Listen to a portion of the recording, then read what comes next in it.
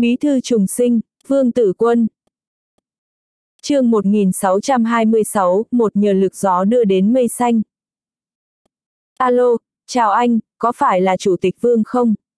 Đầu dây bên kia vang lên giọng nói trầm bổng, âm thanh này nghe vào tai làm cho người ta cảm thấy rất thoải mái. Vương Tử Quân cảm thấy giọng điệu này khá quen thuộc, nhưng lại không thể nghĩ ra được đó là ai, thế là đành cười nói, tôi là Vương Tử Quân, xin hỏi anh là ai? Chào Chủ tịch Vương, mạo muội quấy rầy ngài. Người kia cười cười nói, tôi là Trịnh Đồng Dục. Là Trịnh Đồng Dục, Vương Tử Quân chợt hiểu ý nghĩa cuộc điện thoại của Trịnh Đồng Dục, thế nhưng hắn vẫn nhiệt tình nói, thì ra là chủ nhiệm Trịnh, chào anh, ngài có gì cần chỉ thị không? Cũng không dám cho ra chỉ thị gì, nghe con trai tôi nói Chủ tịch Vương đã về thủ đô, tôi muốn hỏi xem ngài có thời gian hay không, tôi muốn mời ngài uống trà. Trịnh Đồng Dục cười ha hả hai tiếng rồi nói, nếu ngài có thời gian, nửa giờ sau chúng ta ra ngoài tâm sự một chút. Trịnh Đồng Dục nhắc đến con trai, còn mời Vương Tử Quân uống trà, chỉ đơn giản một câu giống như đã nói rõ vấn đề, biểu đạt ý nghĩ của mình ra ngoài. Vương Tử Quân không thể từ chối được, hắn đơn giản mở miệng sảng khoái đồng ý, được rồi, lát nữa chúng ta gặp mặt. Vương Tử Quân đặt điện thoại xuống rồi xoa xoa đầu, chẳng lẽ trịnh đồng dục này đến vì chuyện xin lỗi cho con. Nếu đúng là như vậy thì dễ nói, mà chỉ sợ trịnh đồng dục không phải đơn giản chỉ có tâm tư như vậy. 20 phút sau Vương Tử Quân đi ra bên ngoài, khi hắn đang đưa mắt nhìn quanh, chợt thấy một người đàn ông trẻ tuổi đeo kính khá nhã nhặn đi về phía mình, sau đó cung kính nói, xin hỏi ngài có phải là chủ tịch Vương không? Tôi là thư ký tiểu lưu của chủ nhiệm trịnh. Vương Tử Quân gật đầu nói, tôi là Vương Tử Quân, có phải chủ nhiệm trịnh đã đến rồi không? Tiểu lưu đã làm thư ký cho trịnh đồng dục được một khoảng thời gian, là người cực kỳ hợp cách, rất cẩn thận và chú ý, cảm thấy rất tâm đắc vì phương diện nghênh đón của mình. Thậm chí khi mà lãnh đạo đi ra khỏi cửa thì hắn cũng phải suy xét thật kỹ xem đó là thời gian nào thì phù hợp, căn bản không bao giờ mắc sai lầm ở những phương diện nhỏ nhặt, suy xét thấu đáo. Tiểu lưu đã đến đây chờ Vương Tử Quân, thế nhưng dự vào bản năng thì không cho rằng Vương Tử Quân sẽ đến sớm như vậy. Hắn thầm cảm khái không thôi, thế là chỉ về phía trước nói, Chủ tịch Vương, chủ nhiệm trịnh đang chờ ngài trong quán trà, mời ngài theo tôi.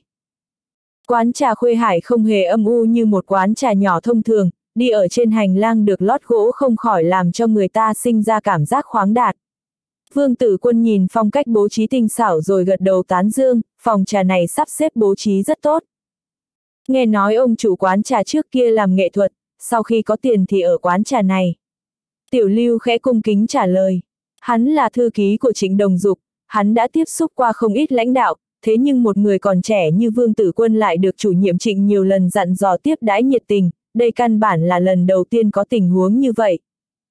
Vì thế mà Tiểu Lưu rất tình nguyện nói vài lời với Vương Tử Quân, nhưng lại sợ nói sai để lại ấn tượng xấu với Vương Tử Quân, thế nên làm hắn cực kỳ đắn đo suy nghĩ về những gì mình sắp nói. Chỉ cần là Vương Tử Quân mở miệng thì hắn cũng nhanh chóng cho ra lời ứng đối. Vương Tử Quân cười cười với Tiểu Lưu, cũng không nói thêm điều gì. Hành lang không quá dài, sau khi đi thêm vài bước thì Tiểu Lưu đẩy một cánh cửa phòng, lúc này một người đàn ông trung niên đeo kính hơn 50 tuổi mỉm cười tiến lên nói, chào Chủ tịch Vương, mời anh ngồi bên này. Vương Tử Quân và Trịnh Đồng Dục cũng xem như là có quen biết, dù sao thì trước kia cũng thường ngồi họp với nhau, bây giờ thấy Trịnh Đồng Dục thì hắn nhiệt tình vươn tay nói, chào chủ nhiệm Trịnh. Sau khi hai người ngồi xuống thì Trịnh Đồng Dục châm trà cho Vương Tử Quân, lúc này mới cười nói, Chủ tịch Vương, tôi đã nghe qua chuyện hôm nay, bình thường tôi công tác bể bổn, căn bản cũng thiếu quản giáo con cái. Không dạy được con là lỗi của bố, kính mong Chủ tịch Vương thứ lỗi cho. Thanh niên có ai mà không xúc động, biết sai có thể sửa là tốt rồi. Vương tử quân uống một ngụm trà rồi mỉm cười nói. Trịnh đồng dục nhìn vẻ mặt lạnh nhạt của vương tử quân thì trong lòng cũng có chút thoải mái. Chút vấn đề của con chỉ là bình thường, hắn không thèm quan tâm, cũng không hy vọng vương tử quân đặt chuyện này vào trong lòng. Hôm nay quay về tôi sẽ cấm túc tiểu tử kia ở nhà vài ngày. Trịnh đồng dục cười cười rồi nói tiếp, Chủ tịch Vương, trước đó vài ngày có báo cáo được đưa đến bàn làm việc của lãnh đạo, khi đó lãnh đạo rất tán thưởng công tác của các anh ở tỉnh Mật Đông, nói rằng đặt một vương tử quân ở Mật Đông, căn bản là cho Mật Đông một chiếc máy phát triển gia tốc.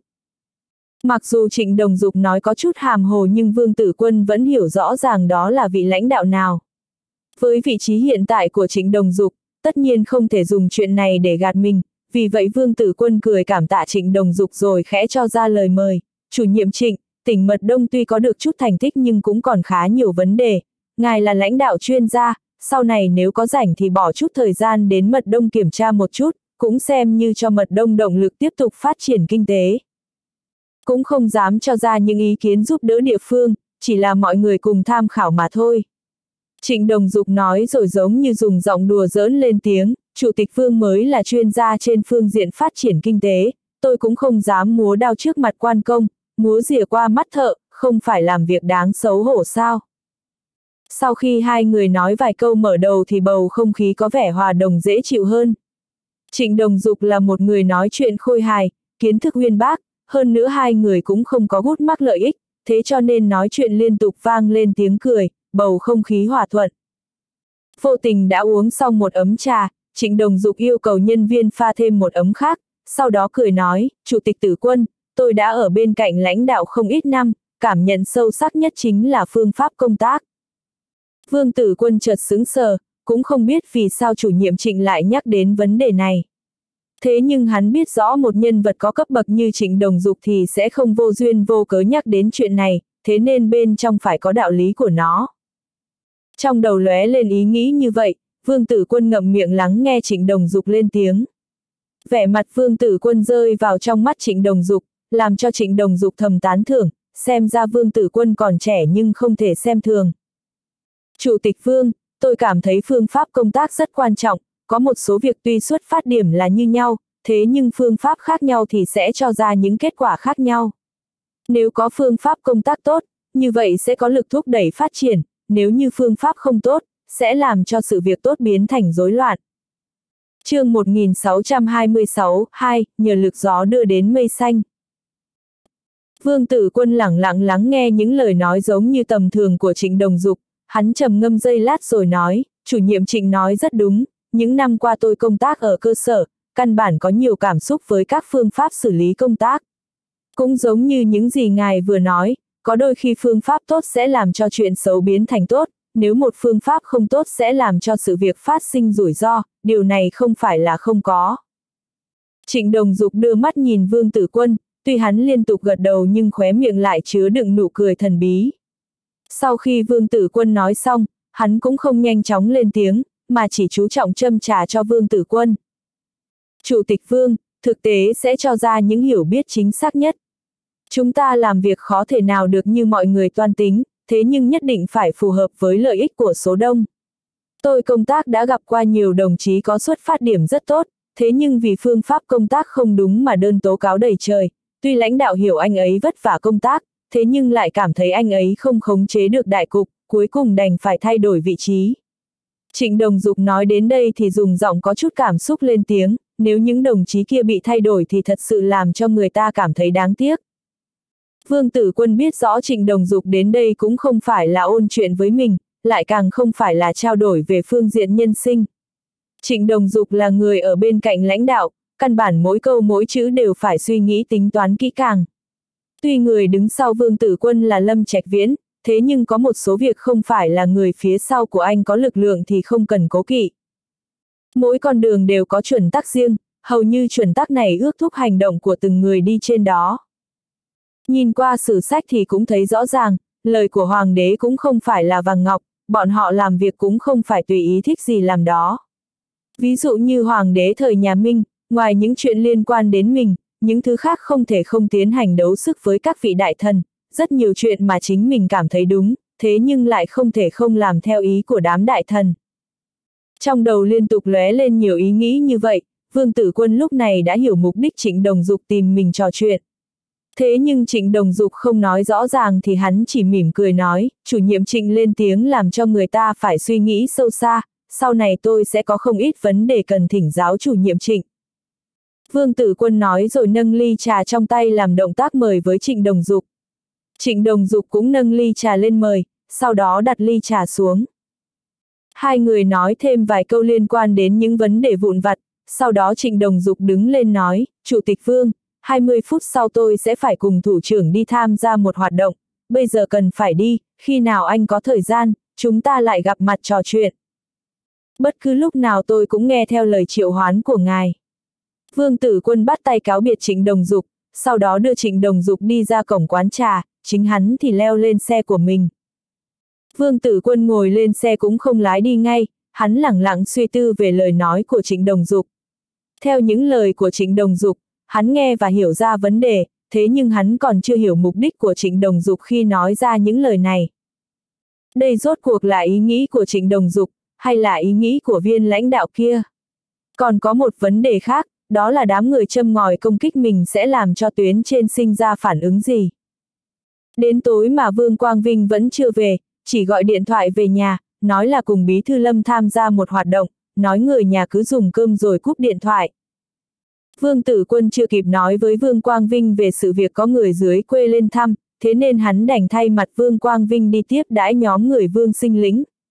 Lần này Vương Tử Quân mời khách cũng không phải ở khách sạn 5 sao, hắn tìm một nhà hàng bình thường nhưng có hoàn cảnh đẹp đẽ và món ăn tinh tế để mời khách. Vương Tử Quân đã đi đến nhà hàng này trước nửa giờ, tuy chỉ là một bữa cơm bình thường, thế nhưng càng là như vậy thì Vương Tử Quân càng phải chú trọng đến phần lễ nghi cần có. Vương Tử Quân ngồi trong phòng khách của nhà hàng, nghe tiếng nhạc vang lên chậm rãi du dương, thế là không khỏi sinh ra cảm giác bay bổng suốt trần. Nhà hàng này không quá lớn, có nhiều khách đến dùng cơm, thế nhưng hoàn cảnh lại rất đẹp. Chủ nhiệm Nguyễn, mời ngài đi bên này, nơi này tuy không lớn nhưng đầu bếp lại giỏi, đặc biệt là nấu những món tứ xuyên rất ngon. Một giọng nói khá lớn kèm theo những tiếng bước chân linh hoạt từ bên ngoài truyền vào.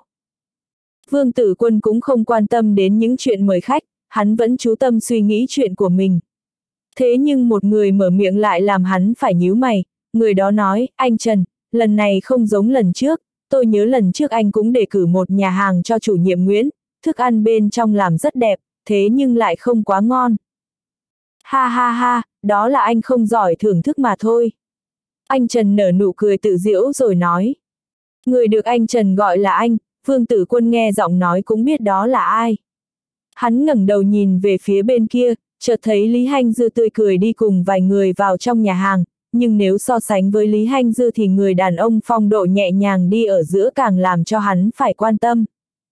Người đàn ông kia đi giữa mọi người như sao sáng quanh trăng, trên mặt treo nụ cười nhàn nhạt, bên trong có chút ung dung tự đắc.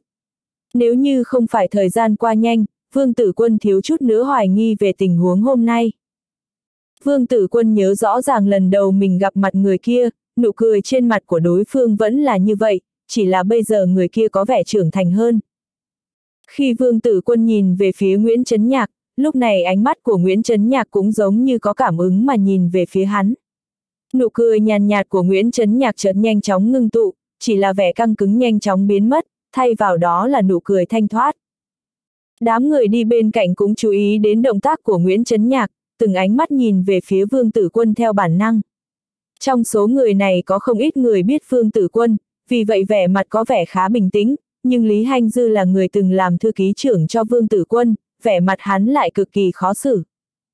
Lý Hanh Dư lần này đến thủ đô cũng là vì có công vụ, sau khi xử lý xong thì mời vài nhân vật quan trọng đi dùng cơm, tất nhiên phải mời cho được chủ nhiệm Nguyễn. Khi hắn đang cố gắng biểu hiện mình trước mặt chủ nhiệm Nguyễn, không ngờ lại gặp mặt Vương Tử Quân ở nơi này. Lý Hanh Dư là người cực kỳ mẫn cảm, hắn nhìn về phía Vương Tử Quân, cảm thấy gương mặt Vương Tử Quân cực kỳ bình tĩnh, giống như không thấy mình. Điều này không khỏi làm cho hắn run lên. Hắn lén gặp mặt Nguyễn Trấn Nhạc, hơn nữa còn trò chuyện vui vẻ, có phải đã đóng một cây đinh vào trong lòng Vương Tử Quân. Trong quan trường chú ý đến các mối quan hệ, rất nhiều chuyện không phải là anh cố ý dựng lên, thế nhưng đặt vào trường hợp đặc biệt, suy xét cẩn thận sẽ phát ra hương vị khác thường, còn có ý nghĩa sâu xa. Chỉ cần có một chút hoài nghi, như vậy sẽ trồng vào trong lòng một cây đinh, sau này vào thời điểm quan trọng thì sẽ đâm vào làm đau người ta, biết đâu vận rủi của anh kéo đến cũng vì một tình huống nhỏ nhặt như vậy. chương 1627, một chỉ nhìn mà không nói lời nào. Khi Lý Hanh Dư cảm thấy cực kỳ bối rối thì Vương Tử Quân mỉm cười đi về phía bên này, Lý Hanh Dư thật sự giống như một người tàng hình, muốn bỏ chạy đi ngay. Chủ động bắt chuyện hay là chờ Vương Tử Quân đi đến rồi nói. Hai ý nghĩ nhanh chóng xoay chuyển trong đầu làm cho Lý Hanh Dư cảm thấy rối loạn. Vương tử quân lại đưa tay ra. Lý Hanh Dư đưa tay ra theo bản năng thế nhưng lại rơi vào khoảng không, vì Vương tử quân mỉm cười duỗi tay với Nguyễn Trấn Nhạc, bí thư Nguyễn, không ngờ ngài cũng đến đây dùng cơm, đúng là quá trùng hợp. Nguyễn Trấn Nhạc đưa tay bắt chặt tay Vương Tử Quân rồi lắc lắc vài cái nói, Chủ tịch Vương, đã nhiều ngày không gặp, ngài về thủ đô từ khi nào vậy?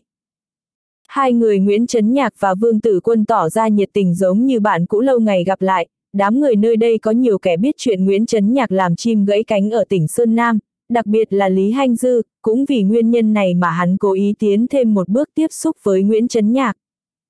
Nguyễn Trấn Nhạc nở nụ cười dùng giọng thân thiết hỏi, Chủ tịch tử quân cũng dùng cơm ở đây sao? Như vậy tôi tham gia với có được không? Dựa theo trí thông minh của Nguyễn Trấn Nhạc, tất nhiên hắn phải là người cực kỳ đúng mực ở phương diện đối nhân xử thế, hắn chỉ muốn dùng câu nói này để hỏi xem Vương Tử Quân dùng cơm với ai. Với địa vị hiện tại của Vương Tử Quân, có thể tự mình chờ ở nơi đây, căn bản là không có mấy người có được đãi ngộ như vậy. Có vài người bạn từ dưới quê lên, ngài cũng không biết bọn họ, thế nên cũng không muốn làm chậm trễ thời gian của ngài. Vương Tử Quân cười cười thuận miệng nói. Nguyễn Trấn Nhạc chủ động lấy lòng nhưng Vương Tử Quân chủ động từ chối, điều này làm cho Nguyễn Trấn Nhạc cảm thấy khó thể nhịn được, thế là không khỏi nói, Chủ tịch Tử Quân, anh như vậy là không đúng, bạn bè của anh là bạn bè của tôi, anh cần gì phải để tôi xa rời như vậy. Không phải tôi không muốn uống vài ly với bí thư Nguyễn, thế nhưng thật sự là khách mời này là người mà ngài không biết. Vương tử quân kiên chỉ nói. Có người nào quen biết nhau từ nhỏ chứ? Gặp mặt không phải sẽ thành quen sao? Vương tử quân càng nói như vậy thì Nguyễn Trấn Nhạc càng hiếu kỳ, nếu như có thể công khai thì anh cần gì phải che giấu như vậy? Vương tử quân thở dài nói, nếu như bí thư Nguyễn đã kiên trì như vậy, tôi mời ngài uống vài ly cho vui. Sau khi ngồi vào bàn rượu thì Nguyễn Trấn Nhạc có chút khó chịu, rốt cuộc là mình lòng dạ hẹp hòi suy đoán lung tung về vương tử quân sao. Bây giờ thì quá tốt rồi, nếu lời nói của vương tử quân là thật, như vậy mình cũng không dễ đứng lên bỏ đi. Sau khi khách đi đến nơi thì vẻ mặt Nguyễn Trấn Nhạc có chút gò ép, vì vị trí cao cấp nhất của đám khách mời phía vương tử quân chỉ là hai cán bộ cấp cục, là bí thư và chủ tịch huyện. Tuy Nguyễn Trấn Nhạc không quan tâm đến hai người kia, thế nhưng dù gì thì hắn cũng là người có thân phận, chẳng qua ba người khách còn lại làm cho hắn cảm thấy khó chịu. Tào Trân Nhi là người thích sạch sẽ, Nguyễn Trấn Nhạc kết hôn với Tào Trân Nhi vài năm, xem như mưa dầm thấm đất, ít nhiều cũng có thói quen giữ vệ sinh. Hắn nhìn đám người ăn mặc không quá đường hoàng, thế là cảm thấy chán ngán. Đặc biệt là một ông lão lớn tuổi, ăn cơm như sói như hổ, nói chuyện thì nước miếng đã văng ra tứ tung, thật sự không đáng liếc mắt nhìn qua. Bác sinh lĩnh, ngài nên mời bí thư Nguyễn của chúng ta một ly. Bây giờ bí thư Nguyễn công tác bên cạnh lãnh đạo trung ương, những hạng mục công tác như giáo dục và hành chính đều phải liên lạc với anh ấy, chỉ cần anh ấy gọi một cuộc điện thoại, như vậy sẽ có nhiều vấn đề được giải quyết ngay lập tức. Vương tử quân cười cười nhìn vương sinh lĩnh rồi khẽ nói. Nguyễn Trấn Nhạc chợt sững sờ, hắn không ngờ vương tử quân lại ép mình phải làm việc. Mặc dù hắn có thể từ chối, thế nhưng vừa rồi hắn đã mở miệng nói lời khách khí với lão nông kia, mình và Vương Tử Quân là bạn, căn bản không phải là người ngoài, thế nên có việc gì cứ nói. Những lời khách sáo thế này không thể coi là thật, không ngờ Vương Tử Quân có điểm tựa thì bò lên, ném việc cho mình. Điều này không khỏi làm cho Nguyễn Trấn Nhạc có chút không thoải mái. Vương sinh lĩnh nâng ly rượu lên nói, à, bí, bí thư Nguyễn, tôi đại biểu 500 hộ dân của thôn Vương ra câu cảm ơn ngài, chén rượu này mời ngài. Tôi uống trước. Mặc dù Nguyễn Trấn Nhạc cảm thấy khóe miệng ông lão bên kia còn dính đầy nước bọt rất khó coi, thế nhưng hắn vẫn không nhịn được phải nói, bác trai, bây giờ các cấp tài chính đều khó khăn, chuyện này cháu không dám đánh cược, để cháu thử rồi nói sau. Bí thư Nguyễn, ngài cũng đừng quá khiêm nhường, thôn quê chúng tôi hoàn toàn phù hợp với điều kiện mà Bộ Giáo dục đặt ra, nhưng nhiều sói thì thịt ít, có nhiều người cạnh tranh nên nắm bắt được là rất khó, bây giờ không phải chỉ cần anh nói một câu là xong sao. Vương Tử Quân không chờ Nguyễn Trấn Nhạc nói hết lời mà lên tiếng cắt ngang. Khi Nguyễn Trấn Nhạc miễn cưỡng hồi phục lại tâm tình thì vị bí thư huyện ủy nhâm chính thịnh bên kia đứng lên nói, Chủ tịch Vương, tôi đại biểu cho 600.000 hương thân phụ lão trong huyện cảm tạ ngài đã giúp đỡ, cảm ơn chủ nhiệm Nguyễn đã ủng hộ, tôi.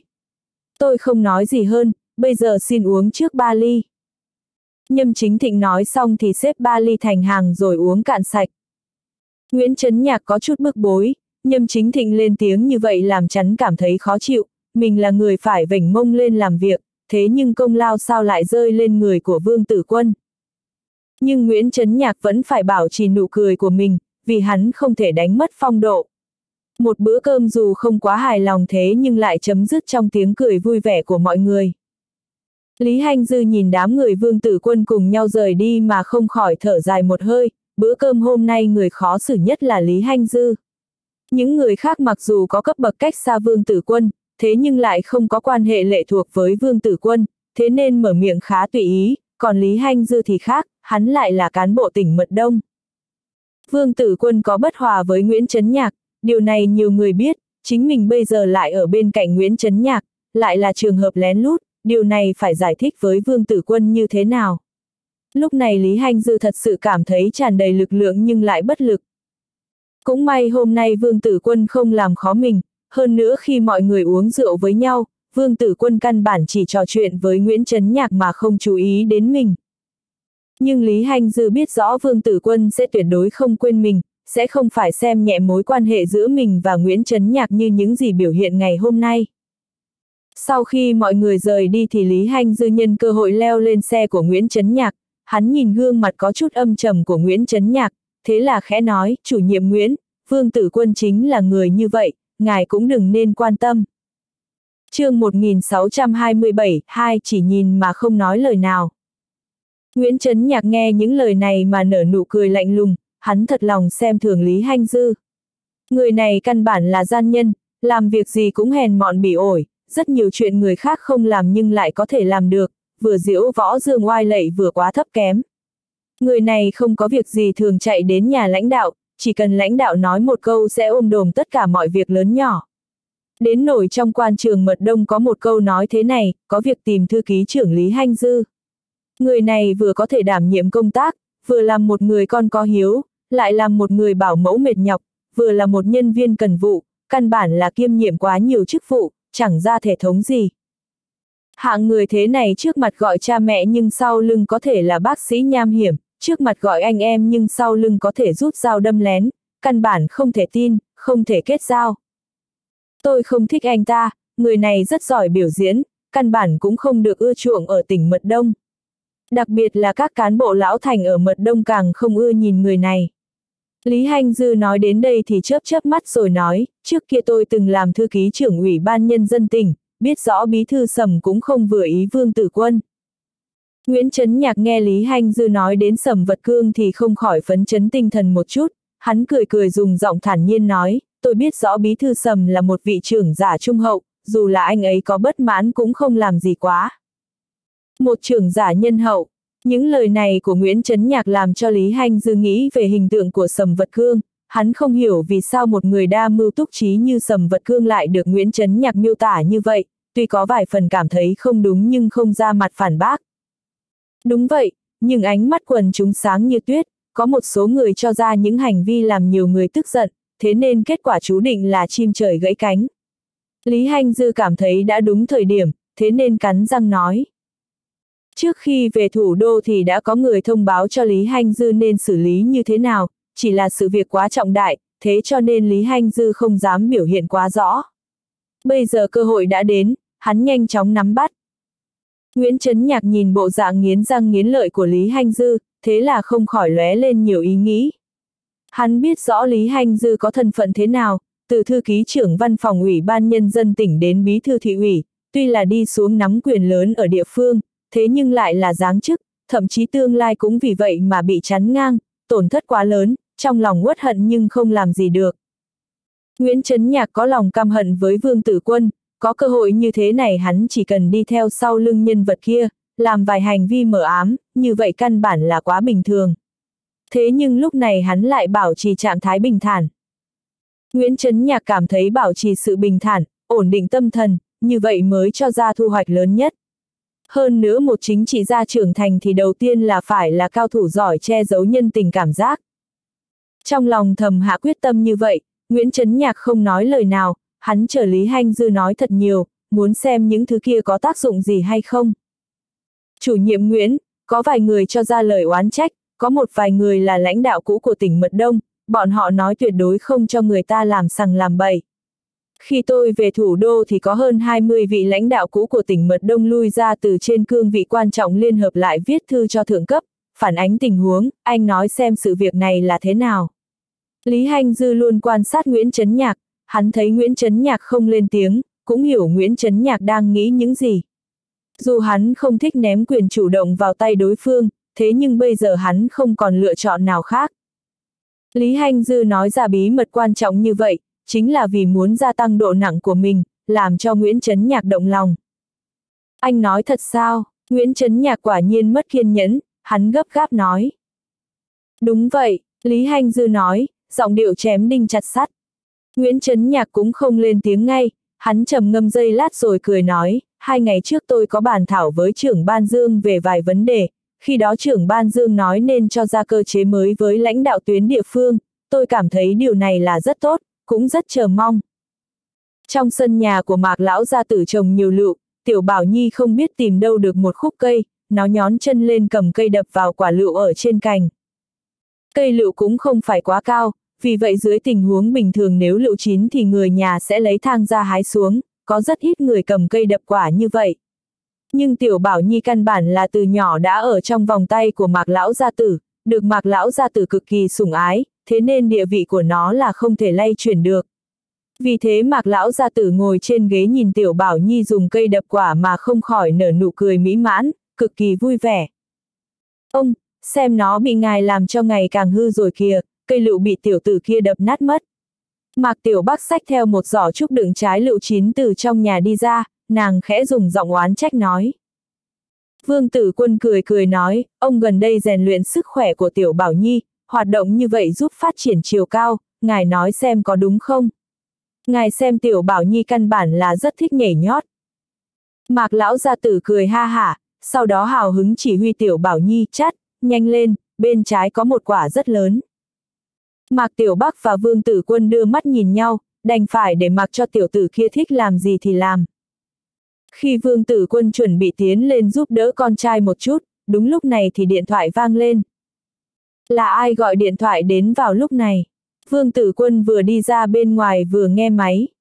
Chào Chủ tịch Vương, tôi là Nhâm Chính Thịnh, là Nhâm Chính Thịnh ở quê của ngài. Bây giờ ngài có bận rộn gì không?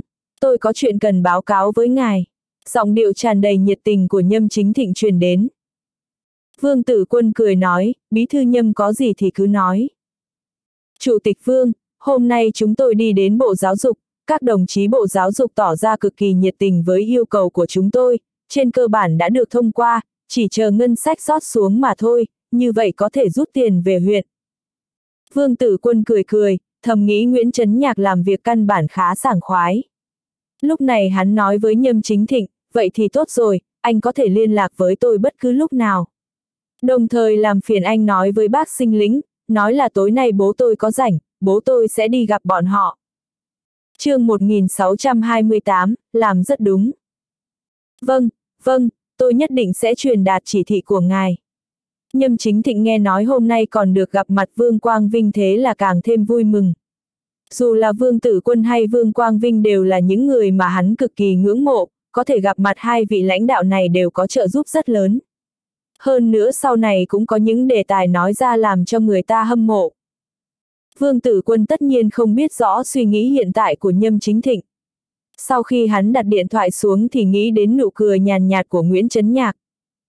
Vương Tử Quân biết vị trí của mình trong suy nghĩ của Nguyễn Trấn Nhạc, sở dĩ Nguyễn Trấn Nhạc xử lý chuyện này nhanh như vậy, tất nhiên không phải là nịnh bợ mình, chỉ là không muốn bị làm phiền bởi những chuyện nhỏ như thế này. Xem ra mình cũng có chút quá phận, vương tử quân chợt sinh ra ý nghĩ đầy thiện tâm, thế nhưng sau đó lại chối bỏ ngay lần này Lý Hanh Dư gặp mặt Nguyễn Trấn Nhạc căn bản khôn phải vì Trung Thu buồn bã nên nói chuyện cho vui, thật ra chính là vì những vấn đề khác. Sau một lúc lâu thì cành lựu căn bản đã bị Tiểu Bảo Nhi đánh tan tã, Vương Tử Quân nhìn Tiểu Bảo Nhi ném cây gậy xuống đất rồi chạy quanh sân như điên, thế là không khỏi nở nụ cười. Mạc lão gia tử ở bên kia đang chống gậy đi lại cũng cười tươi vui vẻ, sau đó cầm quả lựu mà Tiểu Bảo Nhi đã đánh xuống bỏ vào trong giỏ. Dù vương tử quân chủ yếu tập trung tinh lực lên người Tiểu Bảo Nhi, thế nhưng cũng không phải không chú ý đến mạc lão gia tử. Khi mạc lão gia tử cúi đầu thì hắn cảm thấy có chút đau thương, mặc dù ông cụ rất vui vẻ thế nhưng da càng ngày càng nhiều đốm như đồi mồi, căn bản không thể nào che giấu được. Thủ trưởng, ngài nên nghỉ ngơi một lát, nhân viên cần vụ đứng bên cạnh có chút do dự, sau đó khẽ đi đến bên cạnh khuyên bảo mạc lão gia tử. Hôm nay không có gì là mệt mỏi, để tôi chơi với tiểu bảo nhi một lát, tôi cảm thấy mình như trẻ lại, không cần nghỉ ngơi, không cần. Mạc lão gia tử liên tục khoát tay với nhân viên cần vụ, sau đó nở nụ cười sáng lạn nói. Nhân viên công tác có chút do dự, sau đó vẫn khẽ khuyên nhủ, thủ trưởng, chúng tôi có nghe bác sĩ nói, không thể để ngài vận động mạnh thời gian dài, như vậy sẽ không tốt cho sức khỏe. Được rồi, hôm nay tôi phá lệ một lần, lát nữa tôi sẽ giải thích cho bọn họ. Gương mặt của mạc lão gia tử có hơi căng, ông cụ dùng giọng chân thật đáng tin nói. Vương tử quân nhìn thấy nhân viên công tác còn định mở miệng khuyên, thế là khẽ nói, chị Lý, hãy để cho ông cụ thả lỏng một chút, lát nữa tôi sẽ đưa ông đi nghỉ. Chị Lý mặc dù là nhân viên công tác bên cạnh mạc lão gia tử, thế nhưng nàng cũng biết địa vị của vương tử quân ở mạc gia, nàng khẽ nói tiểu thủ trưởng, tôi không phải không muốn để ông cụ chơi với tiểu bảo nhi, chủ yếu là bây giờ ông không nên hoạt động mạnh. Vương tử quân khẽ gật đầu mà không nói gì thêm, hắn nhìn cơ thể có hơi rung của mạc lão gia tử, chỉ cảm thấy hai mắt có hơi ướt. Mặc dù trong mắt nhiều người thì mạc lão gia tử là người có nhiều vầng hào quang trói mắt, thế nhưng bây giờ ông cụ căn bản chỉ là một cây đèn cạn dầu mà thôi. Ông, nhà ông nhiều cây lựu đẹp quá, nhà của cháu nhiều cây nhưng không có một cây lựu nào, vẫn là ông quá giỏi. Tiểu Bảo Nhi vừa ăn quả lựu vừa cười hì hì nói với Mạc Lão Gia Tử. Mạc Lão Gia Tử cười nói, ha ha, Tiểu Bảo Nhi, nhà cháu cũng có thể trồng lựu được. Sao, thật vậy à, sau khi quay về cháu sẽ bảo bố chuyển hết cây cũ đi, nghe lời ông trồng lựu vào cho đẹp. Tiểu Bảo Nhi dùng giọng nghiêm túc nói. À, tốt, cháu tốt của ông. Mạc Lão Gia Tử vui vẻ vuốt ve đầu của Tiểu Bảo Nhi rồi cười tủm tỉm nói. Cả ngày Mạc Lão Gia Tử đều dùng thời gian chơi đùa với Tiểu Bảo Nhi, dù Mạc Tiểu Bắc có khuyên thế nào thì cũng không quan tâm, một nhà một trẻ vẫn rất náo nhiệt. Cuối cùng Tiểu Bảo Nhi mệt mỏi nằm ngủ trên ghế salon, Mạc Lão Gia Tử cũng xem như được nghỉ ngơi. Mạc Tiểu Bắc yêu thương ôm lấy Tiểu Bảo Nhi đang ngủ say, Vương Tử Quân cũng nằm xuống bên cạnh con. Mạc Tiểu Bắc chợt đi đến bên cạnh hắn khẽ nói, vừa rồi ông có nói với em, muốn để cho Tiểu Bảo Nhi ở lại thủ đô vài ngày. Vương Tử Quân nghe thấy Mạc Tiểu Bắc nói như vậy thì có chút sững sờ, trong nhà này nếu nói có người chú ý đến việc học của Tiểu Bảo Nhi nhất ngoài Mạc Tiểu Bắc thì chính là Mạc Lão Gia Tử. Lúc này Mạc Lão Gia Tử chủ động yêu cầu để Tiểu Bảo Nhi ở nhà không đến trường, điều này quá khác thường. Vương Tử Quân nghĩ đến bộ dạng có hơi run rẩy của Mạc Lão Gia Tử trước đó, hắn không khỏi càng sinh ra cảm giác xấu. Hắn là người sống hai đời, trước kia căn bản không có liên hệ với Mạc Tiểu Bắc, tất nhiên cũng không biết Mạc Lão Gia Tử ra đi vào lúc nào. Nhưng bây giờ Vương Tử Quân căn cứ vào trạng thái tinh thần của Mạc Lão Gia Tử mà không khỏi sinh ra dự cảm bất thường, nhưng hắn không nói với Mạc Tiểu Bắc. Hắn khẽ vỗ vai Mạc Tiểu Bắc, sau đó cười nói, Tiểu Bảo Nhi rất thông minh, việc học hành ở trường cũng không làm khó nó được. Anh thấy nó cũng rất tình nguyện chơi đùa với ông, thế nên để nó ở lại thủ đô chơi vài ngày cũng tốt. Mạc Tiểu Bắc không nói gì, nàng nằm trong lồng ngực của Vương Tử Quân, mái tóc che gương mặt, nhưng vai thon khẽ run làm cho Vương Tử Quân biết vợ mình đang khóc. Có một số việc căn bản khó thể nào tiêu tan được, ví dụ như là một người đàn ông, Vương Tử Quân lúc này chỉ có thể ôm lấy Mạc Tiểu Bắc mà không lên tiếng an ủi. Một lúc sau Mạc Tiểu Bắc nặng nề ngủ thiếp đi, Vương Tử Quân cảm thấy khá mệt mỏi, hắn khẽ đẩy cửa phòng đi ra ngoài. Khoảng sân bên ngoài khá yên tĩnh, không có âm thanh nào, Vương Tử Quân đứng trong sân nhìn mặt trời ngày thu sáng rực mà không khỏi nheo mắt. Tử Quân, cậu không nghỉ ngơi một chút sao? Giọng nói run run của Mạc Lão gia tử chợt truyền vào tai Vương Tử Quân. Vương Tử Quân quay đầu lại thì thấy Mạc Lão gia tử đang lẳng lặng ngồi trên ghế, căn bản giống như một bức tượng điêu khắc. Hắn nhìn vẻ mặt của ông cụ, thế là không khỏi tiến lên nghênh đón, ông, ngài không nghỉ ngơi sao? Sao lại thức dậy rồi? Mạc lão gia tử khoát tay áo với vương tử quân, đến tuổi của tôi thì muốn ngủ ngon một giấc cũng không dễ dàng, hơn nữa sau này còn nhiều thời gian nghỉ ngơi, đến khi đó nghỉ ngơi cũng được. Vương tử quân hiểu rõ ý nghĩ của mạc lão gia tử, hắn định mở miệng nói rằng ông cụ sẽ sống lâu trăm tuổi, thế nhưng cuối cùng lại không nói ra như vậy. Vì hắn hiểu rất rõ ràng, ông cụ cũng không phải là người cần được hắn an ủi. Sinh lão bệnh tử là chuyện thường tình của đời người. Tử quân, cậu đi đến vị trí ngày hôm nay thì căn bản nhìn rõ bản chất sự việc này còn hơn người thường. Mạc lão gia tử đứng lên rồi cười nói, trên đời này còn nhiều chuyện mà tôi căn bản còn chưa làm xong, chưa an tâm, thế nhưng tiểu bác gả cho cậu là một chuyện mà tôi an tâm. Vương tử quân đỏ mặt lên, hắn nhìn vẻ mặt thản nhiên của mạc lão gia tử, không biết nói gì cho phải. Bây giờ hắn đã hiểu được thủ đoạn của mạc lão gia tử, thế nên căn bản là không lừa được ông cụ. Mạc lão gia tử giống như không thấy được vẻ mặt quẫn bách của vương tử quân, lão đi về phía trước hai bước rồi cười cười nói, cậu công tác ở tỉnh Mật Đông cũng không tệ. Cháu công tác ở Mật Đông vẫn còn nhiều phương diện chưa ổn. Vương tử quân cố gắng áp chế tạp niệm trong lòng, hắn nhanh chóng đi đến bên cạnh mạc lão gia tử rồi khẽ nói. Có một số việc cậu nhất định phải làm như vậy. Mạc lão gia tử ngừng gậy rồi dùng giọng tràn đầy kiên định nói. Trong mắt nhiều người chỉ cần linh hoạt một chút là có thể thoải mái vượt qua kiểm tra, thật ra bọn họ gọi đó là đường thẳng, thế nhưng thực tế lại là lạc lối. Khi bọn họ quen đi đường thẳng, sau này gặp đường khó thì không thể đi. Mạc lão gia tử nhìn vương tử quân rồi dùng giọng nghiêm trang nói. Vương tử quân nhìn vẻ mặt của mạc lão gia tử, hắn chậm rãi tán thưởng lời nói của ông cụ. Sau khi trầm ngâm dây lát thì hắn khẽ nói, ông, cháu hiểu rồi. Audio điện tử võ tấn bền chương 1629, một cúi người hóa núi, thẳng người hóa mây. Có những người làm quan thì thích khoe khoang kỹ xảo, cảm thấy mình rất thông minh, cuối cùng chỉ là những người có hại mà thôi. Mạc lão gia tử nói rồi vỗ vỗ lên vai của vương tử quân, sau đó trầm giọng nói, cậu là một cán bộ trẻ tuổi được xem trọng, nên làm những việc có ý nghĩa, biến nó làm thành tích, nhưng quan trọng nhất thì cúi người hóa núi, thẳng lưng hóa mây. Chỉ cần cậu kiên định tiếp tục con đường của mình, vào thời điểm mấu chốt thì thượng cấp sẽ không làm cho những người chú trọng công tác thực tế lại bị hại. Bàn tay của mạc lão gia tử rất khô cứng, nhưng khi đập lên vai thì vương tử quân cảm thấy có lực lượng kiên định rót vào người hắn như thác lũ. Điều này làm cho tâm tư do dự và bàng hoàng của vương tử quân chậm rãi tiêu tán đi khá nhiều. Khi vương tử quân chuẩn bị lên tiếng thì chợt nghe mạc lão gia tử nói tiếp, rất nhiều người nói dù là làm người hay làm quan thì phải ngoài tròn trong vuông, tôi đồng ý những lời này, thế nhưng muốn làm người ngoài tròn trong vuông cũng không dễ dàng gì. Rất nhiều người chỉ học được vẻ bên ngoài, thế nhưng cuối cùng tất cả đều tròn, căn bản là kiên trì ném đi tất cả góc cạnh của mình. Nếu không kiên trì vì nước vì dân, không có tâm tư và quyết tâm báo quốc, anh quá tròn cũng không phải là chính khách tốt, há có thể được đa số mọi người ủng hộ và tôn trọng. Giọng nói của mạc lão gia tử càng thêm trầm thấp, cũng càng thêm kiên định. Vương tử quân không nói lời nào, hắn lẳng lặng suy tư về lời nói của mạc lão gia tử, thế là những gì vướng mắc trong lòng những ngày qua chợt tan thành mây khói. Tối trung thu cực kỳ đẹp đẽ, Vương Tử Quân coi như có một Tết Trung Thu ấm áp ở thủ đô, sau đó hắn bay về Mật Đông.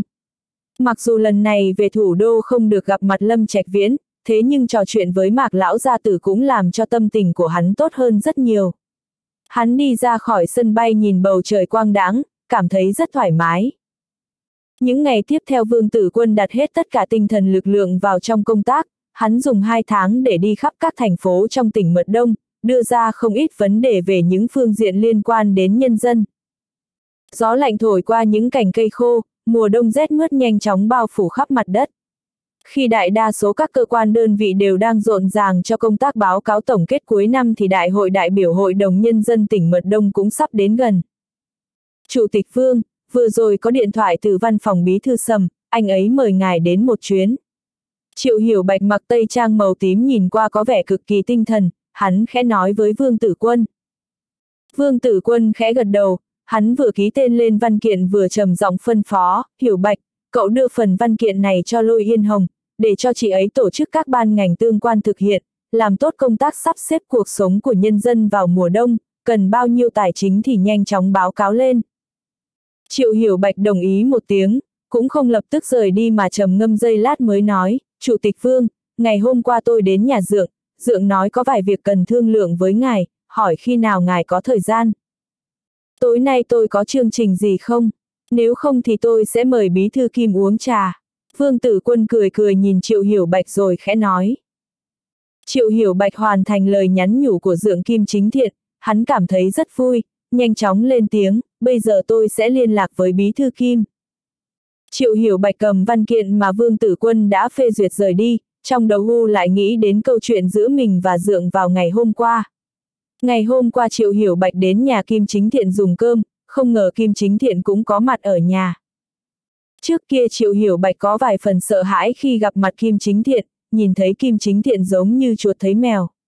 Nhưng sau khi phát triển một thời gian bên cạnh Vương Tử Quân, hắn căn bản phát hiện Dượng chỉ là một người thầy tốt nhất của mình mà thôi.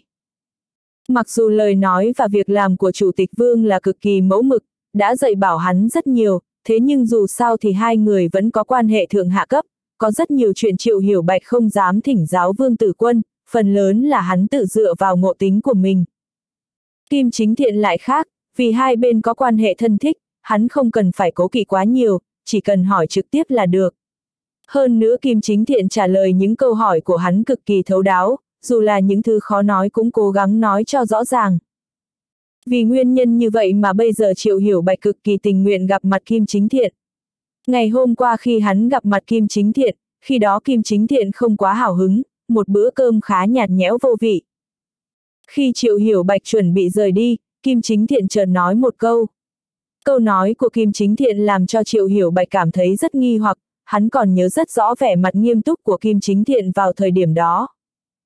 Hiểu Bạch, cậu làm thư ký cho chủ tịch tỉnh căn bản là rất có cảnh tượng, thế nhưng nếu muốn tiến thêm một bước thì quan trọng nhất là phải có kinh nghiệm công tác cơ sở. Cậu có hứng thú xuống cơ sở công tác hay không? Lúc này ở phía thành phố Đồng Lục còn đang thiếu một vị trí phó chủ tịch huyện, cậu đến đó nhận công tác cũng không tồi. Đi xuống cơ sở công tác chính là một ước mơ vào thời gian gần đây của Triệu Hiểu Bạch, dù sao thì không muốn làm tướng sẽ không phải là binh sĩ phù hợp. Nhưng Kim Chính Thiện đột nhiên nói như vậy làm cho hắn không thể không hoài nghi. Triệu Hiểu Bạch không còn là một viên thư ký ngốc nghếch như trước, hơn nữa kinh nghiệm thư ký trong những ngày qua đã làm cho hắn hiểu được rất nhiều. Đặc biệt là hắn đi theo Vương Tử Quân, kinh nghiệm đối nhân xử thế càng mạnh hơn đám bạn đồng trang lứa. Kết quả cuối cùng của thư ký chính là xuống tuyến dưới rèn luyện, không ai mãi làm thư ký cho lãnh đạo, thế nhưng thư ký xuống bên dưới công tác đều phải ở bên cạnh lãnh đạo hai ban năm, như vậy mới có được cảm tình với lãnh đạo, mới tích lũy được những mối quan hệ phong phú và lực lượng hùng mạnh. Những thư ký vừa làm được một năm đã bị đẩy xuống cơ sở đều bị người ta cho rằng không được lãnh đạo sủng ái, không hài lòng, thậm chí sẽ có người nói bị lãnh đạo điều đi. Chính mình nến muốn tiếp tục tiến lên thì phải làm thư ký bên cạnh Vương Tử Quân thêm hai năm nữa. Triệu Hiểu Bạch thậm chí nhớ rõ trước đó trong bữa tiệc gia đình thì Kim Chính Thiện uống hơi nhiều, Dượng có cười nói với bố của mình là việc này không nên nóng vội, có câu giao sắc không chặt củi mục.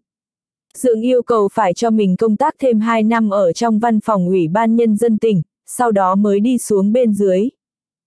Nhưng bây giờ sao Dượng lại thay đổi như vậy? Thật lòng thì Triệu Hiểu Bạch cũng hiểu loáng thoáng được vài phần. Khi mà đám người trong hội đồng nhân dân tỉnh có vài phần hoạt động thì có gió khẽ cuốn lên, tuy người thường không thấy những cơn gió này, thế nhưng Triệu Hiểu Bạch lại cam giác được nó. Dù sao thì Triệu Hiểu Bạch cũng là một người có đầu mối tin tức, nhưng hắn căn bản không quan tâm đến những tin đồn thất thiệt kia. Hắn nghĩ rằng chuyện này là không thể, nếu Chủ tịch Vương không được tuyển cử thành công, điều này là không thể nào, vì kết quả đó căn bản là làm khó lãnh đạo ở bên trên. chương 1629, hai cúi người hóa núi, thẳng người hóa mây. Trong đầu Triệu Hiểu Bạch lóe lên những ý nghĩ như vậy, hắn cảm thấy sự việc không đơn giản. Với trình độ của đám người kia, bọn họ sao lại làm ra những hành vi ngu xuẩn như vậy?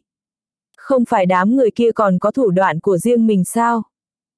Chào trưởng ban triệu, khi âm thanh vang lên thì một người đàn ông tươi cười xuất hiện trước mặt triệu hiểu bạch.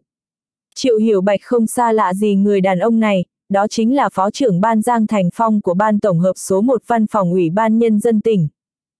Giang Thành Phong là tâm phúc của Lý Hanh Dư, là một vị phó trưởng ban lâu năm của ban số 1, người này căn bản luôn cảm thấy không phục với tình huống mình là trưởng ban số một. Thế nhưng khi Lý Hanh Dư bị di rời, Giang Thành Phong biểu hiện an phận hơn, căn bản không những thay đổi thái độ với mình, ngược lại còn có chút nịnh nọt. Nhưng những ngày qua Triệu Hiểu Bạch cảm thấy thái độ của Giang Thành Phong không còn giống trước, chưa nói đến những thứ khác, ánh mắt và nụ cười của đối phương khi nhìn mình vẫn luôn sáng lạn, thế nhưng khi trò chuyện lại có vài phần đắc ý. Chào trưởng ban Giang, Triệu Hiểu Bạch lên tiếng, sau đó chuẩn bị đi về phía trước. Nhưng hắn vừa đi được một bước thì dừng lại nói, trưởng ban Giang, bây giờ anh có rảnh không? Có thời gian thì đưa phần văn kiện này đến tay chủ tịch lôi dùng tôi, chút nữa tôi còn phải đi công tác với chủ tịch Vương. Ôi, thật sự là không khéo. Giang Thành Phong vỗ bàn tay rồi vội vàng nói, bây giờ tôi có chuyện cần phải đi ra ngoài, đã nói sẵn với người ta rồi. Nếu không thì tôi cho người trong văn phòng đi đưa văn kiện dùm ngài được không? Triệu Hiểu Bạch cười cười khẽ nói, thôi khỏi, cũng chỉ là vài bước mà thôi, tôi trực tiếp đưa qua cũng được. Triệu Hiểu Bạch nhìn hình bóng rời đi của Giang Thành Phong mà không khỏi nở nụ cười lạnh, trước kia không có việc gì thì người này luôn trầu trực chờ mình xuất hiện, sau đó hỏi xem có sắp xếp gì không. Bây giờ lại khác, chính mình mở miệng giao nhiệm vụ nhưng đối phương nhanh chóng chối từ. Cho dù Giang Thành Phong Anh nghe được vài thông tin gió thổi cỏ lay thì cũng không nên trở mặt quá nhanh như vậy, ít nhất khi đối diện với đại cục thì phải biểu hiện bình tĩnh ung dung. Xem ra loại người tiểu nhân như thế này thì cuối cùng cũng chỉ là phế vật mà thôi. Một loạt ý nghĩ lóe lên trong đầu triệu hiểu bạch, điều này làm cho gương mặt hắn có vài phần ngưng trọng. Lúc này gió thổi giạt bèo, xem ra có một vài người đã thấy được vài vấn đề. Chủ tịch Vương có phải đã thấy rõ rồi không? Triệu Hiểu Bạch nghĩ đến bộ dạng ngày nào cũng chuyên tâm công tác của Vương Tử Quân mà không khỏi sinh ra cảm giác do dự bất định. Hắn thấy mỗi ngày Vương Tử Quân đều công tác như thường, giống như căn bản không biết có người đang muốn đối phó với mình, thật sự giống như câu nói, quân tử ung dung bình tĩnh, tiểu nhân mưu toan lo lắng. Vậy, dựa theo sự khôn khéo mạnh mẽ của Chủ tịch Vương, tất nhiên Chủ tịch Vương không thể không biết. Triệu hiểu bạch thầm cảm khái, 20 phút sau hắn mới quay về phòng làm việc của Vương Tử Quân. Lúc này Vương Tử Quân đã đứng lên khỏi ghế salon, chuẩn bị đi ra ngoài. Đi thôi, Hiểu Bạch, chúng ta đến gặp Bí Thư Sầm. Vương Tử Quân phất phất tay với Triệu Hiểu Bạch rồi trầm giọng nói. Triệu Hiểu Bạch đồng ý một tiếng rồi cùng Vương Tử Quân đi ra khỏi phòng. Hắn đi theo sau lưng Vương Tử Quân, nghe những âm thanh chào hỏi Vương Tử Quân vang lên ở trên hành lang, nhìn đám nhân viên công tác giống như không có gì biến đổi, thế nhưng Triệu Hiểu Bạch lại thầm cảm thấy sóng ngầm đang khởi động. Lúc này Vương Tử Quân thật sự không hiểu rõ ý nghĩ của Triệu Hiểu Bạch, hắn chỉ nghĩ đến phương diện vì sao Sầm Vật Cương cần gặp mình. Sầm Vật Cương tìm mình là vì đại hội của Hội đồng Nhân dân hay là vì lời đề nghị của mình về việc chỉnh đốn các khu quy hoạch. Vương Tử Quân không đến phòng làm việc của Sầm Vật Cương quá nhiều lần, thế nhưng hắn cũng không xa lạ gì nơi này. Khi hắn đi đến phòng làm việc của Sầm Vật Cương, chợt thấy vị Yến Quy từ bên trong đi ra. Lúc này gương mặt Vi Yến Quy là nụ cười vui vẻ, nhìn qua giống như trẻ ra rất nhiều, ngay cả một vài sợi tóc bạc thường ngày cũng không còn thấy đâu. Khi thấy Vương Tử Quân thì Vi Yến Quy có chút sững sốt, sau đó lão nở nụ cười vui vẻ nhiệt tình đón chào, chào Chủ tịch Vương. Vương Tử Quân khẽ bắt tay với Vi Yến Quy, sau đó hắn cười nói, Bí Thư Vi, gần đây ngài có vẻ rất bận.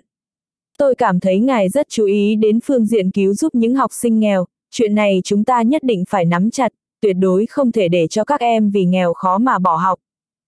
Vi Yến Quy gật đầu cười nói, đúng vậy, tôi đã tổng kết những tình huống có được trong vài ngày qua để cho ra một lời đề nghị với Bí Thư Sầm, tôi cũng sẽ đưa đến cho anh một phần văn kiện, hy vọng anh có thể ủng hộ. Chỉ cần có lợi cho phương diện dân sinh của tỉnh Mật Đông, tôi sẽ giúp đỡ cực kỳ nghiêm túc. phương Tử Quân nhìn Vi Yến Quy rồi cười ha hả nói.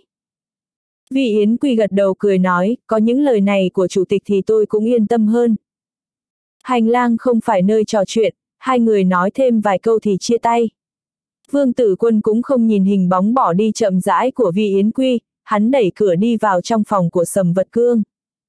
Lúc này Sầm Vật Cương đang cúi đầu xem văn kiện, khi thấy Vương Tử Quân đi vào thì đứng lên nói, Chủ tịch Tử Quân đến đấy à, mời anh ngồi. Sầm Vật Cương nói rồi đứng lên khỏi ghế, vừa rồi Bí Thư Vi có cho ra đề nghị giải quyết khó khăn của học sinh nghèo, thật sự rất có cảm xúc, thiếu chút nữa làm tôi quên cuộc gặp giữa hai chúng ta. Vương Tử Quân cười cười, hắn mời thuốc sầm vật cương rồi nói, vừa rồi tôi có gặp mặt bí thư vi, anh ấy cũng nói với tôi chuyện này, tôi cảm thấy như vậy là rất tốt, chúng ta có thể phổ biến. Sầm vật cương khẽ gật đầu, khi thấy vương tử quân dùng ánh mắt cực kỳ chân thành nhìn mình, lão cúi đầu, hút thuốc, trong đầu nghĩ về phản ứng của vương tử quân. Lúc này mạch nước ngầm đã nổi lên, lão đã cảm thấy, thậm chí có hơn phân nửa cho rằng người trợ thủ của mình sẽ bị gãy cánh trong sự kiện lần này. mưu đồ của thượng cấp là quá rõ ràng, cục diện hiện tại như vậy làm cho sầm vật cương cảm thấy mất thể diện, điều này nói rõ lực khống chế của lão căn bản còn chưa cao. Lão là một lãnh đạo đứng đầu tỉnh Mật Đông, là người phụ trách đại cục, đảm bảo ý đồ của tổ chức được thực hiện, mà lão cũng đã làm xong chuẩn bị để ứng phó với gió bão lần này. Sầm vật cương không tin vương tử quân không biết gió bão đến từ đâu, thế nhưng khi thấy vương tử quân bình tĩnh ôn hòa đối mặt với Vi Yến Quy, lão không khỏi ngước mắt lên nhìn. Nếu như không phải vương tử quân là một người có quá nhiều góc cạnh thì đắc lực hơn Vi Yến Quy rất nhiều, rất thích hợp làm trợ thủ. Đây là một vị cán bộ trẻ tuổi có năng lực có sức sống, tư duy nhạy cảm, ý nghĩ phóng khoáng, dũng cảm đổi mới, càng khó có được chính là cố gắng xuất lực vì sự phát triển của tỉnh Mật Đông. Sau khi Vương Tử Quân đến Mật Đông thì cấp trên liên tục tán dương Mật Đông, Sầm Vật Cương cũng không nhớ rõ đã mấy lần được lãnh đạo khen thưởng rồi. Nhưng ở Mật Đông chỉ có thể vang lên một âm thanh, phải là ngàn người một mặt, như vậy mới có thể tiếp tục phát triển mạnh mẽ. Vương Tử Quân dù là một người có năng lực, thế nhưng Sầm Vật Cương không muốn để người này tùy ý phá đi tình thế phát triển tốt của tỉnh. Chủ tịch Tử Quân, đây là những sắp xếp cho Đại hội Hội đồng Nhân dân sắp tới, anh xem qua một chút. Trong đầu Sầm Vật Cương lóe lên nhiều ý nghĩ, lão đưa một phần văn kiện cho Vương Tử Quân. chương 1630, một không phải khen ngợi mà muốn anh tự táng dương. Vương Tử Quân tiếp nhận văn kiện trong tay của Sầm Vật Cương rồi nhìn vào chăm chú, trình tự ghi trong văn kiện căn bản không khác gì những cuộc họp trước kia, trên cơ bản không có gì khác nhau. Vương Tử Quân đã từng là lãnh đạo cấp tỉnh tham gia hội nghị của Hội đồng Nhân dân như thế này, hơn nữa khi còn công tác ở La Nam từng kiêm nhiệm Chủ tịch Hội đồng Nhân dân, thế cho nên rất quen thuộc trình tự này. Vì vậy nói Vương Tử Quân chăm chú xem văn kiện không bằng nói đang tự suy xét xem sầm vật cương có mục đích gì. Có một số việc làm rất khéo nhưng căn bản không lừa gạt được người khác. Có câu người uống nước thì biết rõ ấm lạnh, thái độ của sầm vật cương với mình là gì thì vương tử quân hiểu rõ ràng, mà chính sầm vật cương càng hiểu rõ ràng hơn. Chủ tịch vương, nếu như anh thấy văn kiện này có trình tự nào không thích hợp, anh có thể nói ra để cho hội đồng nhân dân sửa lại. Sầm vật cương thấy vương tử quân đọc xong văn kiện thì cười hỏi. Vương tử quân cười cười nói, bí thư sầm, tôi cảm thấy hội đồng nhân dân sắp xếp như vậy là rất tinh tế, không cần sửa chữa điều gì ở phạm vi lớn, còn phương diện chi tiết, chúng ta nên giao cho chuyên gia xử lý. Anh nói rất đúng, sầm vật cương cười cười nâng bình trà lên châm nước cho vương tử quân, sau đó vừa cười vừa nói, lần này tổ chức đại hội hội đồng nhân dân chủ yếu chính là nhiệm kỳ mới của Ủy ban Nhân dân tỉnh, đến khi đó không những chính thức bầu anh làm chủ tịch tỉnh, càng phải chọn một vài vị phó chủ tịch tỉnh, chúng ta cần phải chứng thực đúng chỗ chỉ thị tinh thần của lãnh đạo. Vương Tử Quân gật đầu nói, tôi đến Mật Đông đã được nửa năm, căn bản vẫn là kiến thức nửa vời, sự kiện này vẫn là bí thư sầm định đoạt, tôi sẽ tích cực phối hợp. Ha ha ha, Chủ tịch Tử Quân không cần khiêm tốn, những ngày qua anh đã đi khắp các thành phố trong tỉnh, công tác rất vững chắc. Anh cũng là một trong những cán bộ lãnh đạo tỉnh có uy tín trong dân. Sầm vật cương khoát tay rồi khẽ cười nói, tôi căn bản chỉ đến mật đông nhiều năm hơn anh, hy vọng hai người chúng ta có thể chung sức hợp tác, cùng nhau thúc đẩy tỉnh mật đông phát triển lên giai đoạn mới. Sầm vật cương nói những lời rất có toan tính, những người không biết thì còn tưởng rằng sầm vật cương là người lòng dạ bao la khoáng đạt. Vương tử quân nghe xong cũng tỏ thái độ, con người của tôi có không ít bệnh ta át, thế nhưng cũng có lúc nên quảng cáo dùm beng vì mình, đó là tôi sẽ nghe theo lời chỉ huy, sẽ làm tốt công tác của mình, sau này sẽ phối hợp tốt với ngài. Bầu không khí trong phòng càng thêm hòa hợp, Sầm Vật Cương nói thêm vài hạng mục công tác với Vương Tử Quân, sau đó cười nói, Chủ tịch Tử Quân, những ngày tới anh nên rút bớt chút thời gian, hai người chúng ta nên đi thăm thú các vị cựu chiến binh, cũng trưng cầu ý kiến của bọn họ với nhiệm kỳ sắp tới của Ủy ban Nhân dân tỉnh. Động tác này cực kỳ có ý nghĩa, trưng cầu ý kiến chỉ là một phương diện, thực tế là sầm vật cương tranh thủ cho vương tử quân nhiều sự giúp đỡ. Tuy không biết sầm vật cương làm như vậy có mấy phần là giả vờ cho hay, thế nhưng vương tử quân vẫn phải thành thật cảm tạ, tôi sẽ chờ đợi lời kêu gọi của bí thư sầm bất cứ khi nào.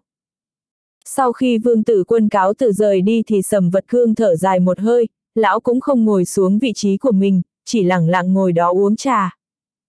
Bí thư, có trà gì ngon để chia sẻ với thuộc hạ không? Phương Anh Hồ gõ cửa đi đến, hắn ngồi xuống đối diện với Sầm Vật Cương. Sầm Vật Cương căn bản công tác khá lâu với Phương Anh Hồ, quan hệ giữa hai bên là không tệ. Nhưng Phương Anh Hồ lúc này lên tiếng trêu đùa làm cho Sầm Vật Cương có chút không vui. Sao anh lại nói chuyện với lãnh đạo của mình như vậy? Tôi mở miệng trêu đùa với anh là bình dị gần gũi, thế nhưng anh làm vậy với tôi là không biết nặng nhẹ. Tôi là gì của anh? Tôi là chủ của anh, là lãnh đạo của anh, quyền uy của lãnh đạo không phải là thứ có thể trêu chọc. Tình huống lúc này làm cho Sầm Vật Cương nghĩ lại những sự kiện giữa mình và Phương Anh Hồ, hình như mối quan hệ giữa hai bên đã đến mức không còn quá kiêng kỵ. Đây là tối kỵ trong quan trường, dù thân thiết với cấp dưới cũng có mức độ của nó, nếu không sẽ làm suy yếu khí thế địa vị và quan uy của anh. Sầm vật cương suy xét vài vấn đề rồi nhàn nhạt khoát tay với Phương Anh Hồ, không phải là trà ngon, chỉ là trà thường mà thôi, anh đến thì cứ nếm thử xem hương vị thế nào. Sầm vật cương nói rồi lấy ra một cái ly nhỏ giúp Phương Anh Hồ rót đầy trà. Phương Anh Hồ dùng hai tay tiếp nhận trà, hắn nhấp một ngụm rồi cười nói, bí thư, trà này rất ngon, xem ra tôi đến đúng lúc, uống được nước ngon nhất. Sầm vật cương chỉ cười cười mà không nói gì. Vừa rồi tôi đi lên đây thì vừa vặn gặp mặt chủ tịch Vương đi xuống lầu. Phương Anh Hồ nhìn Sầm Vật Cương rồi khẽ nói. Sầm Vật Cương hiểu ý của Phương Anh Hồ, lão gật đầu nói, vừa rồi tôi có thương lượng vài chuyện với chủ tịch Vương. Vẻ mặt của chủ tịch Vương rất vui vẻ, xem ra đã bàn bạc với ngài rất tốt. Phương Anh Hồ châm thêm trà cho Sầm Vật Cương rồi cười nói. Sầm Vật Cương không tiếp tục uống trà, lão đứng lên đi đến bên cạnh cửa sổ, sau đó khẽ kéo bức màn nhìn ra ngoài một lát, cuối cùng mới trầm giọng nói, Vương Tử Quân là một người có tính nết quá cứng nhắc, nhưng căn bản không thể phủ nhận là một người có khả năng mạnh mẽ. Vâng, Chủ tịch Phương thật sự là một người công tác rất tốt. Phương Anh Hồ chợt lóe lên nhiều ý nghĩ, ngoài miệng lại không dám phủ nhận đánh giá của Sầm Vật Cương. Phương Anh Hồ muốn đến tìm hiểu ý nghĩ thật sự của lãnh đạo mình, mặc dù nhiệm kỳ mới của Ủy ban Nhân dân tỉnh không quá liên quan đến hắn, thế nhưng hắn cũng muốn nhân cơ hội này để tiến thêm một bước.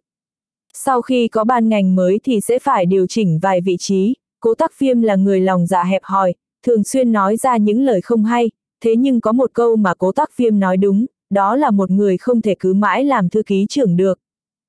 Nếu như thái độ của Sầm Vật Cương ở sự kiện này chợt thay đổi, biết đâu kết cục sẽ khác. Nếu thế cục tỉnh mật đông đi về phía không chút gợn sóng sợ hãi, đây là thứ mà Phương Anh Hồ không thích nghe vào lúc này. Nhưng Phương Anh Hồ là người luôn xem bí thư sầm vật cương là chi kỷ, hắn cũng không muốn mình có biểu hiện quá nhiệt tình với sự kiện lần này. Sắp xếp nhân sự rất ảo diệu, nếu như mình biểu hiện quá vội vàng, đến nổi chủ nhân cho rằng mình nhảy quá mạnh, hiệu quả sợ rằng sẽ là ngược lại. Thế nên dù hắn có tính toán thì vẫn phải đặt trong lòng, phải lấy ra đúng thời điểm. Lúc này hắn cũng không dám hỏi ý kiến của Sầm Vật Cương về mình, như vậy sẽ không có lợi. chương 1630, 2, không phải khen ngợi mà muốn anh tự táng dương. Khi Phương Anh Hồ đang suy nghĩ xem nên dẫn phát ý nghĩ của bí thư Sầm như thế nào, đúng lúc này Sầm Vật Cương chợt nói, tôi đã mời Chủ tịch Vương đi thăm hỏi ý kiến các vị cán bộ cựu chiến binh trong tỉnh, vài ngày tới anh sắp xếp cho tôi. Vâng, tôi biết rồi. Phương Anh Hồ nhanh chóng nở nụ cười, hắn hiểu rõ sách lược của Sầm Vật Cương, sắp xếp như vậy rõ ràng là theo đúng kế hoạch. Sầm Vật Cương giống như cảm nhận được giọng điệu của Phương Anh Hồ có chút biến hóa, thế là không khỏi đưa mắt nhìn sang.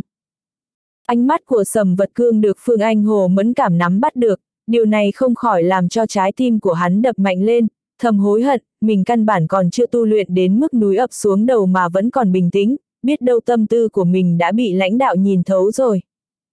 Vương tử quân quay về phòng làm việc của mình, hắn còn chưa ngồi vững vàng thì nhận được điện thoại của Thái Kiên Quân. Thạch Kiên Quân nói đùa hai câu rồi dùng giọng nghiêm túc nói, tử quân, bây giờ cậu có rảnh không? Trò chuyện một chút được không?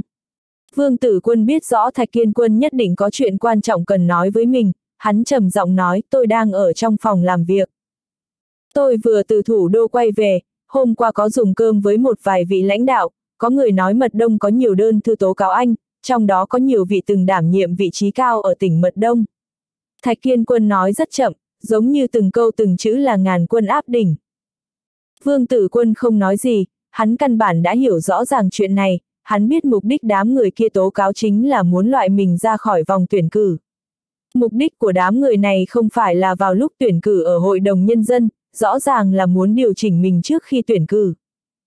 Vương Tử Quân đã trải qua không ít chuyện, hắn biết rõ đôi khi thượng cấp thấy một hành động của mình không thành công thì sẽ chọn phương án thay đổi nhân sự, chỉ như vậy mới có thể bảo trì được sự uy nghiêm của thượng cấp, để cho công tác tuyển cử được hoàn thành thuận lợi. Vương Tử Quân cười nói, cảm ơn Bí Thư Thạch đã quan tâm. Tử Quân, cậu cần phải coi trọng chuyện này, tốt nhất nên xử lý tốt các mối quan hệ. Thạch Kiên Quân dùng giọng trịnh trọng nói, trong thư thì đám cựu chiến binh kia cũng không nói rằng cậu có sai lầm gì, ngược lại còn khen ngợi cậu. Cậu biết không, nhiều người ở trong thư nói cậu có năng lực, có khả năng, là mầm mống tốt sáng tạo sự nghiệp phát triển kinh tế địa phương. Thạch Kiên Quân dù nói những lời hữu ích nhưng lại làm hai hàng chân mày của Vương Tử Quân nhíu lại. Khi kinh nghiệm công tác ngày càng phong phú thì hắn biết rõ tố cáo anh sai lầm thì không nhất định là quá xấu, tình huống xấu nhất chính là đám người cố ý nói ra chín thật một giả. Lãnh đạo thượng cấp có sức phán đoán phi phàm, nếu như tấn công một người thì sẽ làm cho lãnh đạo cảm thấy anh chỉ chú ý đến một mặt, thậm chí còn có thành kiến với anh. Nhưng khi anh nói chín phần thật thì lãnh đạo sẽ coi lời của anh là thật, khen ngợi anh như vậy cũng không phải là tốt cho anh, chủ yếu là để anh tự táng dương. Thật sự là khen ngợi tôi sao? Vương tử quân cảm khái một câu rồi cười nói. À, không những tiến hành khen ngợi cậu, ngược lại giọng điệu càng thêm chính trọng. Thạch Kiên Quân nói đến đây thì trầm giọng, nhưng những cựu chiến binh kia cũng nói rõ ràng, tuy cậu là người có năng lực, thế nhưng phương pháp công tác vẫn thiếu ổn thỏa, hy vọng thượng cấp có thể giám hộ cậu cho tốt, để cậu rèn luyện thêm vài năm, sau đó ra sức cống hiến cho sự nghiệp phát triển trong nước. Thạch Kiên Quân là người linh thông tin tức, điều này người thường khó thể so sánh được. Vương Tử Quân tin tưởng sự kiện này là không có lửa sao có khói, nếu như không phải hắn còn có chuẩn bị, như vậy những tin tức này làm cho hắn ý thức được nó giống như cờ vây, một quân cờ của mình sắp bị ăn mất, thế cho nên thế cờ của hắn cũng đại bại. Khoảng thời gian gần đây có một đám người nhảy qua nhảy lại ở mật đông, những người khác đón khách quý đầy nhà, điều này cậu thật sự không biết sao. Tôi về nhà dùng cơm thì có một người chú đến chơi, chú ấy hy vọng ông cụ nhà tôi có thể ra mặt phản ánh với lãnh đạo thượng cấp, tuyệt đối không thể để cho một người có tương lai nối nghiệp như cậu có thể làm chim gãy cánh được. Trương Quảng Khách nói đến đây thì dừng lại một chút, tốt nhất là nên đổi địa phương, lắng động vài năm, sau khi trưởng thành hơn thì tiếp tục tiến làm làm chủ một phương. Người được Thạch Kiên Quân gọi là chú thì tất nhiên không phải người thường, Vương Tử Quân cảm khái lực lượng của đối phương, sau đó cười nói với Thạch Kiên Quân, bí thư Thạch, ông cụ nhà anh đối với chuyện này có ý nghĩ gì? Ông cụ nhà tôi chỉ có một ý nghĩ, đó chính là lên núi nào hát bài ca đó, nếu người lui ra thì sẽ không nên tiếp tục mò mẫm ở phương diện chính trị hiện tại. Còn nói ông tin tưởng vào ban ngành lãnh đạo vào lúc này, nhất định sẽ cho ra xử lý chính xác. Thạch Kiên Quân nghe giọng điệu bình tĩnh của Vương Tử Quân thì cười ha hả nói.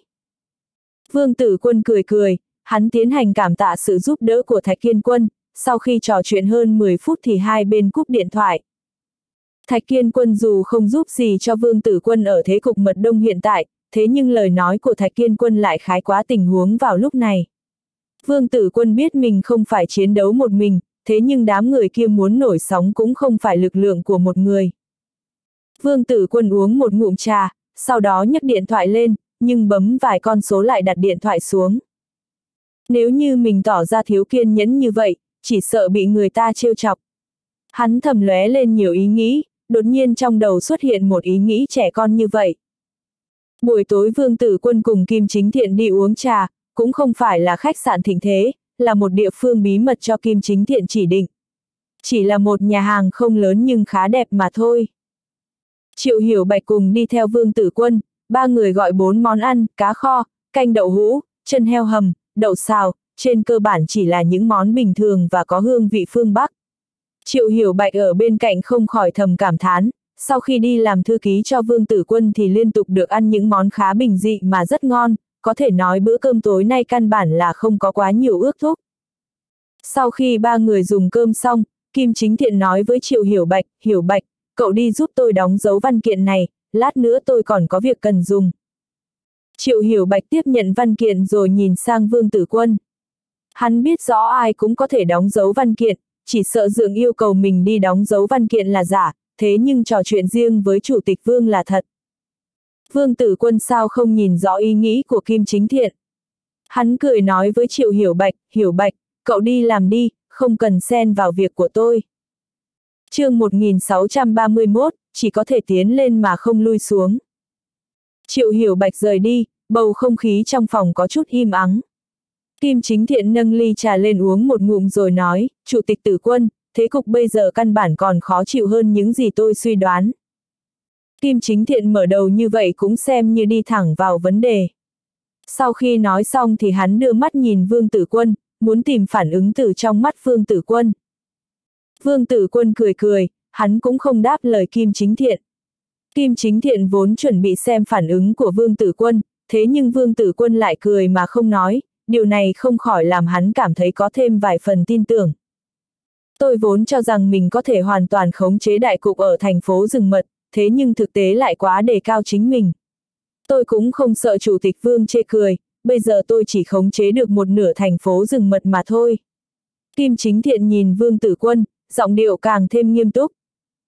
Vương Tử Quân gật đầu nói, thành phố rừng mật là tỉnh thành, thế cục tương đối phức tạp, bí thư Kim có thể khống chế được một nửa xem như là quá tốt rồi. Ngài nói như vậy không khỏi làm cho tôi cảm thấy cực kỳ xấu hổ. Kim Chính Thiện khoát tay áo, nụ cười trên mặt có chút mất tự nhiên. Trước kia Kim Chính Thiện từng đảm bảo thành phố rừng mật không có vấn đề, nhưng bây giờ khi mà tình thế đang chuyển biến, Kim Chính Thiện chợt phát hiện hắn cũng không khống chế được nhiều như vậy ở thành phố của mình. Đám người vốn được Kim Chính Thiện cho rằng mình nói gì nghe nấy, bây giờ lại bắt đầu làm phản. Những người này ngoài mặt thì cung kính với hắn, sắp xếp công tác gì cũng toàn lực chấp hành, thế nhưng hắn hiểu đây là vì mình còn ngồi trên vị trí bí thư thị ủy rừng mật. Khi đến thời điểm quyết định thắng bại, đám người kia căn bản không chịu làm lá bài tẩy của mình. Bí thư Kim, có câu trời muốn mưa gái muốn lấy chồng, bọn họ thích làm sao thì cứ để mặc bọn họ, cần gì so đo mất công. Vương tử quân nâng ly lên cho ra một động tác mời Kim Chính Thiện, nhìn qua cực kỳ bình thản tự tin. Anh nói thì thoải mái lắm, Kim Chính Thiện thầm cảm khái, hắn uống một ngụm trà rồi nói, chuyện này cũng cho tôi một bài học, có đôi khi cảm thấy mình nắm giữ tốt thế cục, thế nhưng thực tế lại phát hiện mình căn bản còn nhiều khiếm khuyết ở phương diện này. Kim Chính Thiện nói ra những lời này căn bản là cảm khái vì công tác của mình. Vương tử quân trầm ngâm dây lát rồi cười nói, bí thư Kim có cảm giác này, biết đâu sau này người ta cũng có cảm giác này. Sao, Kim Chính Thiện có chút sững sốt, Vương tử quân nói gì thì hắn hiểu, đó là Vương tử quân không nhất định sẽ thua trong trận chiến này. Nhưng Vương tử quân có chuẩn bị gì sao? Tuy có không ít người đứng sau lưng Vương tử quân, thế nhưng người bên phía kia cũng không ít. Trước đó Kim Chính Thiện đón một người bạn đến từ thủ đô, người này cấp bậc không cao thế nhưng có nhiều mối quan hệ cực kỳ có tác dụng. Người kia nói lần này vị trí của Vương Tử Quân là khá ảo diệu, có không ít lãnh đạo sinh ra hoài nghi với năng lực của Vương Tử Quân, thậm chí còn có lãnh đạo lo lắng nếu đơn giản cho Vương Tử Quân tham gia tuyển cử thì thành công chỉ là trò khôi hài mà thôi. Nhìn vào điểm này thì thấy lãnh đạo đã có đề xuất, Vương Tử Quân có năng lực công tác mạnh mẽ, hơn nữa cũng là chuyên gia ở phương diện phát triển kinh tế. Bây giờ là thời kỳ kinh tế đi xuống, không bằng cho Vương Tử Quân đến làm phó chủ nhiệm Ủy ban Cải cách Trung ương, tiến hành chủ tính chung cho quốc gia. Trong quan trường chú trọng tiến lên mà không chú trọng lui xuống, điều này không giống bình thường, chỉ cần anh không cẩn thận thì hậu quả là rất lớn. Nếu anh không thể lui xuống thì chỉ có thể tiến lên, vị trí phó chủ nhiệm Ủy ban Cải cách Trung ương bình thường đều được chọn từ những người có vị trí cao, hơn nữa phải có quyền lợi và lực ảnh hưởng, càng không bao giờ dưới chủ tịch tỉnh. Bây giờ vị trí này căn bản là một sắp xếp tốt nhất cho Vương Tử Quân. Kim Chính Thiện nghe xong những lời này và kết hợp với những phản ánh ở hiện tại, cảm thấy rất dễ xảy ra. Hắn là một trong những minh hữu lớn nhất của Vương Tử Quân ở Mật Đông, hắn không hy vọng Vương Tử Quân bị đánh ngã, càng không hy vọng mình mất đi uy tín ở sự kiện này. Nhưng sự tự tin của Vương Tử Quân đến từ nơi đâu? Chẳng lẽ người phía sau đã cho ra lời đảm bảo gì sao? Kim Chính Thiện nghĩ đến người phía sau lưng Vương Tử Quân, thế là không khỏi có thêm vài phần chờ mong. Kim Chính Thiện do dự dây lát rồi cũng không nói thêm điều gì khác. Đồng hồ vẫn vang lên những âm thanh của thời gian, âm thanh này giống như cảnh báo hai người trong phòng, đó là thời gian cũng không ngừng lại vì sự trầm mặc của hai người bọn họ. Vương Tử Quân không lên tiếng, tuy Kim Chính Thiện là một minh hữu rất quan trọng, thế nhưng hắn không muốn quấy rầy ý nghĩ của đối phương vào lúc này. Những mối quan hệ của Kim Chính Thiện vào lúc hiện tại là rất kiên cố, tin tức cũng chuẩn xác, không thể nói một hai câu là xóa nhòa được. Chủ tịch Vương, tôi tin tưởng dưới sự lãnh đạo của anh thì tỉnh Mật Đông sẽ tiến lên phía trước. Kim Chính Thiện chợt mở miệng phá tan bầu không khí yên tĩnh trong phòng, hắn nói tiếp, hiểu bạch ở bên cạnh ngài đã phát triển khá nhiều, nhưng tôi cảm thấy cậu ấy nếu muốn tiếp tục cầu tiến thì nên làm người có kinh nghiệm cơ sở. Anh xem có thể sắp xếp cho cậu ấy xuống tuyến dưới rèn luyện một chút không? Kim Chính Thiện nói ra những điều này thì có hai ý nghĩa, một là chính hắn về sau này sẽ có thể tiếp tục ủng hộ Vương Tử Quân, thứ hai chính là không muốn để cho Triệu Hiểu Bạch quá thân cận với Vương Tử Quân. Vương Tử Quân cũng không tức giận vì lời nói của Kim Chính Thiện, vì cho Triệu Hiểu Bạch đi hay ở không quan trọng với hắn. Thời gian gần đây hắn rất tán thưởng công tác của Triệu Hiểu Bạch, lúc này càng không muốn xem Triệu Hiểu Bạch là một điều kiện trao đổi với Kim Chính Thiện. Hắn nâng ly trà lên uống một ngụm, sau đó hắn trầm ngâm dây lát rồi nói, chuyện này tôi thấy nên nhìn vào ý kiến của Hiểu Bạch, nếu như cậu ấy tình nguyện, tôi sẽ sắp xếp theo ý kiến của cậu ấy. Kim Chính Thiện không nói gì thêm, Vương Tử Quân cũng không từ chối, thế nên Kim Chính Thiện tin chắc mình có thể thuyết phục được Triệu Hiểu Bạch. Khi rời khỏi khách sạn leo lên xe, Triệu Hiểu Bạch ngồi ở hàng ghế phía trước, Vương Tử Quân chợt nói, bận rộn một ngày rồi, chúng ta về nhà thôi. Triệu Hiểu Bạch căn bản không yên với tình huống trò chuyện giữa Dượng mình và Vương Tử Quân, tuy hắn tin tưởng Vương Tử Quân và Kim Chính Thiện sẽ nói đến những chuyện quan trọng, thế nhưng hắn biết rõ rất có thể sẽ có gì đó liên quan đến mình. Nếu như lúc này Chủ tịch Vương vẫn phát triển như diều gặp gió ở mật đông, Triệu Hiểu Bạch biết đâu sẽ rất vui sướng vì điều này, thế nhưng hắn biết lúc này Chủ tịch Vương đang ở vào giai đoạn khó khăn. Mặc dù chim khôn chọn cành mà đậu, thế nhưng nếu lúc này mình rời đi, tuy có thể lo cho thân mình nhưng lại có hiểm nghi bỏ đá xuống giếng. Triệu Hiểu Bạch ngồi trên vị trí sát bên tài xế quen thuộc của mình, hắn không còn được thoải mái như dĩ vãng, bản thân hắn cảm thấy như bị kim châm. Hắn do dự một lúc rồi mới nói với Vương Tử Quân, Chủ tịch Vương, Dượng có phải bàn với ngài về chuyện của tôi không? Tôi đã tỏ thái độ với Dượng rồi, tôi tuyệt đối sẽ không rời đi. Vương Tử Quân nhìn vẻ mặt của Triệu Hiểu Bạch rồi cười nói, Hiểu Bạch, xuống tuyến dưới rèn luyện vài năm cũng không có gì là xấu. Nhưng, tôi, tôi không thể rời đi khi ngài đang cần người. Triệu Hiểu Bạch nghiêng đầu sang nơi khác dùng giọng kiên định nói chương 1632, một làm người có mưu mà không chung, có kết giao mà không tín. Trong xã hội có nhiều câu chuyện vui, nói rằng những lời trong hội nghị đều là giả dối, vì nó toàn là lời khách sáo, căn bản là giống tuếch. Cái gì là hạnh phúc hài hòa? Căn bản không có định lượng, điển hình của thủ đoạn ngu dân, lời của chính khách có thể tin tưởng được sao? Thế cục rối loạn thì anh nói là hạnh phúc hài hòa, nhưng biết làm sao được. Vì vậy tất cả các cuộc họp không thể không thành công, ít nhất thì tổng kết tình hình cũng là như vậy. Trong phòng họp của Hội đồng Nhân dân, Vương Tử Quân ngồi bên trái sầm vật cương, hắn nở nụ cười nhàn nhạt. Ngoài hai người còn có thư ký trưởng Phương Anh Hồ của văn phòng tỉnh ủy và vài vị phó chủ tịch Hội đồng Nhân dân tỉnh. Thịnh Giáp Thành là phó chủ tịch Hội đồng Nhân dân tỉnh phụ trách công tác, lúc này lão đang tươi cười báo cáo các hạng mục công tác cho hội nghị sắp tới. Vì trước đó đã có liên hệ với nhau, thế cho nên báo cáo hôm nay chỉ là hình thức mà thôi. Vương tử quân nhìn gương mặt già lão mà vui vẻ của thịnh giáp thành, trong đầu liên tục lóe lên vài ý nghĩ. Hắn biết rõ tình hình hiện tại đều là do thịnh giáp thành quấy phá sau lưng, thịnh giáp thành có thể khuấy lên bọt nước như vậy cũng là nắm chặt thái độ của sầm vật cương ở sự kiện này, còn có cả những mối quan hệ rộng khắp của chính mình. Nếu như không phải lãnh đạo tuyến trên cho Sầm Vật Cương là người kiêm nhiệm chủ tịch hội đồng nhân dân, chỉ sợ vị trí này sẽ được đặt lên đầu thịnh giáp thành. Vương tử quân suy tư về kinh nghiệm của thịnh giáp thành, thế là trong đầu chợt lóe lên ý nghĩ như vậy. Bí thư sầm, chủ tịch vương, các hạng mục công tác đã sẵn sàng, các đồng chí trong hội đồng nhân dân nhất định sẽ toàn lực ứng phó, đảm bảo hội nghị lần này tổ chức đúng thời hạn. Thịnh Giáp Thành đặt tài liệu lên bàn rồi cười nói. Sầm vật cương khẽ gật đầu, lão trịnh trọng cho ra vài yêu cầu với báo cáo của Thịnh Giáp Thành. Trong đó có một yêu cầu trọng điểm chính là hội nghị lần này sẽ là một sự kiện lớn của tỉnh Mật Đông, Hội đồng Nhân dân tỉnh cần phải nắm chắc các hạng mục công tác, cần phải làm cho hội nghị thành công đoàn kết, thắng lợi toàn diện. Chủ tịch Vương, anh có gì cần bổ sung không? Sầm vật cương nói xong thì đưa mắt nhìn Vương Tử Quân rồi trầm giọng hỏi.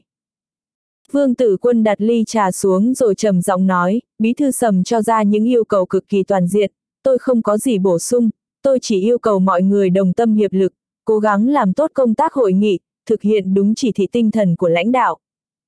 Vương Tử Quân nói rất khiêm tốn, nhưng ý nghĩa lại rõ ràng, sầm vật cương có hơi nhíu mày nhưng sau đó hai hàng chân mày lại giãn ra. Chủ tịch Vương nói rất hay, cực kỳ đúng chỗ, tóm lại là một câu phải làm tốt công tác chuẩn bị, đảm bảo ý đồ của thượng cấp được thực hiện. Thịnh Giáp Thành chờ Vương Tử Quân nói xong thì bổ sung thêm một câu.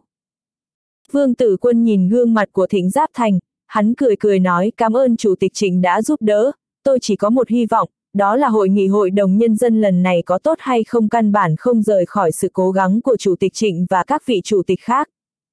Chủ tịch Vương cứ yên tâm, tôi tin tưởng dưới sự lãnh đạo chính xác của tỉnh ủy, chúng tôi nhất định sẽ tổ chức tốt hội nghị lần này, sẽ làm cho những người kia. Một vị phó chủ tịch hội đồng nhân dân khẽ lên tiếng, sau đó dừng lại một chút rồi cười ha hả nói, tôi có thói quen nói không che đậy miệng, bây giờ cũng không nhịn được, may mà chỉ nói một nửa. Thịnh Giáp Thành lên tiếng giải thích không khỏi làm cho phòng họp xuất hiện tiếng cười vang dội, vẻ mặt nhiều người rất phức tạp, nụ cười trên mặt càng mập mờ.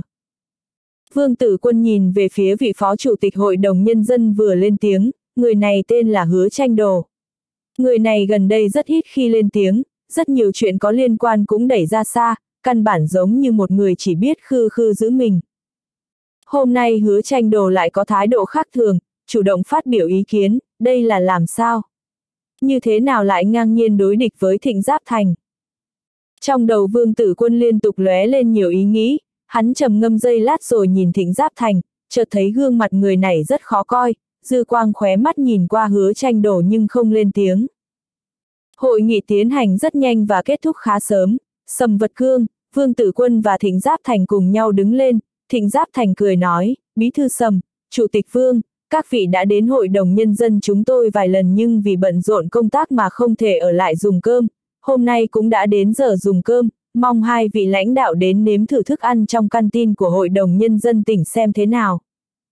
Sầm vật cương trầm ngâm dây lát rồi cười nói, cũng tốt, xem như tôi mời chủ tịch vương ở lại, chỉ là buổi chiều chủ tịch vương còn có chuyện, không nên uống quá nhiều, các anh chỉ có thể mời chủ tịch vương hai ly mà không được mời thêm. Điều này là tất nhiên rồi. Thịnh Giáp Thành đồng ý một tiếng, sau đó lão nhìn sang vị phó chủ tịch kiêm nhiệm thư ký trưởng văn phòng hội đồng nhân dân tỉnh, chủ tịch Lý, anh đi đến căn tin sắp xếp một chút, để bọn họ hôm nay chuẩn bị thêm vài món. Chủ tịch Lý đồng ý một tiếng, sau đó nhanh chóng đi ra bên ngoài, rõ ràng không có chút mâu thuẫn với sắp xếp của Thịnh Giáp Thành. Vương Tử Quân đưa mắt nhìn vẻ mặt Thịnh Giáp Thành, sau đó lại nhìn Sầm Vật Cương. Vương Tử Quân thấy gương mặt Sầm Vật Cương vẫn tràn đầy nụ cười, thế nhưng kế hoạch có chút thay đổi làm cho lão cảm thấy rất vướng mắc. Khoảng thời gian gần đây mật đông giống như tiến vào giai đoạn rối loạn, Thịnh Giáp Thành biểu hiện cực kỳ cao vời, tuy không có gì đáng ngại thế nhưng lại làm cho lão cảm thấy khó khăn. Giống như có một chỗ ngứa trên người, không làm cho anh chết ngay thế nhưng lại cực kỳ khó chịu. Anh nghĩ mà xem, một người có tuổi tác và kinh nghiệm thế nhưng mưu đồ làm thứ gì đó lại căn bản không chút giấu giếm. Trong quan trường có nhiều chuyện âm thầm ra tay sẽ tốt hơn làm quá rõ ràng, nó cũng giống như đánh cờ vây, có đủ hương vị nhưng căn bản không lên tiếng. Vương tử quân mẫn cảm nắm bắt được chút bực bội trong mắt sầm vật cương. Khi vương tử quân nhìn về phía sầm vật cương, lúc này sầm vật cương giống như cũng cảm ứng được, lão mỉm cười nói, chủ tịch tử quân, anh tuy đã đến tỉnh Mật Đông một thời gian thế nhưng còn thiếu tiếp xúc với các vị lãnh đạo của Hội đồng Nhân dân tỉnh, hôm nay nên tiếp xúc nhiều hơn, liên lạc tăng tiến cảm tình cũng là chuyện tốt. Là chuyện gì tốt thì Sầm Vật Cương không nói rõ ràng, thế nhưng đám người nơi đây đều hiểu rõ. Vương Tử Quân cười cười khẽ nói, lát nữa khi uống rượu mong bí thư Sầm quan tâm một chút. Điều này là tất nhiên. Sầm Vật Cương khoát tay áo bày ra bộ dạng cực kỳ thoải mái nói. Những ngày qua Sầm Vật Cương căn bản rất khách khí với Vương Tử Quân, không những ở phương diện công tác đều gọi Vương Tử Quân đi theo, hơn nữa còn chủ động đưa Vương Tử Quân đến gặp mặt vài vị lãnh đạo đã về hưu. Sầm vật cương bày ra tư thái rất rõ ràng, cố gắng biểu hiện ra bên ngoài một tín hiệu, đó là mình căn bản giúp đỡ phương diện lựa chọn Vương Tử Quân làm chủ tịch tỉnh. chương 1632, 2, làm người có mưu mà không chung, có kết giao mà không tín. Tốc độ làm cơm của căn tin văn phòng Hội đồng Nhân dân tỉnh Căn Bả là rất nhanh, khi nhóm người Vương Tử Quân đi đến nơi thì trên bàn đã đặt đầy món ăn. Tuy phần lớn là thịt cá bình thường, thế nhưng có lẽ Thịnh Giáp Thành đã sớm chuẩn bị, thế nên hương vị đầy đủ. Vương Tử Quân và Thịnh Giáp Thành một trái một phải ngồi bên cạnh Sầm Vật Cương, lúc này xem như tiệc rượu chính thức bắt đầu. Thịnh Giáp Thành mời Sầm Vật Cương hai ly, sau đó nâng ly nói với Vương Tử Quân, Chủ tịch Vương, tuy thời gian chúng ta liên hệ với nhau cũng không quá ngắn, thế nhưng căn bản là lần đầu tiên dùng cơm. Tôi là một người nửa đời công tác ở Mật Đông, tôi mời ngài Ba Ly, chào mừng ngài đến đẩy mạnh công tác tỉnh Mật Đông. Thịnh Giáp Thành nói lời nhiệt tình làm cho người ta khó thể từ chối, nếu như đám người nơi đây không phải ai cũng sáng suốt, chỉ sợ sẽ cho rằng Thịnh Giáp Thành là một chủ nhà vui vẻ. Vương Tử Quân tuy biết rõ Thịnh Giáp Thành có ý gì thế nhưng vẫn mỉm cười tiếp nhận ly rượu uống cạn ba ly rượu mời. Sau đó hắn mời Thịnh Giáp Thành hai ly, xem như mời ngược lại. Sau khi uống thêm vài ly với những người khác, lúc này hứa tranh đồ cũng nâng ly lên nói với Vương Tử Quân, Chủ tịch Vương, con người của tôi luôn thực tế không hai mặt, nói những lời hay ý đẹp rồi chọc dao sau lưng như những người khác. Hôm nay tôi kính ngài một ly, đại biểu tôi toàn tâm toàn ý với ngài. Hứa tranh đồ nói rồi nâng ly rượu lên, trên mặt lại treo nụ cười như có như không. Đám người nơi đây đều là kẻ thông minh, chỉ cần hứa tranh đồ nói vài lời thì nhanh chóng cho ra những suy đoán chính xác. Hứa tranh đồ nói xong không khỏi làm cho bầu không khí bình tĩnh lại, hầu như ánh mắt của mọi người đều nhìn về phía bên này. Vương tử quân tuy đối diện với hứa tranh đồ nhưng ánh mắt lại chú tâm lên người của Sầm Vật Cương và Thịnh Giáp Thành. Sầm Vật Cương ngồi đó giống như không nghe được lời nói của hứa tranh đồ, vẻ mặt vẫn bình tĩnh, vẫn tươi cười trò chuyện cùng vài vị phó chủ tịch hội đồng nhân dân tỉnh khác. Lúc này gương mặt của Thịnh Giáp Thành có vài phần trắng nhợt, thế nhưng ngay sau đó lại cười nói, Chủ tịch Vương, anh Hữu là người mở miệng thực chất thẳng thắn, năm xưa khi lão bí thư về hưu thì từng dặn dò một phen, nói là nên sửa đổi cách ăn nói, nếu không sau này cũng có nhiều điều không hay. Vương Tử Quân không tiếp nhận lời nói của Thịnh Giáp Thành, hắn cười cười rồi khẽ cùng ly với hứa tranh đồ, xem như kết thúc tình huống mời rượu. Tuy trước đó Sầm Vật Cương đã nói sẵn, gần đây tử lượng của Vương Tử Quân cũng có chút tăng tiến, thế nhưng một bữa cơm hôm nay cũng không khỏi làm hắn chóng mặt. Sau khi rời khỏi văn phòng hội đồng nhân dân tỉnh, hắn yêu cầu Triệu Hiểu Bạch đưa mình về phòng làm việc nghỉ ngơi một chút. Trước kia Vương Tử Quân thường sẽ ngủ một chút rồi thức dậy, thế nhưng hôm nay hắn lại ngủ say như chết. Khi hắn đang ở trong giấc mộng thì tiếng chuông điện thoại vang lên. Số điện thoại của Vương Tử Quân có thể nói là bí mật với nhiều người, đám bí thư và chủ tịch các thành phố bên dưới cũng chỉ có được số điện thoại của hắn trong tay Triệu Hiểu Bạch mà thôi. Vương Tử Quân nhìn thoáng qua số điện thoại gọi đến, hắn trầm ngâm dây lát rồi nghe má. Alo, có phải là chủ tịch Vương không? Điện thoại vừa nối thông thì bên kia truyền đến một giọng nói rất trầm bổng. Vương Tử Quân tuy còn có vài phần cảm giác say nhưng lúc này đầu óc khá tỉnh táo, Hắn cười nói, chào chủ tịch hứa, hôm nay cảm tạ anh đã hạ thủ lưu tình, nếu không thì tôi phải ngủ một giấc đến tối. Ha ha ha, chủ tịch vương là người hào sảng, căn bản độ lượng rộng rãi, ống vài ly nữa cũng không là vấn đề. Hứa tranh đồ nói rồi cười tiếp tục, chủ tịch vương, khi nào ngài có thời gian? Tôi muốn báo cáo với ngài một chút. Vương tử quân trầm ngâm dây lát rồi cười nói, nếu chủ tịch hứa đã có chuyện, chút nữa anh đến phòng làm việc của tôi là được. Phía văn phòng ủy ban nhân dân tỉnh khó giữ được bí mật vì có quá nhiều người, chủ tịch vương, hay là chúng ta tìm một vị trí nào đó yên tĩnh để trò chuyện thì hay hơn. Hứa tranh đồ từ chối lời đề nghị của Vương Tử Quân. Vương Tử Quân trầm ngâm giây lát rồi khẽ cười nói, vậy thì chúng ta ra hàng quán bên đường ngồi một lát, nơi đó cũng yên tĩnh. Sau khi nghỉ ngơi thêm 20 phút thì Vương Tử Quân rửa mặt đưa Triệu Hiểu Bạch đến quán trà Nam Châu. Quán trà này có phong cách cổ điển, nhạc nhẹ vang lên rất dịu dàng, trà cũng rất chính tông, khi Vương Tử Quân có thời ghen thì thích đến đây uống trà nghỉ ngơi. Khi Vương Tử Quân đi đến quán trà Nam Châu thì hứa tranh đồ đã chờ sẵn ở một gian phòng bên trong. Sau khi Vương Tử Quân đi vào và ngồi xuống, hứa tranh đồ trầm giọng nói với Vương Tử Quân, Chủ tịch Vương, ngài có nắm chắc tình hình tuyển cử lần này không? Tất nhiên là nắm chắc, Vương Tử Quân hầu như không cần suy nghĩ mà nói với hứa tranh đồ. Hứa tranh đồ cũng không bất ngờ vì câu trả lời của Vương Tử Quân, hắn cười ha hả nói, Chủ tịch Vương là người được thượng cấp đề cử làm Chủ tịch tỉnh, căn bản sẽ phải nắm chắc thắng tuyển cử. Nhưng này Chủ tịch Vương, nhân tâm căn bản là bất đồng, ngài có thể cảm thấy bây giờ có nhiều người đang chĩa về phía mình. Hứa tranh đồ nói đến đây thì châm trà cho Vương Tử Quân rồi nói, Chủ tịch Vương, tôi biết thân thiết với người mới quen là tối kỵ, thế nhưng trong quan trường có một câu thế này, kẻ địch của kẻ địch chính là bạn. Vương Tử Quân không lên tiếng, hắn chờ hứa tranh đồ nói tiếp. Hứa tranh đồ cũng không làm cho Vương Tử Quân thất vọng, hắn đặt ly trà trong tay xuống rồi cười nói, Chủ tịch Vương, ngài có thể tìm hiểu chuyện giữa tôi và Thịnh Giáp Thành, chỉ cần là những đồng chí công tác vài năm ở Mật Đông đều biết quan hệ giữa hai chúng tôi là thế nào, nếu nói là thủy hỏa bất dung cũng không đủ. Thịnh Giáp Thành này quá cao điệu, rất nhiều chuyện cực kỳ cực đoan. Tôi thật sự rất tức giận với những hành vi đục nước béo cò, càng không muốn thấy một vị cán bộ lãnh đạo vì dân như ngài bị hắn ta đá đi. Hứa tranh đồ không giải thích quá nhiều về ân oán giữa mình và Thịnh Giáp Thành, hắn chủ yếu nói về hiện trạng của Vương Tử Quân vào lúc này.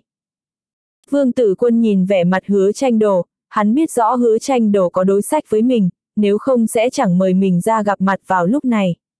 Hắn có chút trầm ngâm rồi cười nói, Chủ tịch hứa, ngài cảm thấy thịnh giáp thành có thể đá tôi ra khỏi mật đông như ước nguyện sao? Chủ tịch Vương, tôi cũng không sợ ngài nổi giận, thịnh giáp thành thật sự có năng lực như vậy. Tuy tôi và hắn ta không đối phó với nhau, thế nhưng tôi căn bản rất phục người này ở phương diện làm việc.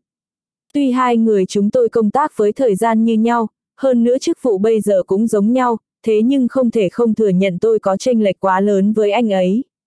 Hứa tranh đồ nói đến đây thì giống như có chút chán trường, tôi căn bản là người bị cho ra rìa ở hội đồng nhân dân tỉnh, không có mấy người quan tâm. Thế nhưng thịnh giáp thành thì lại khác, sau khi hắn đi đến hội đồng nhân dân tỉnh, người đi theo sau càng nhiều hơn, càng có khí thế long trọng hơn trước. Trước đây vài năm có một vị lãnh đạo doanh nghiệp về hưu, Thịnh Giáp Thành từng nói một câu thế này, từ ngày hôm nay trở đi mật đông sẽ vào thời đại của Thịnh Giáp Thành. Hứa tranh đồ nói xong thì nhìn chằm chằm vào vương tử quân giống như đang chờ đợi phản ứng. chương 1633, một thủ đoạn ti tiện mục đích vĩ đại. Tuy những lời này có vẻ như vui đùa nhưng lại có thể nhìn thấy sự cuồng ngạo và đắc ý của Thịnh Giáp Thành. Mật đông đi vào thời đại của Thịnh Giáp Thành, như vậy Thịnh Giáp Thành sẽ đặt mình nơi nào giữa Sầm Vật Cương và đường Trấn Huy. Vương Tử Quân cười cười, hắn cũng không tiến hành đánh giá những lời này của hứa tranh đồ. Chủ tịch Tử Quân, tôi nói những lời này với ngài không phải là bịa đặt, ngài có thể xem xét lại, trong tỉnh Mật Đông có không ít người biết điều này, tôi nghĩ bí thư sầm cũng biết rõ ràng. Vương Tử Quân uống một ngụm trà rồi lẳng lặng nói, tôi tin tưởng anh không nói dối, thế nhưng ngài nói chủ tịch trịnh chuẩn bị đá tôi đi, như vậy ngài có thể chỉ cho tôi một con đường sáng, để xem tôi phải ứng đối như thế nào không? Chuyện này dù ngài nói với bí thư sầm, chỉ sợ cũng không có tác dụng gì. Trong tỉnh Mật Đông vì nguyên nhân liên quan đến chức vụ mà bí thư sầm có thể áp chế được thịnh giáp thành, thế nhưng anh ấy sẽ không ra mặt cho ngài. Hứa tranh đồ xoa xoa hai bàn tay rồi nói tiếp, lựa chọn tốt nhất của ngài bây giờ là phản ánh với lãnh đạo thượng cấp, tôi tin tưởng lãnh đạo thượng cấp sẽ cho để cho thịnh giáp thành tùy ý làm bậy. Lời nói của hứa tranh đồ không khỏi làm cho tâm tư vương tử quân khẽ động, lời nói này của hứa tranh đồ căn bản không ít lần xuất hiện trong ý nghĩ của hắn, thế nhưng cuối cùng hắn lại không thực hiện theo phương án này. Phản ánh với lãnh đạo thượng cấp là cách thức nhanh nhất để giải quyết chuyện này, phương pháp này giống như vất vả cả đời nhưng giải quyết nhàn nhã. Thế nhưng làm như vậy thì căn bản không tốt với thanh danh của Vương Tử Quân, thậm chí có phản ánh cũng phải có chứng cứ xác thực. Phản ánh vấn đề với thượng cấp, thế nhưng không có lửa thì sao có khói. Vương tử quân do dự dây lát rồi khẽ nói. Hứa tranh đồ khẽ cười, hắn đưa một tư liệu trong tay cho vương tử quân, chủ tịch vương, đây là chứng cứ xác minh mà một vài thuộc hạ thân tín của tôi có được, ngài hoàn toàn có thể dùng nó để báo cáo với thượng cấp. Có 7-8 bức thư với nội dung như nhau, chủ yếu là chứng minh Thịnh Giáp Thành có tìm mình nói chuyện, yêu cầu đề cử Vi Yến Quy làm chủ tịch tỉnh. Yêu cầu mọi người vì sự phát triển của tỉnh Mật Đông, cố gắng bỏ phiếu cho Vi Yến Quy. Những bức thư này không phải chỉ được ký tên, còn có đóng dấu, căn bản là tố cáo thực chất. Nếu như Vương Tử Quân đưa ra những bức thư này, như vậy đủ để phát sinh một trận động đất ở Mật Đông. Vương Tử Quân nhìn những lá thư, hắn trầm ngâm dây lát rồi nói, Chủ tịch hứa, nếu đã có căn cứ chính xác như vậy, vì sao anh không trực tiếp gửi lên trên? Tôi cũng muốn gửi lên, thế nhưng thưa Chủ tịch Vương, tôi biết gửi cho ai? Ngài là người có thể đi đến vị trí Chủ tịch tỉnh Mật Đông, nhất định sẽ được lãnh đạo thượng cấp tín nhiệm, tôi cảm thấy chỉ khi nào đưa vào tay ngài thì những lá thư tố cáo này mới có được lực lượng thật sự của nó. Hứa tranh đồ đưa những lá thư này cho Vương Tử Quân, hắn chỉ nói như vậy, sau đó không nói gì thêm. Sau khi hứa tranh đồ rời đi, Vương Tử Quân lẳng lặng xem qua những lá thư tố cáo kia, vẻ mặt hắn cũng liên tục biến đổi theo nội dung của các bức thư. Sau khi xem xong những lá thư tố cáo này, trên mặt Vương Tử Quân chợt lộ ra nụ cười thản nhiên. Dựa theo vị trí của thịnh Giáp Thành, lão hoàn toàn có thể ở vào trong khu nhà dành cho thường ủy tỉnh ủy, thế nhưng lại ở trong khu dân cư của sở lao động được xây dựng hơn chục năm trước. Khu nhà này nhìn qua có chút không được đẹp, thế nhưng lại giống như một khung trời khác biệt, cực kỳ thoải mái. Rất nhiều người nói sở dĩ thịnh Giáp Thành không rời khỏi nơi này, chủ yếu là vì lão rất thích hồ sen ở đối diện khu nhà của sở lao động. Bản thân lão nghe qua những lời này mà cũng không phủ nhận, nhưng nguyên nhân thật sự để lão thích ở lại nơi đây vì không khí yên tĩnh thoải mái.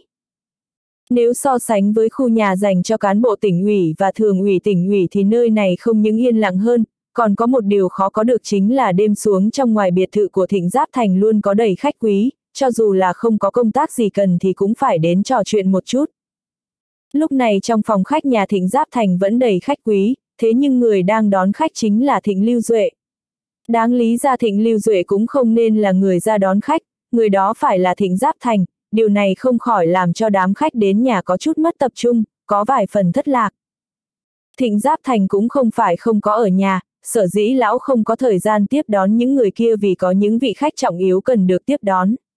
Lúc này trong phòng làm việc của Thịnh Giáp Thành, vị Yến Quy đang ngồi trên ghế cực kỳ nghiêm chỉnh. Nếu so với trước kia thì vị Yến Quy có vẻ trẻ trung hơn, gương mặt cực kỳ vui sướng và thoải mái.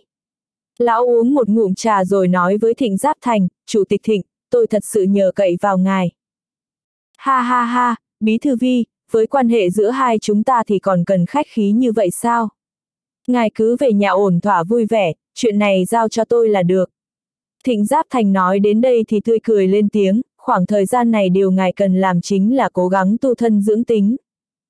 Vị Yến Quy nhìn gương mặt với nụ cười nhàn nhạt của Thịnh Giáp Thành, trong lòng chợt sinh ra cảm giác cực kỳ phản cảm. Tôi biết là anh giúp tôi, thế nhưng anh có thể nói mình giúp đỡ nhiệt tình như vậy là không có chút tâm tư nào sao? Toàn bộ là vì tôi sao? Thế nào thì sự việc còn chưa hoàn thành mà anh đã tỏ ra mình giống như là đấng cứu thế, anh coi mình là ai, có thể vinh mặt hất hàm sai khiến tôi sao?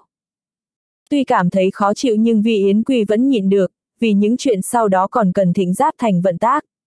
Lão tạm nhân nhượng vì lợi ích toàn cục cũng tốt, chịu nhục cũng tốt, vì một kết quả tốt đẹp mà lão căn bản không nên làm hỏng kế hoạch của thịnh giáp thành. Đối với lão thì Mật Đông là một sân khấu có thể cho ra những thành tích tốt, đây cũng là một cơ hội chính trị rất lớn của mình, khó thể bỏ qua được. Vì vậy Vi Yến Quy cố gắng áp chế cảm giác khó chịu trong lòng, lão gật đầu nói, ngài nhắc nhở rất kịp thời, sau khi quay về thì tôi sẽ tu thân dưỡng tính, đóng cửa từ chối tiếp khách, có lẽ thượng cấp cũng sẽ nghĩ đến tâm tư gian khổ của tôi. Tất nhiên thời gian tới sẽ có nhiều đồng chí đến chào hỏi anh, thanh thế sẽ được dựng lên rất mạnh, chỉ sợ đến lúc đó có kẻ ngủ không yên. Khóe miệng thịnh giáp thành chợt vểnh lên. Vị Yến quy hừ một tiếng, lão cũng không có hảo cảm gì với người kia. Lão cảm thấy nếu như không phải người kia chen ngang, vì Yến Quy mình là người công tác tốt đẹp, biết tròn biết méo, tiến lên căn bản là chuyện hợp lý, sao có thể dùng thủ đoạn như lúc này. Trong đầu lóe lên nhiều ý nghĩ, vị Yến Quy trầm ngâm dây lát rồi dùng giọng có chút lo lắng nói, anh Thịnh, chúng ta làm việc nhất định phải cẩn thận, tôi lo lắng sẽ cho ra tình cảnh không hay, nếu thượng cấp truy cứu thì hậu quả là khó tưởng tượng nổi. chương 1633, hai thủ đoạn ti tiện mục đích vĩ đại. Chủ tịch của tôi, anh cứ yên tâm đi, thắng lợi sẽ ở ngay trước mắt, anh cứ chờ hưởng thụ là được. Chuyện còn lại cứ giao cho tôi, tôi có thể đảm bảo với anh, chuyện này còn chưa đến mức như vậy, trước khi chúng ta tổ chức hội nghị ở Hội đồng Nhân dân thì phải làm cho thượng cấp đổi ý, thu hồi quyết định trước kia. Thịnh Giáp Thành nói đến đây thì nở nụ cười cực kỳ quỷ dị, lão có chút đắc ý nói, đã có khá nhiều lãnh đạo tán thành phương án đưa Vương Tử Quân đi đến công tác ở Ủy ban Cải cách Trung ương. Vị Yến Quy khẽ gật đầu, tin đồn này ngày càng lớn ở mật đông, lão thật sự biết rõ điều này. Nhưng có một điều lão nghĩ mãi không ra, đó là nếu để cho cấp trên thay đổi ý nghĩ, chuyển sang người vi yến quy mình không phải là dễ dàng. Vì sao thịnh giáp thành lại dùng giọng son sắt để khẳng định sẽ thành công như vậy? Vi yến quy không thể không thừa nhận thịnh giáp thành nói rất kích động, bản lĩnh ra vẻ căn bản không kém sầm vật cương, tuy trong lòng có nghi vấn nhưng căn bản là không dám nói ra. Ai cũng có chút bí mật của mình, nếu thịnh giáp thành không nói ra, mình cũng không nên hỏi. Cốc cốc cốc, tiếng gõ cửa khẽ vang lên, vị Yến Quy nghe thấy âm thanh này mà không khỏi nhíu mày.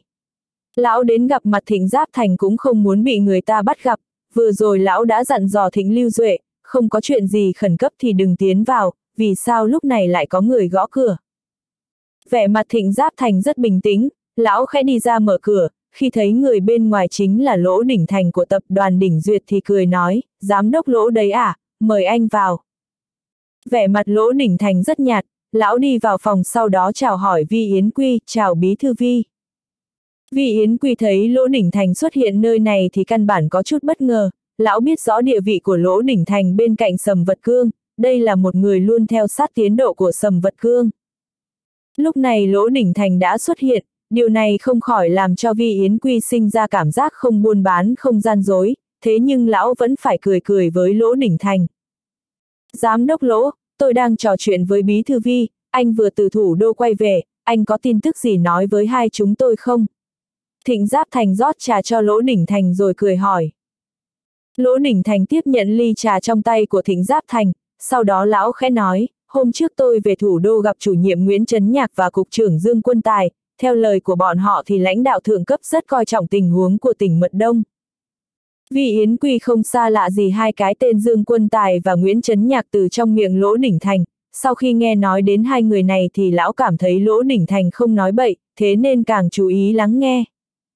Nghe Dương Quân Tài nói thì trưởng ban Dương rất coi trọng chuyện này, anh ấy đã đề nghị lãnh đạo xem xét bố trí lại cục diện ở Mật Đông.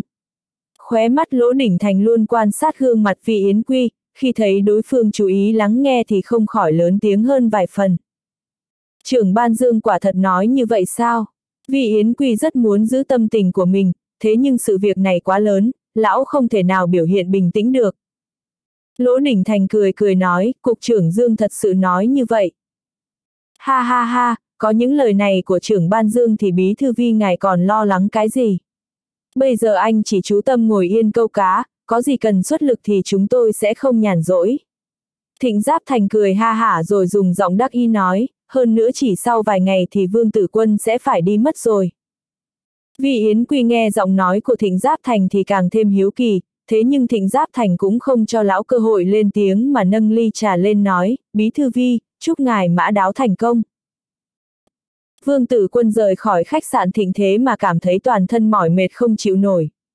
Tuy hắn thật sự có chút không yêu về phương diện nghênh đón, thế nhưng có vài người không thể không kéo quan hệ. Gần đây tiểu lý lái xe rất vững vàng, ngồi trong xe cơ bản không hề có cảm giác sóc này.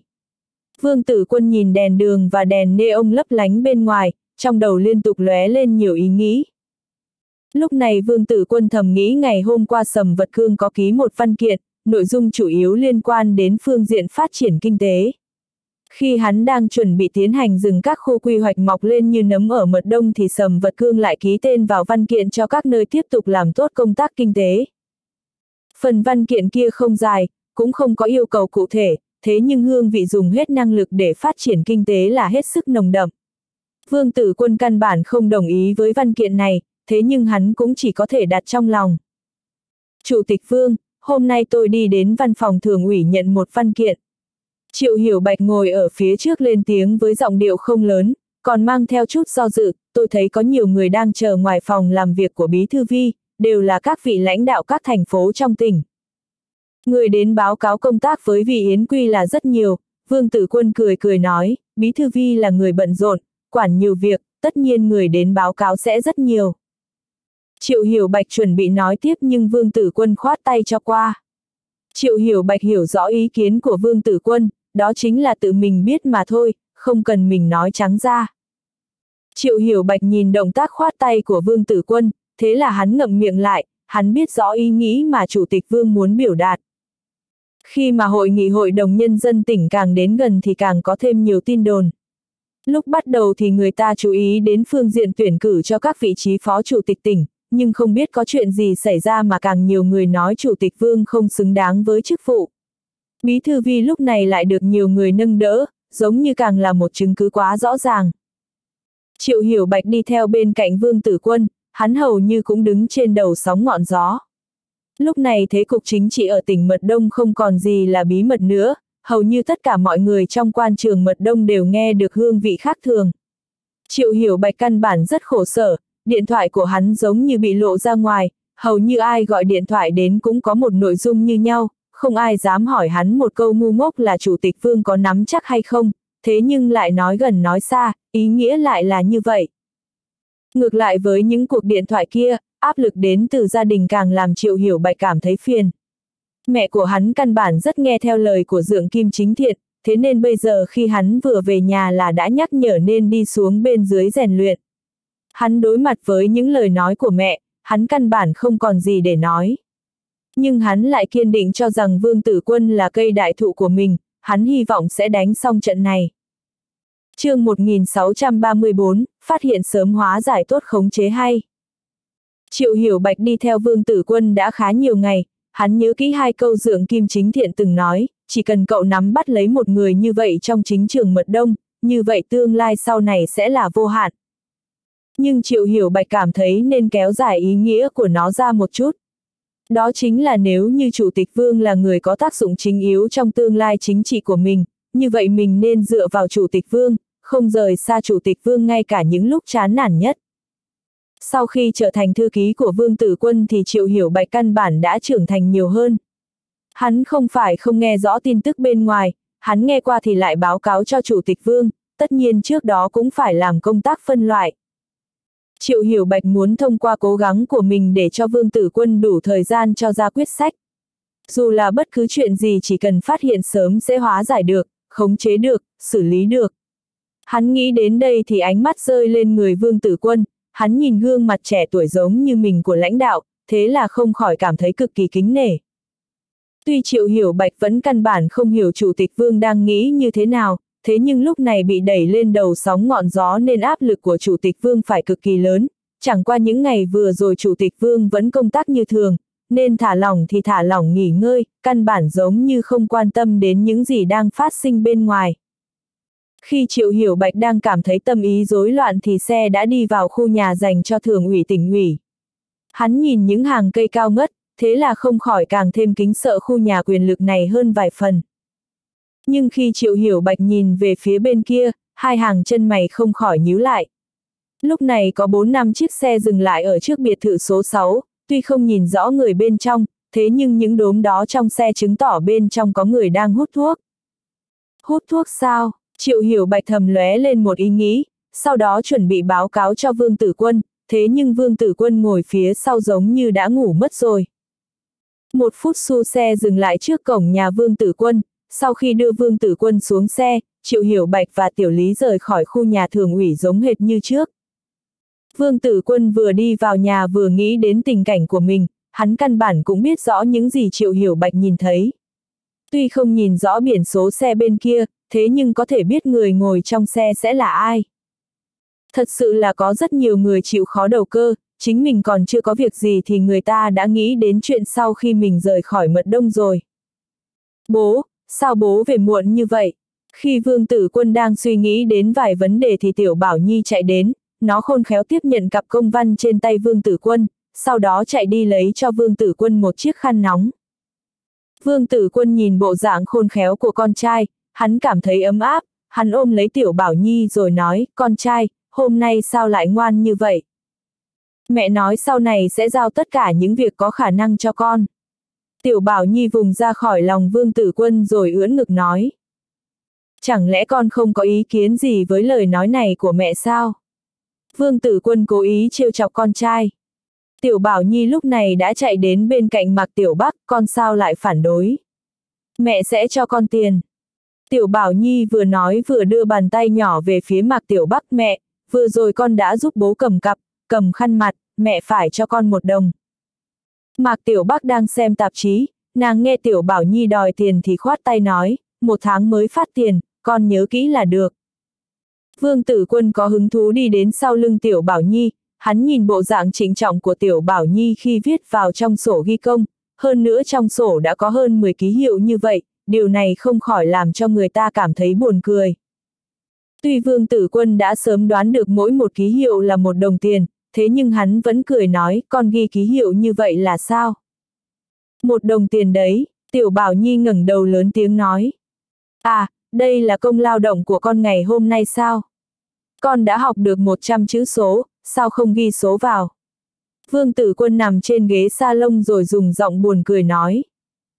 Tiểu Bảo Nhi nhìn thoáng qua Mạc Tiểu Bắc, sau đó nó giống như biến thành một tên trộm ghé sát tai Vương Tử Quân thì thầm, con sợ mẹ không chịu trả, từng ngày đều có ký hiệu như vậy thì không trả công không được. Vương Tử Quân nhìn vẻ mặt chăm chú của con trai mà không khỏi sinh ra cảm giác dở khóc dở cười, hắn không ngờ Tiểu Bảo Nhi của mình lại có tài cán vặt như vậy. Trong đầu Vương Tử Quân lóe lên vài ý nghĩ, hắn khẽ cười nói, làm sao còn lại muốn lấy tiền của mẹ. Ông nói với con là khi bằng tuổi con đã đi chăn trâu cho địa chủ, con cũng phải học tập giống như ông, nhưng nơi này làm gì có trâu cho con chăn. Thật ra con cũng rất thích một con trâu. Tiểu Bảo Nhi có vẻ cực kỳ ước mơ, giống như muốn có được một con trâu trong tay vậy. Vương tử quân chợt nghĩ đến kiếp trước, vì thỏa mãn ước nguyện của con mà đi mua một con dê, để cho con và nhóm bạn đi chăn dê. Nhưng thế gian này căn bản không đẹp cả đôi đường, giống như kiếp này vậy, chính mình nhận được nhiều thứ mà mất đi cũng không ít.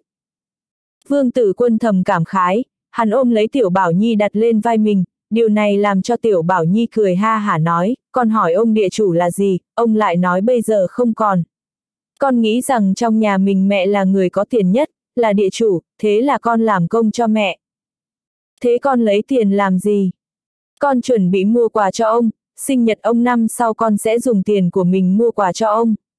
Tiểu Bảo Nhi chợt hạ thấp âm thanh xuống nói, ông không muốn con đi, vì lúc con về mật đông, con thấy ông gạt nước mắt.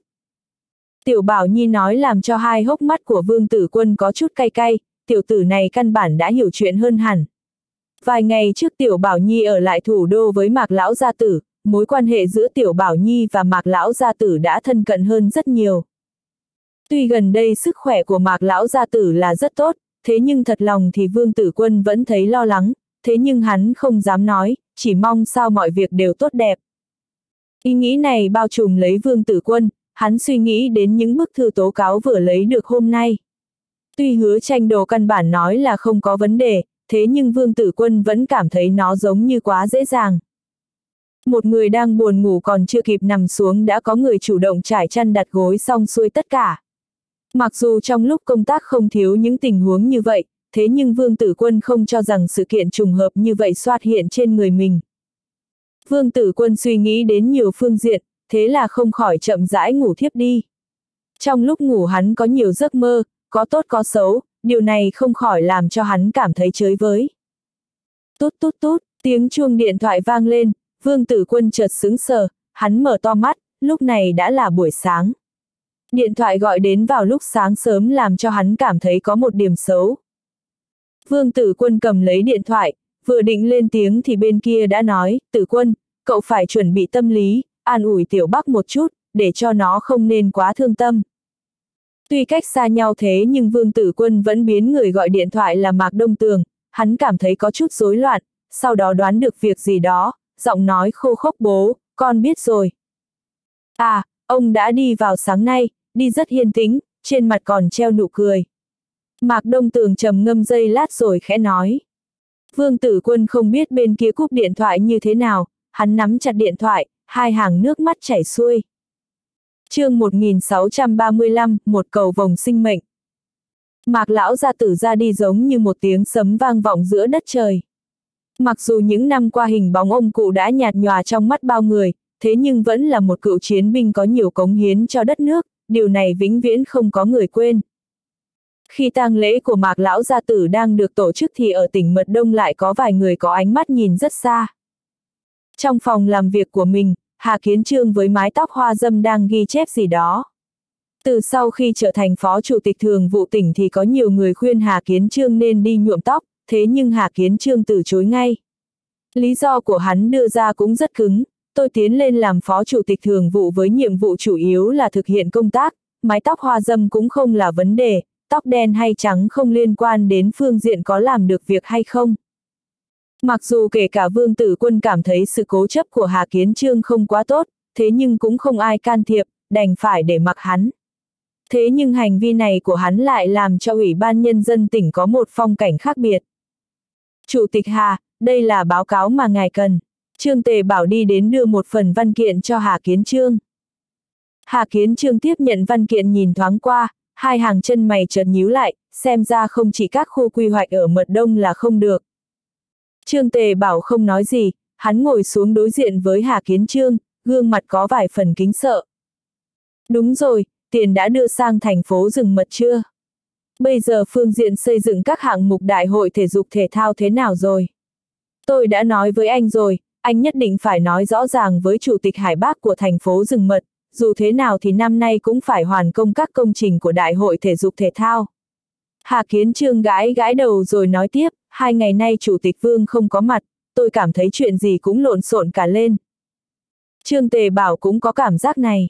Hắn là thư ký trưởng văn phòng Ủy ban Nhân dân tỉnh, hắn cần phải có năng lực xử lý hết những việc vặt, thế nhưng Chủ tịch Vương đi thì hắn luôn cảm thấy không yên lòng, khá bừa bãi. Vừa rồi tôi thấy Chủ tịch trên chương trình thời sự, bộ dạng của anh ấy không được tốt lắm. Trương Tề bảo trầm ngâm dây lát rồi trầm giọng nói với Hà Kiến Trương. Hà Kiến Trương gật đầu nói, ôi, có thể không đau xót được sao? Nói thật thì ông cụ ra đi có hơi gấp, dù thế nào cũng phải để qua năm mới tốt.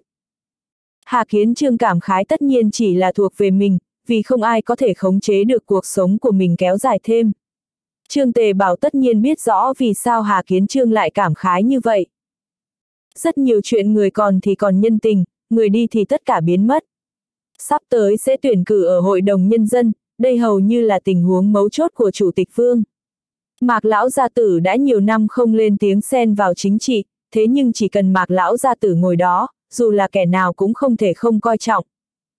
Không ngờ sự việc thường phát triển không như mong muốn, khi Vương Tử Quân rơi vào hoàn cảnh khó khăn gian nan nhất thì Mạc Lão Gia Tử lại lặng lẽ ra đi, làm cho người ta căn bản không kịp chuẩn bị tâm lý. Sinh lão bệnh tử là chuyện thường tình của con người, những ngày tới chúng ta nên cố gắng duy trì công tác là được. Trương Tề Bảo khẽ gật đầu, hắn lấy từ trong cặp ra vài văn kiện đưa cho Hà Kiến Trương, Chủ tịch Hà, đây là những vấn đề được phản ánh gần đây, anh ký tên qua một chút. Khi Hà Kiến Trương và Trương Tề Bảo đang bàn luận về Vương Tử Quân, lúc này trong phòng làm việc của Sầm Vật cương tiếng nhạc buồn mà long trọng liên tục vang lên. Lúc này có nhiều lãnh đạo quốc gia xuất hiện trên TV, mọi người đều tỏ ra rất đau buồn. Trên màn hình TV là hình ảnh quan tài được quấn quốc kỳ, hình ảnh này làm cho người ta nghĩ đến phương diện ông cụ đã chinh chiến cả đời. Sầm vật cương nhìn hình ảnh trên TV mà khóe miệng không khỏi có chút run rẩy. tuy lão và mạc lão gia tử căn bản không có giao tình, thế nhưng bây giờ cũng rất đau thương với sự ra đi của ông cụ. Nhưng ánh mắt của sầm vật cương nhanh chóng bị hấp dẫn bởi hình bóng của vương tử quân đứng trong nhóm gia quyến. Lúc này vương tử quân mặc tây trang đen, nhìn qua căn bản là cao ngất thẳng thớm. Vương tử quân đứng trong nhóm gia quyến, đang chậm rãi bắt tay với Lâm Trạch Viễn, sau đó đứng bên cạnh Lâm Trạch Viễn. Tuy chỉ đứng bên cạnh thế nhưng Lâm Trạch Viễn căn bản không áp chế được phong thái của Vương Tử Quân. Vương Tử Quân hình như có hơi gầy đi, Sầm Vật Cương nghĩ đến một Vương Tử Quân cả ngày mỉm cười tủm tỉm, thế là trong lòng xuất hiện nỗi khổ riêng. Lão tán thưởng thật lòng với vương tử quân, đáng tiếc là vận mệnh trêu người, lão đã là người tỏa chấn mật đông, sao có thể để cho một vị cán bộ lãnh đạo trẻ tuổi cực kỳ có cá tính chạy đến chia cắt, cân đối quyền lực, giảm bớt thanh danh địa vị của mình được. Trong mắt sầm vật cương thì vương tử quân là người có năng lực, có khả năng, hơn nữa tầm mắt khoáng đạt. Mỗi khi có hạng mục công tác nào đó đến giai đoạn khó khăn, không chờ lão mở hội nghị thường ủy nghiên cứu đã phát hiện vương tử quân nhanh chân đến trước, dùng một phương pháp cực kỳ hữu dụng để xử lý vấn đề. Một người có trình độ như vậy giống như bóng ma luôn rình rập trong lòng sầm vật cương, đến nỗi sầm vật cương cảm thấy khi đối mật với vương tử quân thì mình trở nên trong suốt như thủy tinh. Dù là lão dùng âm mưu hay dương mưu thì căn bản không có bất kỳ chỗ nào để trốn tránh hay che giấu với vương tử quân. Một núi không thể có hai hổ, sầm vật cương tự nhận mình không phải là người lòng dạ hẹp hòi, thế nhưng nếu có một trợ thủ quá mạnh như vậy thì dù là ai cũng không vui sướng. Vương tử quân căn bản là rất tốt, thế nhưng lại không tương đồng với ý kiến của mình. Trong đầu lóe lên ý nghĩ như vậy, sầm vật cương lại đưa mắt nhìn về phía tivi. Nhưng hình ảnh của vương tử quân đã không còn, bản tin về lễ tang của mạc lão gia tử cũng sắp kết thúc. Sầm vật cương tắt tivi đi, lão nằm trên ghế salon, một lát sau mới thở dài một tiếng. Sầm vật cương đi ra khỏi phòng xếp, lão ngồi xuống chiếc ghế lãnh đạo trong phòng làm việc, sau đó mới khẽ thở ra một hơi. Sầm vật cương nhìn Vi Yến Quy đi theo thư ký vào phòng, lão đứng lên nói, bí thư Vi đến đấy à, mời anh ngồi. Trên mặt Vi Yến Quy là nụ cười nhàn nhạt, lão đi đến ngồi xuống rồi nói với Sầm vật cương, bí thư Sầm, vừa rồi tôi nghe nói tối qua ngài ngủ rất khuya, như vậy rõ ràng là không được. Công tác thường làm không hết, ngài chính là định hải thần châm của tỉnh Mật Đông, nếu như ngài không ngủ ngon sẽ làm ảnh hưởng đến tính tích cực của các đồng chí khác. chương 1635, hai cầu vòng sinh mệnh. Không có việc gì nên tôi đi ngủ muộn một chút. Sau khi nghe những lời săn sóc ân cần của Vi Yến Quy, Sầm Vật Cương cảm thấy tràn đầy khinh thường. Nếu như anh là người có dã tâm bừng bừng chiếm chỗ của người khác, cần gì anh phải làm ra một động tĩnh lớn như vậy, tôi sao có thể là người tâm sự nặng nề cho được. vị Yến Quy tiếp nhận ly trà của thư ký Sầm Vật Cương, sau đó cười nói, bí thư Sầm, đây là danh sách các cán bộ trẻ xuống tuyến dưới rèn luyện đợt này được phòng tổ chức phê duyệt, tôi cảm thấy có hai cán bộ cần điều chỉnh. Sầm Vật Cương cũng có phần danh sách này, ngày hôm qua lão đã xem rồi.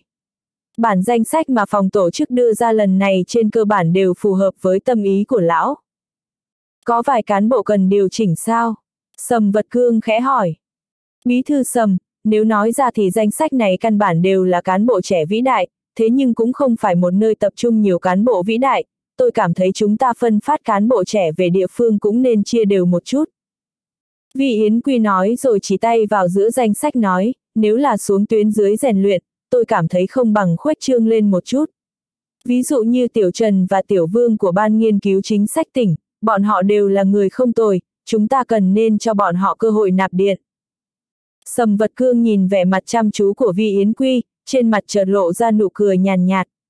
Vi Yến Quy tìm đến mình cũng không phải là phần danh sách kia không hợp lý, chủ yếu là muốn thêm vào hai người, hơn nữa hai người kia là những cán bộ trẻ tuổi mà sầm vật cương tán thưởng. Xem ra Vi Yến Quy này căn bản là con run trong bụng mình. Sầm vật cương thầm cảm khái, không khỏi có thêm vài phần hảo cảm với vị Yến Quy. Từ sau khi mình đến mật đông, vị Yến Quy này luôn theo sát bước tiến của mình, giúp đỡ mình rất lớn. Năm xưa sở dĩ sầm vật cương có thể áp chế đường Trấn Huy xít sao, nguyên nhân chủ yếu cũng là vì có sự hỗ trợ của đường Trấn Huy. Lão cũng từng xem xét quá trình phát triển của vị Yến Quy, thế nhưng có một số việc mà lão căn bản không thể đảo ngược được, đó là thượng cấp không trọng dụng vi Yến Quy, đây là điều mà lão khó thể thay đổi. Bây giờ cơ hội kéo đến, Sầm vật cương cảm thấy phong ba này ở mật đông căn bản đau dài không bằng đau ngắn. Lão tình nguyện biểu đạt thái độ giúp đỡ Vic, ở sự kiện lần này. Vì Yến Quỳ dù sao cũng không giống với Vương Tử Quân. Trong đầu sầm vật cương lóe lên những ý nghĩ như vậy, sau đó không khỏi nghĩ đến Vương Tử Quân. Lão thầm cảm khái, cảm thấy Vương Tử Quân lần này là nhà rột gặp mưa đêm, nếu không vào thời điểm mấu chốt thế này sao mạc lão gia tử lại ra đi không tiếng động như vậy. Mạc lão gia tử ra đi lúc này căn bản không quá tốt, nếu như mạc lão gia tử có thể vượt qua mùa đông năm nay, dù là vương tử quân có thất bại ở mật đông thì con đường phát triển tiếp theo vẫn rộng rãi thanh thang. Khi lãnh đạo thượng cấp trò chuyện với mình thì căn bản không nên cho ra những lời bỏ đá xuống giếng với vương tử quân, dù thế nào thì mình cũng là một người yêu tài, tóm lại vương tử quân cũng là nhân tài có thể sáng lập sự nghiệp. Sầm vật cương thầm cảm khái, lão cười nói với vị Yến Quy, bí thư Yến Quy, cứ xử lý theo lời nói của anh. Vị Yến Quy nghe Sầm Vật Cương gọi mình là bí thư Yến Quy thì không khỏi cảm thấy rất vui vẻ. Tuy xưng hô như vậy có nhiều ẩn ý bên trong, thế nhưng người ta chỉ có thể hiểu mà khó thể nói rõ ràng ra bên ngoài. Những biến hóa trong khoảng thời gian gần đây làm cho vị Yến Quy giống như tin trên đời này có số mệnh, quan trường thật sự hay thay đổi, quỹ tích của nó là khó thể xác định được. Ví dụ như vương tử quân tự nhiên hàng không đến mật đông, giống như cầu vòng của tính mạng chính trị, thế nhưng bây giờ lại rơi vào hoàn cảnh diệt vong. Lại ví dụ như vị Yến Quy, hắn vốn cho rằng mình sẽ ảm đạm lui ra, thế nhưng không ngờ khi mà chính mình sắp chào tạm biệt võ đài chính trị thì lại có chuyện tốt chạy đến. Vương tử quân căn bản động vào quá nhiều lợi ích của nhiều người ở sự kiện tập đoàn thần phương, thế nên một người không có hy vọng như Vi Yến Quy chợt nắm thế thắng trong sự kiện lần này. Khi chính mình còn đang có chút lo lắng, Mạc lão gia tử là cây cột trụ vững chắc của vương tử quân lại ra đi, ra đi không tiếng động. Mặc dù Vi Yến Quy cũng có chút đang tiếc vì sự ra đi của Mạc lão gia tử, thế nhưng hắn lại có một cảm giác hưng phấn, vì vị trí kia càng ngày càng gần. Một số người trước đó chỉ đứng nhìn từ xa nhưng bây giờ đã hội tụ ở bên cạnh Vi Yến Quy, sự ủng hộ của những người kia làm cho uy tín của lão ngày càng mạnh, hơn nữa hôm nay sầm vật cương lại cho lão một viên thuốc an thần. Tôi sẽ đi tìm phòng tổ chức thao tác cho xong. Vi Yến Quy cười nói. Trên quan trường tối kỵ nhất chính là cố gắng hỏi căn nguyên vấn đề với lãnh đạo, khi lãnh đạo chủ động nói thì tín nhiệm anh, khi không nói thì cũng hợp tình hợp lý, nếu anh không kìm nén được lòng hiếu kỳ, cố gắng tìm hiểu nguyên nhân, hỏi hai hỏi ba, căn bản là phạm thượng làm loạn, bụng dạ khó lường. Vì Yến Quy là người phát triển nhiều năm trong quan trường, tất nhiên lão hiểu rõ điều nà. Vì vậy sau khi đi ra khỏi phòng làm việc của Sầm Vật Cương thì vẻ mặt lão rất thoải mái. Sầm Vật Cương tỏ thái độ rất hàm hồ, thế nhưng nó vẫn như một viên thuốc an thần làm cho lão thấy được ánh dạng đông hy vọng. Sầm Vật Cương có thể ngầm đồng ý cho Vi Yến Quy tiến lên, có lẽ là xuất phát từ sự công tâm. Những năm gần đây Vi Yến Quy luôn trung thành tận tâm, đoàn kết chặt chẽ chung quanh Vi Yến Quy, chẳng lẽ Sầm Vật Cương không hiểu. Thế cho nên khi chọn một người hợp tác tốt nhất, vì Yến Quy căn bản hoàn toàn có nhiều lý do để tin tưởng Sầm Vật Cương không chào đón một người hàng không như Vương Tử Quân. Dù sao thì Sầm Vật Cương cũng là bí thư tỉnh ủy, không chỉ phụ trách thủ hạ của mình, còn phải đúng quan điểm với tuyến trên. Nhìn vào điểm này thì thấy Sầm Vật Cương căn bản đang phải chống đỡ nhiều áp lực, thế nên khi mà Sầm Vật Cương tỏ thái độ thì Vi Yến Quy cực kỳ vui mừng. tốt tốt tốt tiếng chuông điện thoại chợt vang lên, Vi Yến Quy có hai bộ điện thoại, người biết được số điện thoại này chủ yếu là cực kỳ thân cận. Trong khu văn phòng thường ủy tỉnh ủy có thể làm cho điện thoại vang lên chói tai không chút kiêng nể, thực tế đây là một loại hưởng thụ về quyền lợi. Vi Yến Quy nhìn thoáng qua màn hình điện thoại, sau đó lão nghe máy, chợt nghe thấy bên trong truyền đến giọng nói nịnh nọt, chào bí thư vi, tôi là miêu dược hổ của thành phố Linh Long, bây giờ ngài có bận rộn gì không? Chào đồng chí dược hổ, những ngày qua miêu dược hổ đi lại rất gần với vị Yến Quy, vì thế bây giờ đối phương gọi điện thoại thì vị Yến Quy cũng cực kỳ khách khí. chương 1636, một bắt chuẩn nhân mạch của anh. Bí thư vi, hai ngày trước ngài đã nói nhất định sẽ đến thành phố chúng tôi khảo sát, tôi đã báo cáo chuyện này với bí thư đồ, mà bí thư đồ cũng cực kỳ coi trọng. Anh ấy chuẩn bị đến Hong Kong kêu gọi đầu tư, thế nhưng bây giờ không đi nữa. Hôm nay thời tiết rất tốt, Bí thư vi nếu có thời gian thì đến thành phố Linh Long một chuyến, hai người chúng tôi sẽ đi đến tỉnh đón ngài. Miêu Dược Hổ giống như bắt đúng mạch của Vi Yến Quy, nói ra những lời làm cho Vi Yến Quy cảm thấy cực kỳ thoải mái. Nhưng Vi Yến Quy cũng không định cho đồ phấn đấu và Miêu Dược Hổ đến tỉnh đón mình, dù sao đãi ngộ này chỉ có sầm vật cương được hưởng thụ mà thôi. Lão đối mặt với người được sầm vật cương coi trọng, lão cần phải an phận hơn một chút. Không được rồi, hôm nay tôi có chút chuyện, để ngày mai rồi nói sau. Vì Yến Quy hôm nay cũng không có chuyện gì quan trọng, thế nhưng lão nói như vậy, chủ yếu là muốn lừa gạt miêu dược hổ, cũng biểu hiện độ nặng của mình. Vì Yến Quy đặt điện thoại xuống mà cảm thấy tâm tình tốt hơn vài phần, bước chân xuống lầu cũng nhanh chóng hơn. Những ngày tới lão cần phải tu tâm dưỡng tính, giống như không quan tâm đến chuyện tuyển cử của Hội đồng Nhân dân, nhưng có một số việc mà biểu diễn quá mức cũng không hay, ngược lại làm cho người ta cảm thấy quá giả dối. Lão cần phải nắm chắc mức độ, ngẫu nhiên cũng phải đi kiểm tra thị sát vài thành phố trong tỉnh. Hơn nữa vị trí của thành phố Linh Long trong tỉnh Mật Đông là khác biệt. Khi trong đầu Vi Yến quy lóe lên những ý nghĩ như vậy, chợt thấy có người đi lên lầu. Đi đầu cũng không phải ai xa lạ, chính là bí thư ủy ban kỷ luật Khang Tắc Chính. Lúc này gương mặt Khang Tắc Chính vẫn như cũ, thế nhưng nhìn qua lại càng có thêm vài phần nghiêm túc so với ngày thường. Vì Yến Quy căn bản không có nhiều giao tình với Khang Tắc Chính, ngược lại trước kia hai người từng chơi trò cao tay với nhau trong vài hạng mục công tác. Lão không quen nhìn gương mặt dối trá của Khang Tắc Chính, người này nói chuyện luôn bày ra bộ dạng ẩn giấu, không kiêu ngạo không su nịnh, hơn nữa thường thích mở miệng dạy bảo người khác. Làm người trước làm quan sau, tu đức sau đó mới tu chính, lý luận này anh cũng có thể mở miệng ra nói được sao? Anh có thể bảo chứng mình tham gia công tác với tâm tư công bình công chính sao? Rõ ràng là đang tự quảng cáo về mình. Nhưng bây giờ thì đã khác, chính mình sắp phát triển lên cao, cần gì phải so đó với một con chó như khang tác chính. Vì Yến Quy thầm oán hận mắng một câu, lão có chút trầm ngâm, sau đó tươi cười nói với Khang Tác Chính, bí thư Khang, những ngày qua anh bận rộn gì vậy? Khang Tác Chính giống như không nhìn thấy Vị Yến Quy, khi Vị Yến Quy mở miệng thì hắn mới ngẩng đầu lên, khẽ gật đầu một cái, sau đó mới lên tiếng qua loa, chào bí thư Vi. Vị Yến Quy thật sự không thích thái độ lạnh như băng của Khang Tác Chính, lão thầm nghĩ, thế cục hiện tại đã rõ ràng, anh còn có biểu hiện như vậy với tôi. Đúng là không ra gì. Lão tuy nổi giận nhưng vẫn dùng giọng thân thiết nói, anh đi gặp bí thư sầm sao. À, có chuyện cần báo cáo với bí thư sầm. Khang tác chính căn bản không giấu giếm ở phương diện này, hắn nhìn thoáng qua hai người sau lưng mình rồi nói tiếp, mời hai vị đi bên này. Vị Yến Quy nhìn thoáng qua hai người sau lưng khang tác chính, lão chợt phát hiện gương mặt hai người kia cực kỳ nghiêm túc, sau khi lơ đáng nhìn về phía mình thì chỉ khẽ gật đầu một cái mà thôi. Vì không biết nên vì Yến Quy căn bản không quá chú ý, thế nhưng khi lão đi xuống lầu thì gương mặt hai người kia liên tục lóe lên trong đầu lão, một cảm giác bất an chợt khởi động trong lòng. Hai người kia rốt cuộc là ai? Vì Yến Quy càng nghĩ thì cảm giác xấu càng thêm mãnh liệt, không biết Khang Tác Chính trịnh trọng đưa hai người kia đi gặp Sầm Vật Cương làm gì. Thân phận của hai người kia căn bản được Khang Tác Chính che giấu, như vậy bọn họ gặp Sầm Vật Cương. Xem ra lúc này mật đông thật sự đi vào rối loạn, nhưng ai tạo nghiệt thì người đó tự nhận, hy vọng không phải là sự việc gì quá lớn. Vi Yến Quy thầm lẩm bẩm một câu rồi cất bước đi về phía đầu hành lang. Trong sân gôn ở phía tây thành phố rừng mật, chỗ này căn bản là nơi tụ hội của nhiều nhân vật có thân phận ở tỉnh Mật Đông. Nhưng lúc này thời tiết khá lạnh nên cũng không ai đánh gôn, bọn họ chủ yếu cho ra những hoạt động ở trong phòng.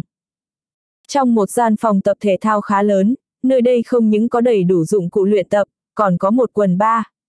Những thiếu nữ mặc váy thể thao ngắn cuốn cỡn căn bản để lộ ra hai chân thon dài và tràn đầy nhựa sống của mình, thế là căn phòng vốn ấm áp lại có thêm vài phần xuân sắc. Thịnh Lưu Duệ rời khỏi một chiếc máy chạy bộ, toàn thân vã mồ hôi, hắn dùng khăn nhận được từ nhân viên phục vụ để lau mồ hôi, sau đó nói với lỗ trẻ cảnh ở phía sau, mỗi ngày nên rèn luyện một chút, có thể tăng cường lưu thông khí huyết. Tiểu lỗ, cậu còn trẻ cũng đừng nên chủ quan, nếu nói về phương diện tố chất sức khỏe thì chưa chắc đã mạnh mẽ hơn chú. Đúng vậy, chú, cháu kém xa ngài ở phương diện này, sau này nhất định sẽ chăm chú lắng nghe lời dạy bảo của ngài, sẽ rèn luyện nhiều hơn, được hơn một nửa sức khỏe như chú là được. Lỗ trẻ cảnh căn bản cực kỳ kính cẩn vâng lời trước mặt thính lưu duệ, từng câu từng chữ giống như gãi chúng chỗ ngứa. Sau khi bị ngã đau ở thủ đô thì phương diện đối nhân xử lý của lỗ trẻ cảnh căn bản là tiến bộ rất nhiều, cái gì nên nói cái gì không nên nói đều được lỗ đỉnh thành dạy bảo rất kỹ. Được rồi, bố của cậu cũng không có ở đây, không cần lôi kéo làm quen như vậy. Thịnh Lưu Duệ đưa khăn nóng cho nhân viên phục vụ, sau đó hắn cười nói, tuy bố cậu thích cậu bây giờ, thế nhưng trong mắt một người chú như tôi, tôi lại thích cậu trước kia hơn, vì khi đó cậu không sợ trời sợ đất, căn bản là hảo hán. Lỗ trẻ cảnh cười, hắn thật sự rất muốn mình là trước kia, thế nhưng một vài bài học lớn lại làm cho hắn biết có người mạnh hơn, nhiều chuyện không phải là muốn làm gì thì làm. Lỗ trẻ cảnh thầm nghĩ như vậy, thế là hắn cung kính nói, tôi cũng không thích bộ dạng của mình vào lúc này, thế nhưng muốn quay lại chính mình trước kia cũng không dễ dàng gì. Ha ha ha, tôi thấy tiểu tử cậu bị tên họ vương kia đánh cho vỡ mật rồi, tôi cho cậu biết, muốn quay lại thời điểm như xưa là rất dễ, chỉ cần vài ngày nữa là được. Thịnh Lưu Duệ dùng sức vỗ vỗ vai lỗ trẻ cảnh rồi cười lớn nói. Lỗ trẻ cảnh cũng cười, thế nhưng lại nghĩ đến những lời vừa rồi của Thịnh Lưu Duệ. Những ngày qua đại đa số thời gian hắn bị bố nhốt ở thành phố Linh Long, thế nhưng hắn cũng hiểu được khá nhiều về thế cục ở mật đông, khí. chương 1636, 2, bắt chuẩn nhân mạch của anh. Xem ra người kia sắp phải đi đến nơi rồi. Lỗ trẻ cảnh nghĩ đến hai chữ rời đi, hắn cảm thấy như vậy vẫn không đủ miêu tả về người kia. Dù sao thì hai chữ này cũng phải dùng cho hạng anh hùng, nhưng tên kia có thủ oán với mình, sao có thể coi rằng đó là anh hùng. Nhưng lỗ trẻ cảnh lại cảm thấy dùng những từ khác cũng không thích hợp.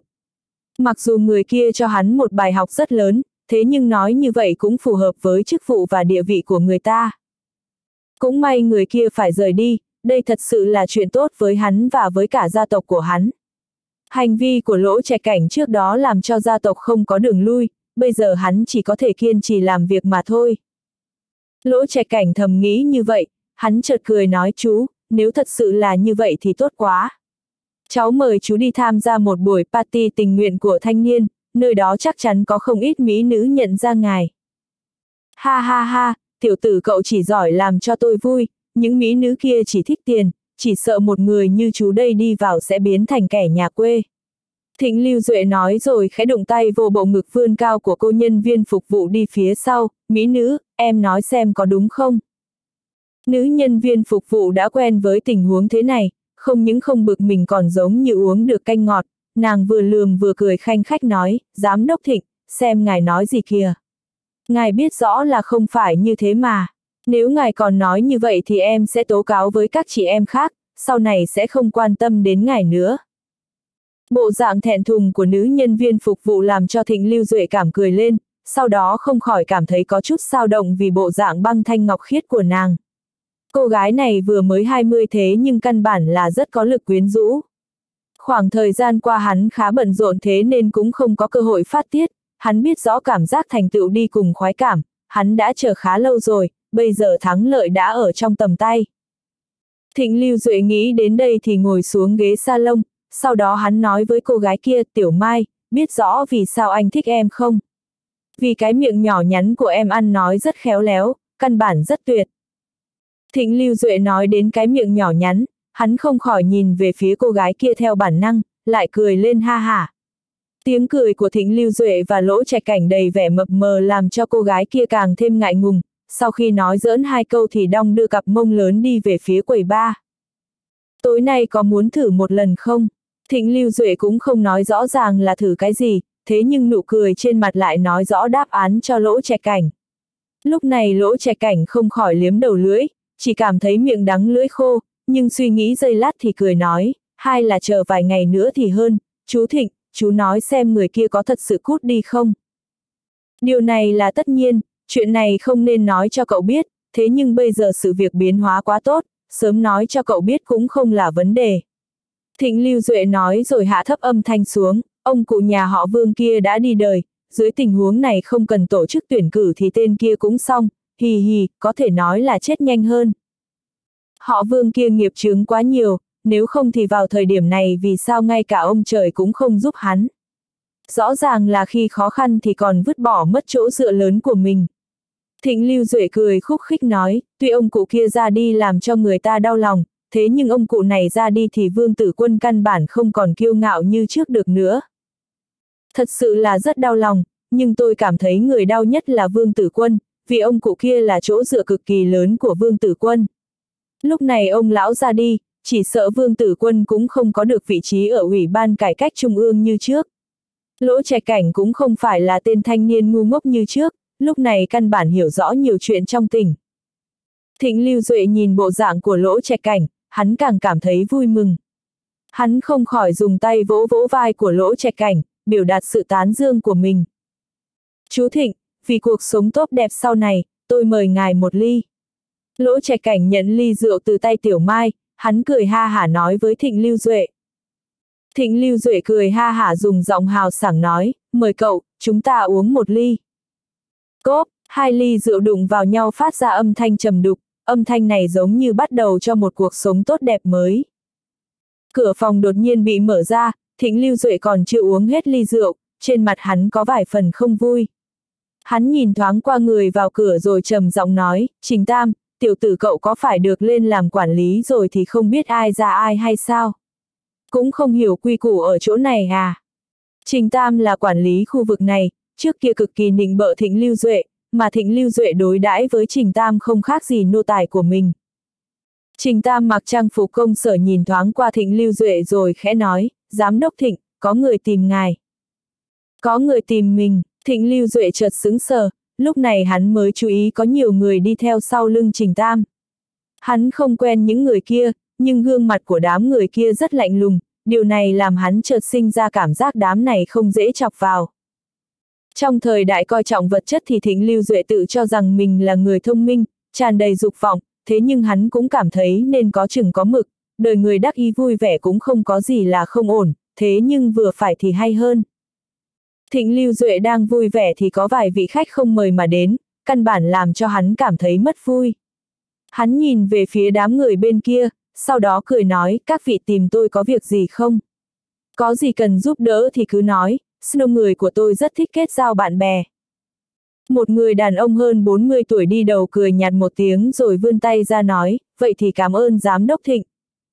Không nên khách khí, Thịnh Lưu Duệ lúc này yên tâm hơn, dù sao thì những người kia cũng hiểu lễ nghi, điều này làm cho tâm tư của hắn vững vàng hơn khá nhiều. Hắn thầm mắng mình càng già càng nhát cái, chỉ có chút động tính gió thổi cỏ lay như thế này đã run sợ, sau này sao có thể lăn lộn giang hồ. Thịnh Lưu Duệ thầm nghĩ như vậy, chợt nghe thấy người bên kia lấy ra giấy chứng nhận công tác rồi nói, tôi họ Diêu, là người của Ủy ban kỷ luật Trung ương, mong ngài theo tôi một chuyến, có chuyện cần ngài hỗ trợ. Thịnh Lưu Duệ chợt cảm thấy trong đầu nổ ầm lên một tiếng, chợt sinh ra dự cảm không ổn. Ủy ban kỷ luật, người của Ủy ban kỷ luật tìm mình làm gì? Chẳng lẽ đã xảy ra chuyện? Lúc này vấn đề không phải là ai xảy ra chuyện, chủ yếu là mình nên làm gì bây giờ? Khi hắn còn chưa kịp cho ra phản ứng thì có vài người đàn ông trẻ tuổi tiến lên vây quanh người.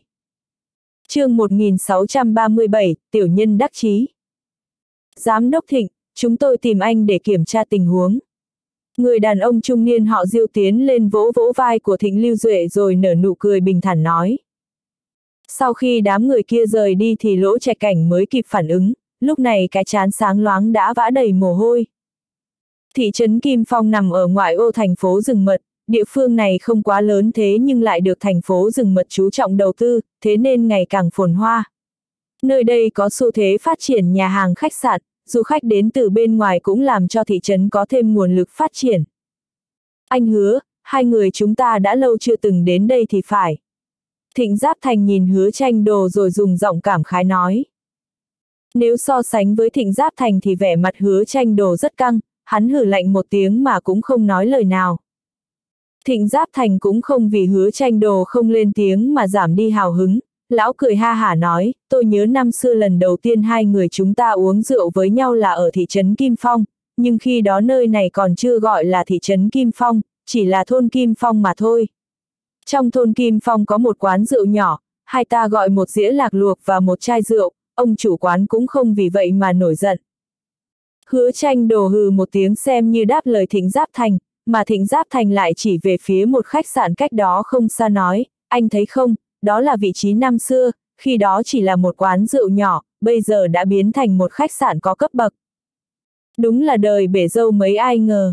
Hứa tranh đồ cảm khái một câu, căn bản có vài phần cảm động. Hai người không nói thêm điều gì, bọn họ sóng vai đứng bên cạnh nhau, nếu như là người quen biết thấy được tình huống này, bọn họ căn bản sẽ ngạc nhiên chết đi được.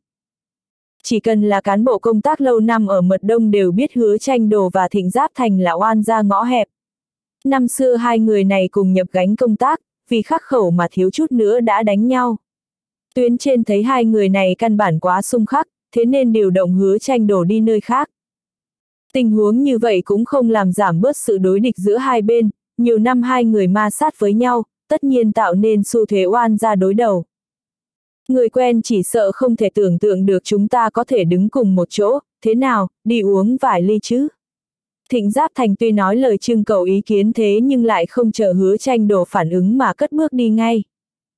Hai người đi vào trong một khách sạn, Thịnh Giáp Thành muốn một gian phòng nhỏ, sau khi nhân viên phục vụ đưa hai người vào trong phòng và bỏ đi thì lão châm trà cho hứa tranh đồ. Năm xưa hai người chúng ta cùng công tác ở thành phố rừng mật, không ngờ bây giờ lại là thế này. Tôi cũng không ngờ anh lại biến thành như vậy. Hứa tranh đồ cũng không vui vẻ với lời nói ôn chuyện của Thịnh Giáp Thành, lão nhìn thoáng qua Thịnh Giáp Thành rồi lên tiếng lạnh như băng. Thịnh Giáp Thành căn bản không ngại biểu hiện của hứa tranh đồ, lão uống một ly nước rồi cười nói, anh hứa, hôm nay chúng ta ngồi cùng một chỗ, tôi cũng muốn nói với anh vài câu.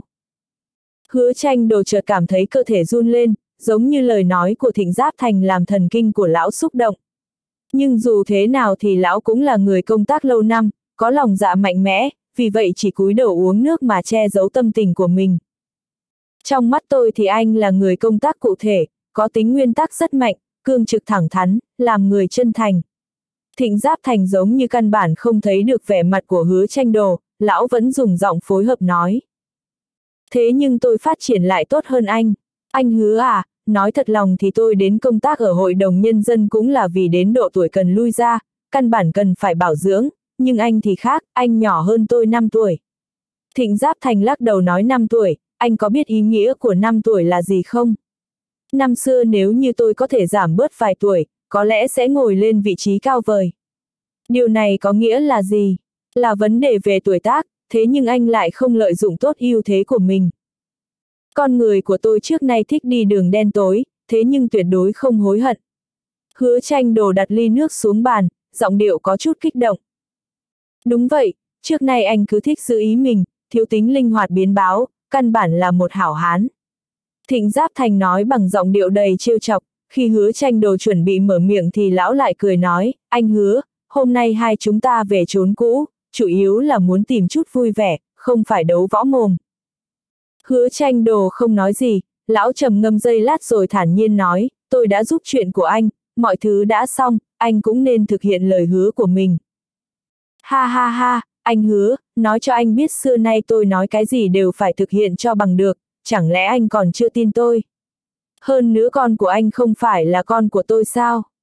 Cậu ấy không phải chỉ phạm chút sai lầm thôi à? Chưa nói đến phương diện anh giúp tôi một chuyện lớn, cho dù anh không giúp, tôi cũng không khoanh tay đứng nhìn. Thịnh Giáp Thành nói cực kỳ hào sảng, giống như lão và hứa tranh đồ căn bản là hai người bạn cực kỳ nghĩa hiệp vậy. Nhưng hai bên kết giao nhiều năm và hứa tranh đồ hiểu rõ Thịnh Giáp Thành là hạng người gì. Lão biết nếu mình không giúp Thịnh Giáp Thành, chỉ sợ Thịnh Giáp Thành sẽ chẳng bao giờ giúp đỡ mình, thậm chí còn hả hê bỏ đá xuống giếng. Ôi, hứa tranh đồ thở dài một hơi, cũng không nói gì, lão nâng ly trà lên rồi lại đặt xuống. Rượu và thức ăn được dâng lên rất nhanh, tuy hứa tranh đồ không quá hào hứng nhưng thịnh giáp thành lại rất vui. Người ta một khi đã vui vẻ thì dù gặp mặt đối thủ của mình cũng cố gắng chia sẻ niềm vui của mình. Anh hứa, anh có biết không, anh căn bản là giúp tôi một ân huệ lớn. Có lẽ vương tử quân đã không nhìn được mà đưa những lá thư kia lên cho tuyến trên, chỉ cần hắn ta dám đưa lên thì chúng ta căn bản có kịch hay để xem. Thịnh Giáp Thành nâng ly rượu lên uống cạn rồi cười nói với hứa tranh đồ. Hứa tranh đồ hiểu Thịnh Giáp Thành muốn làm gì, lão cười khổ nói, biết đâu Chủ tịch Vương sẽ không đưa những lá thư tố cáo kia lên trên. Ha ha ha, anh hứa, anh quá đề cao Vương Tử Quân rồi, mặc dù người này cực kỳ có bản lĩnh, thế nhưng với tình huống bây giờ thì hắn ta căn bản không còn biện pháp nào khác nữa.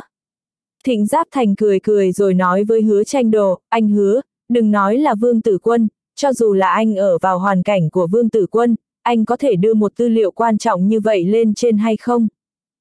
Hứa tranh đồ trầm mặc, lão biết rõ nếu là mình thì sẽ cho ra lựa chọn như vậy. Lão trầm ngâm giây lát, sau đó nâng ly rượu trước mặt lên uống một ngụm. Anh hứa, anh không cần buồn bực, người không may cũng không phải là anh, anh có gì mà bực mình. Anh nên chúc mừng mới phải, chúc mừng chuyện của cháu nhà anh đã được giải quyết êm đẹp. Thịnh Giáp Thành nói rồi nâng ly lên mời hứa tranh đồ, sau đó uống cạn ly rượu. Hai người chỉ muốn uống một chai rượu mà thôi, khách sạn cũng cho ra loại rượu tốt nhất, hai người có tâm tự nặng nề, nhưng cũng khá vui vẻ, thế nên chỉ sau phút chốc đã uống hơn phân nửa. Thịnh Giáp Thành rót đầy ly cho mình, sau đó lại rót rượu thêm cho hứa tranh đồ, lão cười nói, anh hứa, anh cho rằng ông trời luôn giúp tôi, thế nên không thoải mái có phải không?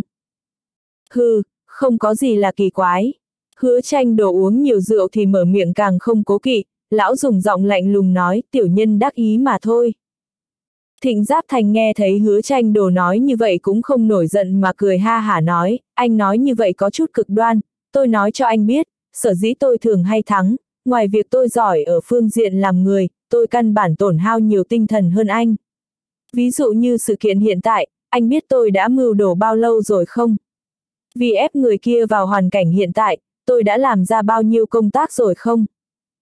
Anh không biết, nhưng có điều tôi thừa nhận một người nếu muốn thành công thì phải có số phận. Khi tôi chuẩn bị suốt toàn lực thì mạc lão gia tử ra đi, nói thật, tôi cũng rất đau lòng với sự kiện này. Hứa tranh đồ cúi đầu không nói, chỉ là uống rượu khá mạnh, rượu cũng cay hơn, cũng say lòng người. Hứa tranh đồ cảm thấy rất áy này, mình thật sự phải xin lỗi người kia, vì mình không còn lựa chọn nào khác. Thịnh Giáp Thành luôn quan sát phản ứng của hứa tranh đồ, lão hiểu tâm tình của hứa tranh đồ. Đúng lúc này điện thoại của Thịnh Giáp Thành chợt vang lên, nhưng lão cũng không nhanh chóng nghe máy. Sau khi uống thêm một ngụm rượu thì mới cầm lấy điện thoại, đang định bấm nút nghe thì tiếng chuông dừng lại. Gì thế này, Thịnh Giáp Thành nhìn thấy đó là một dãy số xa lạ thì không khỏi sững sờ. Khi lão đang do dự xem có nên gọi điện thoại cho người ta hay không, đột nhiên lão nhận được một tin nhắn. Lão mở ra xem theo bản năng, chợt thấy một dòng chữ làm chính mình ngây cả người, triệu đỉnh nhất đã bị ủy ban kỷ luật trung ương đưa đi rồi. Không có cái tên nào của người gửi tin nhắn, thế nhưng tin nhắn này như một con dao chọc vào lòng thịnh giáp thành. Triệu đỉnh nhất là ai thì thịnh giáp thành biết rất rõ ràng, người này căn bản có cực kỳ nhiều mối liên hệ với tập đoàn thần phương. Lão nghĩ đến chuyện này mà không khỏi sinh ra dự cảm bất an. Đúng lúc này lại có một tin nhắn được gửi đến, lão mở ra đọc thì cảm thấy nội dung không khác gì tin nhắn trước, chỉ là tên người được thay đổi mà thôi. Thịnh Giáp Thành không khỏi cảm thấy cơ thể run lên, trước khi sự kiện lần này kết thúc thì tập đoàn thần phương chính là tâm bệnh của lão, mà tin nhắn vừa rồi đã chọc vào thẳng trái tim của lão. chương 1638, một chọn trái chọn phải. Sầm vật cương ngồi trong phòng làm việc của mình với vẻ mặt cực kỳ ngưng trọng. Lão lúc này đang suy nghĩ đến tình cảnh khang tác chính đưa người rời đi. Người đến đem theo tin tức, đồng thời còn có thủ đoạn cần chấp hành, điều này làm cho khóe miệng của sầm vật cương hơi thô giáp.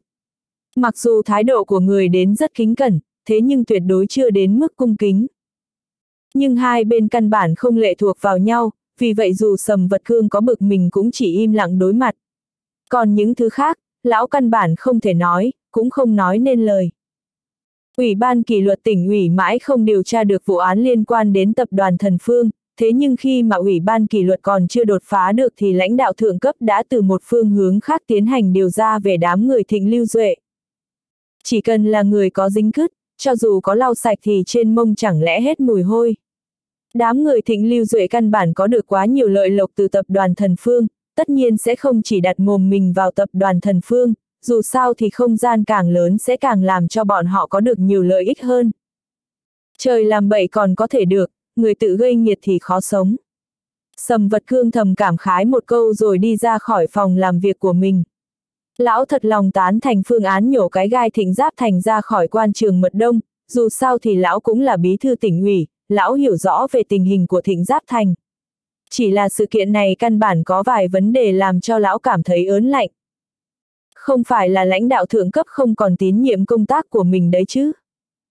Một người phụ trách ở địa phương nếu như không có được sự giúp đỡ của lãnh đạo thượng cấp, như vậy là đả kích rất lớn, thậm chí có thể nó là một bản nhạc mở đầu cho hành khúc cuốn gói rời đi. Sầm vật cương căn bản bỏ ra quá nhiều tâm huyết ở mật đông, mà mật đông đại biểu cho giấc mộng của lão, nơi này là cơ sở cho sự cất cánh của lão. Thế nhưng bây giờ khi mà ánh nắng mặt trời sắp lóe lên thì lão lại phát hiện chính mình đang dùng dây tự buộc mình. Sầm vật cương không cam lòng rời khỏi mật đông, lão không muốn, cực kỳ không muốn rời khỏi địa phương gầy dựng lên giấc mộng của mình, mà lão càng nghĩ đến phương diện phải làm sao cho giấc mộng của mình thêm tươi đẹp. Sầm vật cương đi đến bên cạnh cửa sổ, phong cảnh bên ngoài vẫn như trước, thế nhưng lão cảm thấy có nhiều thứ không còn như xưa. Trước kia lão thích được gió lạnh thổi lên người, chính bản thân lại đứng yên như tùng giả đón gió, cảm thấy như vậy là cực kỳ phù hợp với tâm cảnh của mình. Nhưng bây giờ lão lại cảm thấy mình chỉ là một thân cây hòe với cành lá vàng úa điêu linh. Đây là một không gian cuối cùng của mình sao? Sầm vật cương nhìn vào gương mặt của Khang Tắc Chính, lão biết rõ Khang Tắc Chính cũng hiểu điều này. Ủy ban kỷ luật Trung ương đến Mật Đông vì điều tra thẩm vạn quân ở tập đoàn Thần Phương, đây tuyệt đối không phải là chuyện trùng hợp. Thậm chí có thể nói khi người kia ra tay với thẩm vạn quân đã tính toán cả đám người thịnh giáp thành sẵn rồi. Nhưng cũng không trách được người ta, những người kia nuốt tài sản của quốc gia và cho rằng mình là người cao minh, thực tế lại nằm trong kế hoạch của người ta. Sầm vật cương nghĩ đến đám người múa rối linh động vài ngày qua, nụ cười trên mặt càng thêm lạnh lẽo. Hừ hừ, cuối cùng chỉ là hạng nhãi nhép mà thôi. Cốc cốc cốc, tiếng gõ cửa rồn dập làm sầm vật cương bừng tỉnh khỏi tình huống trầm tư.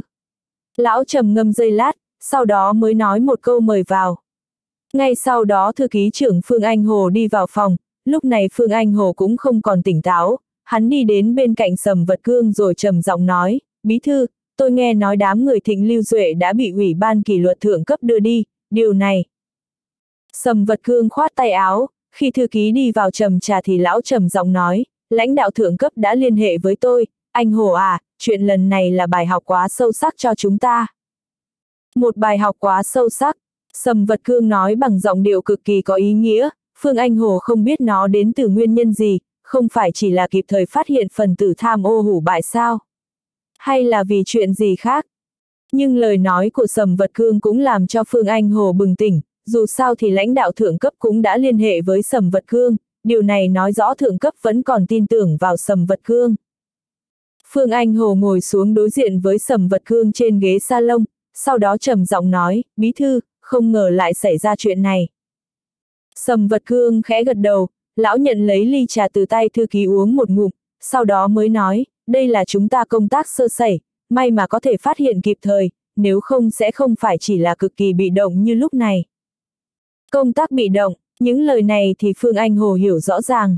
Hắn trầm ngâm dây lát rồi mới nói, những chuyện thế này xưa nay đều dùng thủ đoạn bí mật, ngài không kịp thời phát hiện ra cũng là hợp tình hợp lý. Câu nói an ủi của Phương Anh Hồ làm cho gương mặt sầm vật cương bình thản hơn một chút. Hai người cùng hút thuốc, Phương Anh Hồ chợt dò hỏi, bí thư sầm, ngài có liên lạc với chủ tịch Phương chưa? Còn chưa liên lạc, sầm vật cương lắc đầu rồi trầm giọng nói. Phương Anh Hồ hiểu rõ sầm vật cương, cũng vì hiểu rõ nên hắn không muốn làm phiền sầm vật cương, thế nhưng bây giờ hắn không có nhiều cố kỵ như vậy. Phương Anh Hồ do dự dây lát rồi mở miệng khuyên nhủ, bí thư sầm, tôi cảm thấy chuyện này nên thông báo cho Chủ tịch Vương, mặc dù anh ấy đang ở vào trạng thái đau thương, ngài không muốn quấy rầy, thế nhưng dù sao anh ấy cũng là Chủ tịch tỉnh. Vương Tử Quân chỉ sợ còn biết nhiều hơn chúng ta, thậm chí người này căn bản là đạo diễn của tất cả những gì đang diễn ra. Sầm vật cương thầm nghĩ như vậy, thế nhưng đó là ý nghĩ rất khổ sở. Lúc này lão chấp nhận lời đề nghị của Phương Anh Hồ, thế là gật đầu nói, à, lát nữa tôi sẽ gọi điện thoại cho Chủ tịch Phương. Ngài nên gọi điện bây giờ thì hơn. Phương Anh Hồ ngồi thẳng người rồi nói tiếp, có một số việc làm sớm tốt hơn làm muộn. Sầm vật cương nhìn vẻ mặt của Phương Anh Hồ, lão không nói lời nào. Lão cũng không phải nổi giận vì Phương Anh Hồ không cung kính với mình, lão là người thông minh, lão biết Phương Anh Hồ mở miệng như vậy là vì mình. Nhưng cũng vì mục đích của Phương Anh Hồ như vậy mà làm cho Sầm Vật Cương cảm thấy không thoải mái. Dù sao thì Sầm Vật Cương cũng là bí thư tỉnh ủy, là người đứng đầu tỉnh Mật Đông. Nhưng Sầm Vật Cương có thể không gọi điện thoại được sao? Nếu như lão để mặc cho nó phát triển, như vậy thì tiến không biết tiến thế nào, lui không biết lui ra sao. chương 1638, hai chọn trái chọn phải. Phương Anh Hồ nhìn thấy Sầm Vật Cương trầm ngâm không nói, thế là đứng lên chuẩn bị giúp Sầm Vật Cương gọi điện thoại. Chợt nghe thấy Sầm Vật Cương nói, để tôi tự gọi đi. Số điện thoại kia không biết Sầm Vật Cương đã gọi được bao nhiêu lần, thế nhưng lúc này lại cảm thấy từng con số như ngàn quân, chỉ việc gọi điện thoại mà đã mất hơn một phút. Trong tỉnh cần phải cân đối quyền lực, tuyến thượng cấp càng nói đến chuyện cân đối quyền lực, anh muốn độc tài thì tổ chức cũng không đồng ý. Mình sao lại hồ đồ như vậy? Sau khi nối thông điện thoại thì Sầm Vật Cương cảm thấy miệng lưỡi khô khốc, trong đầu nhanh chóng lóe lên những ý nghĩ như vậy. Chào bí thư Sầm, tôi là Vương Tử Quân. Giọng nói quen thuộc có chút khàn khàn vang lên, Vương Tử Quân giống như có chút mệt mỏi, thế nhưng giọng điệu lại rất kiên định. Sầm Vật Cương nghe giọng nói này mà cảm thấy giống như đối phương đang đứng trước mặt mình. Lão trầm ngâm dây lát rồi trầm giọng nói, Chủ tịch Tử Quân, tôi rất đau xót vì sự ra đi của ông cụ, mong anh nén bi thương. Sức khỏe là tiền vốn của cách mạng, tôi cảm thấy ông cụ là người tiêu sái thoải mái, tuyệt đối không muốn nhìn thấy con cháu quá khổ sở vì mình, vì vậy anh nên bảo trọng hơn. Sầm vật cương lên tiếng bằng giọng điệu ôn hòa thắm thiết, nếu là người ngoài không biết mối quan hệ giữa hai người thậm chí sẽ nghĩ rằng Sầm vật cương là một người anh quan tâm đến em của mình. Vương Tử Quân đã biết được tin tức ở tỉnh Mật Đông, hắn khẽ nói lời cảm ơn, cảm ơn bí thư Sầm, tôi nhất định sẽ chứng thực lời dặn dò của ngài. À, phía Mật Đông cũng không có chuyện gì, anh nên dành nhiều thời gian ở bên cạnh Tiểu Bắc. Sầm Vật Cương nói đến đây thì trầm ngâm dây lát rồi nói, lãnh đạo thượng cấp và ủy ban kỷ luật tỉnh ủy đã có sự phối hợp mật thiết trong vụ án của tập đoàn Thần Phương, đã có được thắng lợi mang tính giai đoạn mới, tôi tin tưởng vạch trần vụ án này chỉ là thời gian sớm hay muộn mà thôi. Vương Tử Quân trầm ngâm dây lát, hắn cũng không nói ra ý kiến về chuyện của tập đoàn Thần Phương, chỉ là trầm giọng nói, một số người vốn là đồng chí tốt của chúng ta, thế nhưng bọn họ không bảo vệ cho lợi ích của nhân dân và chính mình, lại bị dục vọng kéo vào biển sâu. Những người này căn bản là tự làm tự chịu mà thôi. Bí thư Sầm, tôi đề nghị mượn cơ hội lần này để tiến hành công tác giáo dục làm trong sạch hóa bộ máy chính trị, phải cho ra một đòn cảnh cáo với các đồng chí của mình. Tôi cảm thấy lời đề nghị của Chủ tịch Tử Quân là rất tốt, tôi sẽ chuẩn bị mở rộng khai triển công tác giáo dục phong cách cán bộ. Sầm Vật Cương nói vài câu với Vương Tử Quân rồi cúp điện thoại. Sầm Vật Cương đặt điện thoại xuống mà cảm thấy mây đen trong đầu tiêu tán đi vài phần. Lão châm lửa hút vào vài hơi thuốc, sau đó mới nói, anh Hồ, cậu ngồi xuống đi, chúng ta trò chuyện một chút. Phương Anh Hồ thấy Sầm Vật Cương trịnh trọng cho mình ngồi xuống, hắn chỉ dám ngồi nửa mông trên ghế salon, cơ thể hơi nghiêng, bày ra bộ dạng chú ý lắng nghe. Anh Hồ, có cậu ở bên cạnh thì tôi cảm thấy dễ chịu hơn. Sau này cậu nên ở lại bên cạnh tôi làm thư ký trưởng thêm vài năm nữa. Lúc này Phương Anh Hồ chợt cảm thấy khổ sở, hắn muốn vị trí của cố tác viêm hiện tại, thế nhưng tình hình bây giờ đã thay đổi, không chỉ là hắn, dù là cố tác viêm cũng không có khả năng nhúc nhích. Sầm vật cương nói ra những lời này giống như tán dương, giống như nói rõ tình thế hiện tại, Phương Anh Hồ nghe mà cảm thấy rất bi ai. Hắn thấy với trị tuệ chính trị của Vương Tử Quân, căn bản trong quan trường mật đông không ai có thể là đối thủ, người này cố gắng cho ra biểu hiện yếu thế, có lẽ cũng là một trí tuệ chính trị cao vời. Khi Vương Tử Quân chưa nắm quyền lực ở mật đông trong tay thì biểu hiện rất yếu thế, có phải muốn làm cho người ta chủ quan hay không? Đến khi đám người bọn họ cảm thấy âm mưu quỷ kế của mình sắp thành công, Vương Tử Quân đã lặng lẽ vung tay phản kích quá mạnh mẽ. Vương Tử Quân chắc chắn không thích mình, với chỉ trí lãnh đạo đứng hàng thứ hai tỉnh ủy vào lúc này, Vương Tử Quân dù không nhất thiết cho ra bẫy dập ép mình vào tử địa, thế nhưng mình cứ tại vị ở vị trí hiện tại cũng là cực kỳ xấu hổ. Phương Anh Hồ miễn cưỡng cười nói, bí thư sầm, tôi căn bản công tác với ngài thời gian khá dài, tổ chức cũng suy xét chu đáo đến cấp bậc của tôi, tôi biết rõ việc gì cũng nên làm từng bước. Ngài cứ yên tâm, tôi cũng không phải người được voi đòi tiên, tôi công tác bên cạnh ngài thì cảm thấy yên tâm hơn, sau này cũng sẽ cố gắng làm tốt công tác của mình. Hai người cùng nở nụ cười xem như xác định chuyện này. Trương Tề bảo mặc dù là thư ký trưởng văn phòng ủy ban nhân dân tỉnh thế nhưng nói về phương diện quan hệ thì kém xa Phương Anh Hồ, hơn nữa vị trí của Phương Anh Hồ cũng quyết định có thể ưu tiên tham gia những sự kiện lớn. Khi Trương Tề bảo nhận được điện thoại của thư ký trưởng Phương Anh Hồ, hắn đang nói chuyện với bí thư lôi hợp tuấn của thành phố Đồng Lục. Lôi hợp tuấn căn bản đi tương đối gần với Vương Tử Quân, thế nên mối quan hệ với Trương Tề Bảo cũng ấm lên. Nhưng lúc này nếu so sánh với dĩ vãng thì căn bản là cuộc trò chuyện của hai người có vẻ trầm trọng hơn.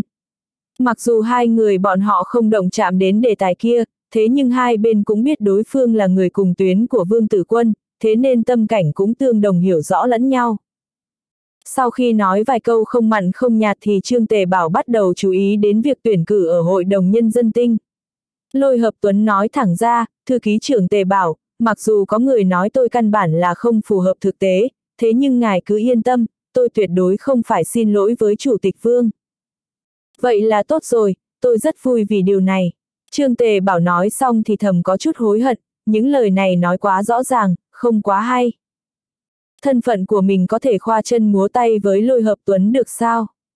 Giống như cả thế giới này chỉ có một mình mình là trung thành tận tâm với vương tử quân vậy, những người khác căn bản là heo chó, thật sự không quá tốt.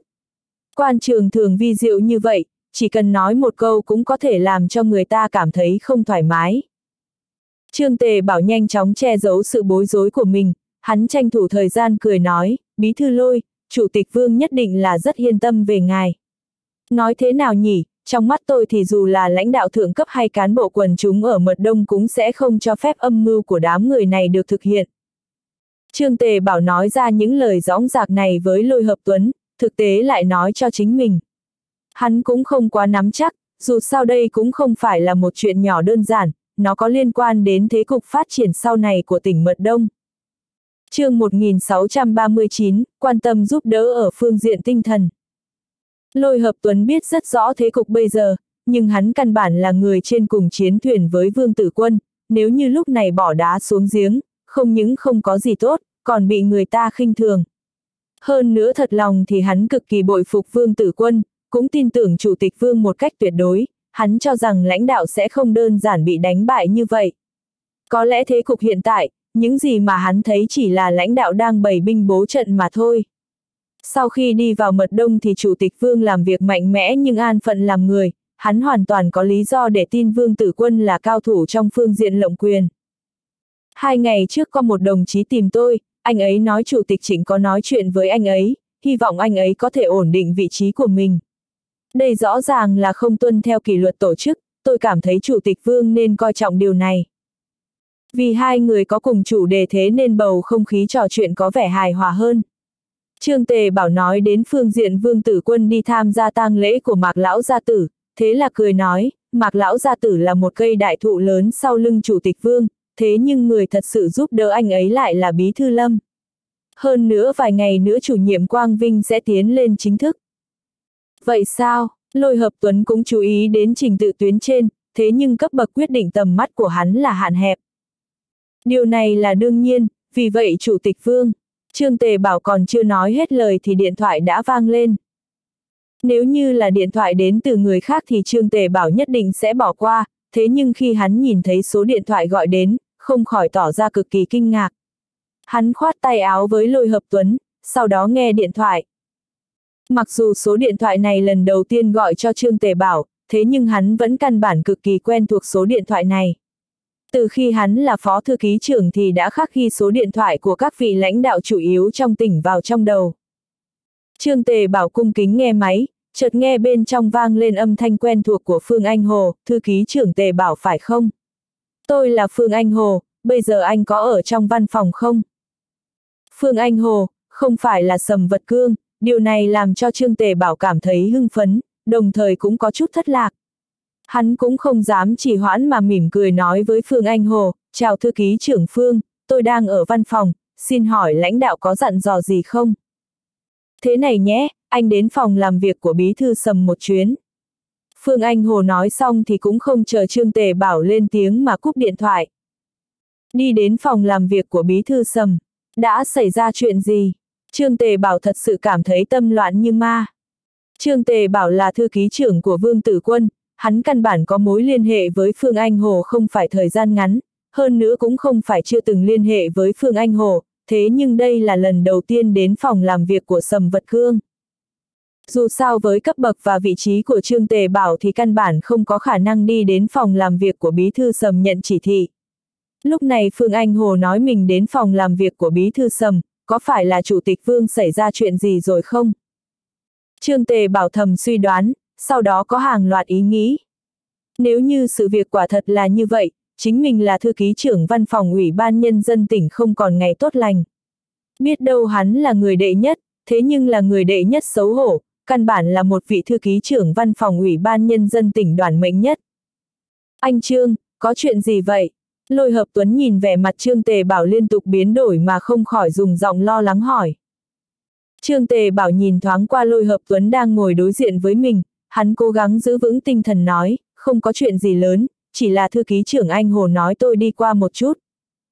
Trương Tề Bảo định nói là bí thư sầm, thế nhưng cuối cùng lại nói đó là thư ký trưởng Phương Anh Hồ. Trương Tề Bảo không hy vọng khi sự việc còn chưa rõ ràng thì làm cho bí thư lôi sinh ra những suy nghĩ miên man. Dù sao thì sự việc còn chưa kết thúc, hắn không có lý do gì để làm cho bí thư lôi mất hết hy vọng. Không biết Trương Tề Bảo đã bao nhiêu lần đi đến khu văn phòng tỉnh ủy, thế nhưng hôm nay hắn cảm thấy đường dài rằng rặc. Trước kia dù là đám trưởng ban công tác lâu năm hay là nhân viên công tác bình thường, chỉ cần gặp mặt Trương Tề Bảo đều mở miệng chào hỏi với gương mặt tươi như hoa, hắn cũng vui vẻ đón chào, thế nhưng bây giờ hắn chủ yếu là âm trầm cất bước. Chào thư ký trưởng Trương, bí thư sầm cho anh trực tiếp đi vào. Khi Trương Tề Bảo đi đến phòng thư ký của Sầm Vật Cương, hắn chuẩn bị chờ bí thư Sầm Triệu Kiến như thường lệ, thế nhưng thư ký của Sầm Vật Cương dùng giọng khôn khéo nói. Gương mặt tươi cười của viên thư ký làm cho Trương Tề Bảo có chút bất ngờ, dù sao hắn cũng không phải là thư ký trưởng văn phòng tỉnh ủy, căn bản không có liên hệ gì với vị thư ký đệ nhất văn phòng tỉnh ủy này, vì sao đối phương lại tươi vui với mình như vậy. Vì phải gặp sầm vật cương thế nên Trương Tề bảo căn bản khóa điện thoại của mình lại, cũng vì nguyên nhân này mà hắn không được thấy một tin nhắn mình vừa nhận được. Khi Trương Tề bảo đi vào trong phòng thì thấy Sầm Vật Cương và Phương Anh Hồ đang ngồi trên ghế, khi thấy Trương Tề bảo đi vào thì Sầm Vật Cương vẫn ngồi bất động nhưng Phương Anh Hồ lại đứng lên nói, thư ký trưởng Tề bảo, mời anh ngồi, ngồi chỗ này, anh cứ xem đây không khác gì phòng của Chủ tịch Vương, anh ngồi đi. Trương Tề Bảo và Phương Anh Hồ tuy cùng là thư ký trưởng, thế nhưng Phương Anh Hồ còn là thường ủy tỉnh ủy, là lãnh đạo tỉnh ủy, tất nhiên trước kia tỏ ra khách sáo chỉ là biểu hiện ngoài mặt mà thôi. Trương Tề Bảo căn bản cũng thích nhìn lên trời, thế nhưng đối với những phương diện này thì chỉ có thể mơ tưởng mà thôi. Nhưng hôm nay Phương Anh Hồ lại quá khách sáo, vì căn bản đó không chỉ là khách sáo, còn có chút nịnh nọt. Đúng, giống như là nịnh nọt. Trương Tề bảo trầm ngâm dây lát rồi chào hỏi Sầm Vật Cương, chào bí thư Sầm. Sầm Vật Cương không chờ Trương Tề bảo tiếp tục lên tiếng mà khoát tay áo nói, tiểu trương, vừa rồi anh Hồ đã nói rồi, cậu ngồi xuống đi, chỗ này của tôi cũng giống như phòng của Chủ tịch Vương, không cần khách khí. Trong mắt mọi người thì Sầm Vật Cương căn bản cực kỳ uy nghiêm, bây giờ lại bày ra bộ dạng ôn hòa hiền lành nói chuyện với Trương Tề Bảo, điều này không khỏi làm cho Trương Tề Bảo sinh ra một cảm giác không phải chuyện tốt mà là chuyện xấu. Không phải là lãnh đạo thượng cấp đã cho ra quyết tâm gì rồi đấy chứ. Nhưng Trương Tề Bảo nhớ rõ chỉ có một tin đồn nói là Vương Tử Quân không nhìn rõ thế cục, thế nên Mạc Lão gia tử phản ánh với thượng cấp, cho Vương Tử Quân về thủ đô nhận chức để chăm lo cho gia đình. Chủ tịch Vương thật sự phải đi đến bước này sao? Thư ký trưởng Tề bảo, lần này gọi anh đến chủ yếu là vì một chuyện, đó là Chủ tịch Vương còn ở lại thủ đô vài ngày mới về. Vừa rồi tôi đã gọi điện thoại cho đồng chí Tử Quân, phát hiện Chủ tịch Tử Quân có chút mệt mỏi. Sầm Vật Cương nói rất hiền lành thế nhưng gương mặt lại mang theo nụ cười thản nhiên. Vẻ mặt của Sầm Vật Cương làm cho Trương Tề Bảo cảm thấy có chút khó chịu. Khi Trương Tề Bảo đang cảm thấy lạnh cả người thì Sầm Vật Cương tiếp tục nói, thư ký trưởng Anh Hồ vừa rồi cho tôi một đề xuất, Chủ tịch Vương là trụ cột của tỉnh Mật Đông, tuyệt đối không thể suy sụp, muốn cho cậu về thủ đô giúp đỡ Chủ tịch Vương những việc vặt, cũng quan tâm đến cuộc sống của Chủ tịch Vương, cậu có thể làm tốt được không? Mong bí thư Sầm yên tâm, tôi nhất định sẽ hoàn thành công tác. Lúc này Trương Tề Bảo cực kỳ nghi hoặc, thế nhưng hắn vẫn trầm giọng lớn tiếng nói với Sầm Vật Cương. Sau đó Sầm Vật Cương và Phương Anh Hồ liên tục mở miệng dặn dò, điều này không khỏi làm cho Trương Tề Bảo yên tâm hơn. Tuy hắn còn chưa biết chuyện gì xảy ra, thế nhưng đây là chuyện tốt với Chủ tịch Vương. Khi Trương Tề Bảo rời đi còn được bắt tay Bí Thư Sầm, mà Bí Thư Sầm cũng kính nhờ hắn chăm lo cho cuộc sống của Chủ tịch Vương. Phương Anh Hồ càng đi cùng hắn xuống lầu, bộ dạng cực kỳ quan tâm, hơn nữa còn nói có gì cần thì cứ gọi điện thoại. Đây rốt cuộc là sao? Trương Tề Bảo có chút nghi hoặc, hắn lấy điện thoại ra nhìn theo thói quen, chợt phát hiện bên trong có nhiều tin nhắn. Nội dung của các tin nhắn này là như nhau, đó là Thịnh Lưu Duệ đã bị bắt. Trương Tề Bảo nhìn những tin nhắn này mà không khỏi nở nụ cười, lúc này hắn rất muốn tìm người chia sẻ niềm vui với mình, thế là bước chân căn bản nhanh hơn vài lần. Đi nhanh như vậy làm gì chứ? Lôi hợp tuấn căn bản là chưa thể đi ngay được. Trương Tề Bảo nở nụ cười tự chế giễu, giọng nói đầy tự tin. chương 1640, một hại người hại mình.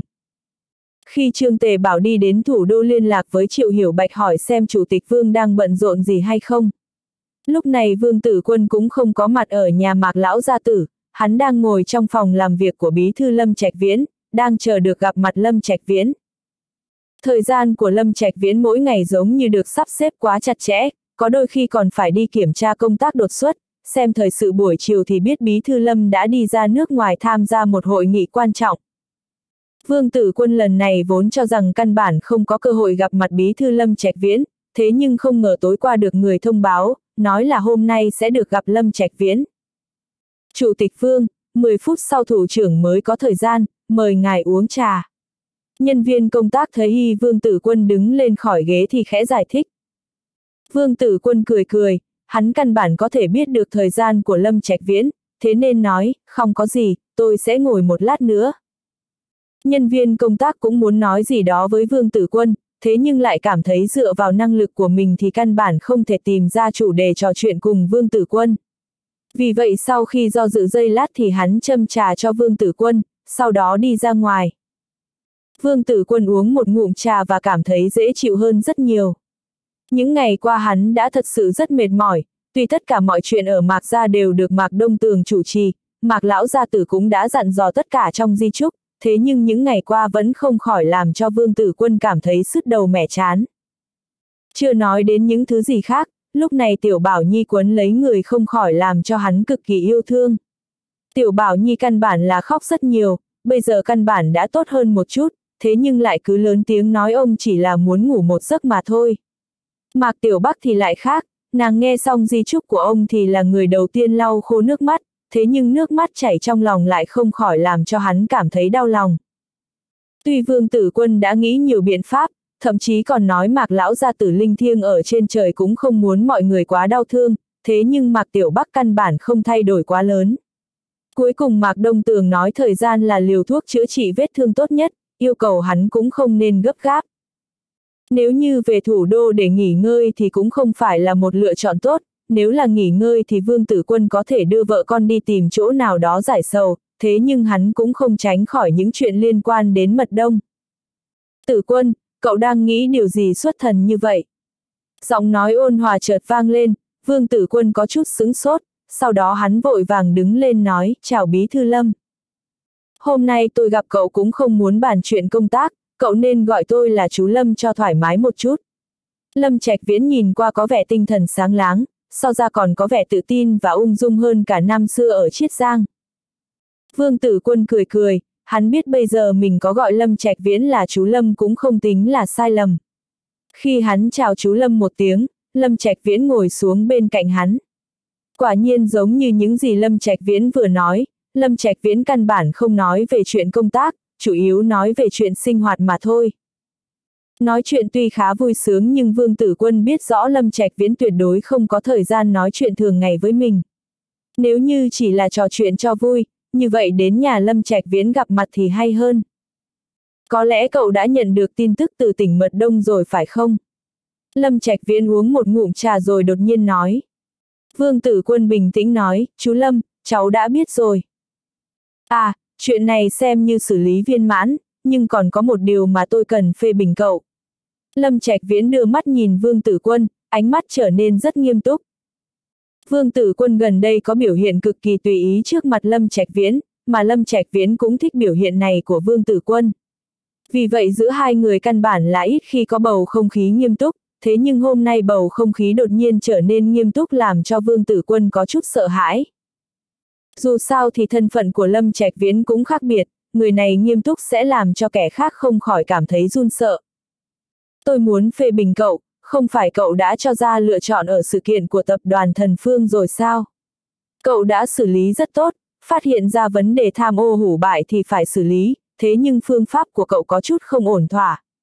Ánh mắt Lâm Trạch Viễn càng thêm nghiêm túc, lão khẽ ho khan một tiếng rồi nói, đấu tranh với tham ô hủ bại chính là công tác hạng nhất của chúng ta, nó liên quan đến phương diện sự nghiệp của chúng ta là thành hay bại. Khi đối mặt với khó khăn thì cậu nên kịp thời báo cáo với cấp trên, phát hiện sớm thì báo cáo sớm, xử lý sẽ kịp thời, hiệu quả mới tốt, cũng không phải chờ phát hiện ra manh mối mới phái người đi qua. Tuy sự việc lần này được xử lý rất viên mãn, thế nhưng chủ nghĩa anh hùng như của cậu là không được.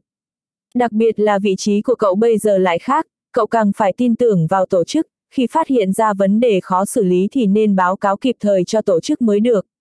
Lâm Trạch Viễn nói xong thì dùng ngón tay chỉ vào Vương Tử Quân, chỉ lần này thôi, nếu có lần sau thì tôi tuyệt đối không tha cho cậu. Vương Tử Quân cảm thấy vã mồ hôi, tuy hắn biết Lâm Trạch Viễn nói như vậy cũng không trách phạt mình, thế nhưng lời nói của Bí Thư Lâm không khỏi làm hắn sinh ra cảm giác khiếp vía. Vương Tử Quân suy nghĩ đến sự kiện lần này, quả thật hắn quá tin tưởng vào mình đã làm xong tất cả những công tác chuẩn bị cho đối phương rơi vào bẫy. Nhưng nếu như thượng cấp không kịp thời phái người xuống, chỉ sợ bây giờ mình đã bị loại ra trong tuyển cử ở Hội đồng Nhân dân tỉnh. Bí thư Lâm, tôi hiểu rõ ý của ngài, sau này nhất định sẽ theo sát lời dạy bảo của ngài. Vương Tử Quân nói cực kỳ chăm chú, rất thành khẩn. Lâm Trạch Viễn căn bản rất vui vì những lời này của Vương Tử Quân, lão đứng lên vỗ vai Vương Tử Quân rồi nói, cậu nói thì phải khắc ghi vào trong lòng, tôi nói cho cậu biết, vì sự nghiệp của mình mà cậu nên cố gắng nhiều hơn. Sau khi nói xong chuyện công thì Lâm Trạch Viễn nhìn qua có vẻ tùy ý hơn, lão ném cho Vương Tử Quân một điếu thuốc rồi nói, thuốc sau này nên hút hít lại một chút, bây giờ tôi đang khống chế số thuốc trong ngày của mình, tất nhiên khi vui vẻ hút một điếu là không tệ. Vương Tử Quân cười cười, hắn cũng không cho ra phản ứng của mình ở phương diện này. Lâm Trạch Viễn cũng hiểu nguyên nhân vì sao Vương Tử Quân không lên tiếng tiếp lời, lão cười nói, có tiểu tử kia bên cạnh thật sự rất tốt, con cháu chạy loạn khắp nhà, về đến nhà thấy cháu có thể hóa giải áp lực của mình. Đúng là rất tốt, hai ngày trước Vương Tử Quân đã gặp qua con gái của mình, hắn cũng có vài phần đắc ý. Nhưng hắn không dám biểu hiện vẻ đắc ý trước mặt Lâm Trạch Viễn, dù sao đó cũng là một sai lầm lớn của hắn. chương 1640, 2, hại người hại mình. Khi vương tử quân cảm thấy áp lực còn lớn hơn vừa rồi mình bị phê bình, đúng lúc có một người đàn ông trung niên đi đến bên cạnh Lâm Trạch Viễn khẽ báo cáo một việc. Lâm Trạch Viễn nhìn vương tử quân, dùng giọng có chút khó bỏ đi được nói, hôm nay hai người chúng ta nói đến đây thôi, thế này đi, tối nay cậu có thể đến nhà tôi dùng cơm. Vương Tử Quân là người nhìn Lâm Trạch Viễn đi lên từ địa phương, hắn thầm nghĩ xem như mình đã vượt qua cửa ải lần này. Hắn nhìn bầu trời xanh, thầm nghĩ mình nên thừa cơ hội thời tiết tốt đẹp mà đưa vợ con ra ngoài đi dạo một chút. Vương Tử Quân đi thì chợt thấy một người đang cúi đầu đi tới. Hắn thấy hình bóng của đối phương có chút quen thuộc, khi đang định chú tâm nhìn lại, lúc này người kia chợt ngẩng đầu nhìn lên giống như có cảm ứng gì đó. Chào bí thư Nguyễn, Vương Tử Quân thấy đó là Nguyễn Trấn Nhạc thì tươi cười nghênh đón. Hắn biết rõ lần này Nguyễn Trấn Nhạc có tác dụng thế nào trong sự kiện của mình, nhưng hắn biết rõ thì cũng không định biểu hiện điều này lên gương mặt mình. Nguyễn Trấn Nhạc nhìn thấy Vương Tử Quân thì có chút khổ sở. Lúc này hắn đang suy nghĩ lo lắng về một việc khác, hắn thấy Vương Tử Quân xòe tay ra đưa đến, cũng không thể không nhanh chóng tiến lên nghênh đón. Hai bên bắt tay nhau, Nguyễn Trấn Nhạc cười nói, Chủ tịch Vương đến báo cáo công tác sao? À, vừa rồi Bí Thư Lâm đã mắng tôi một chặp, căn bản không nhìn rõ Đông Tây Nam Bắc.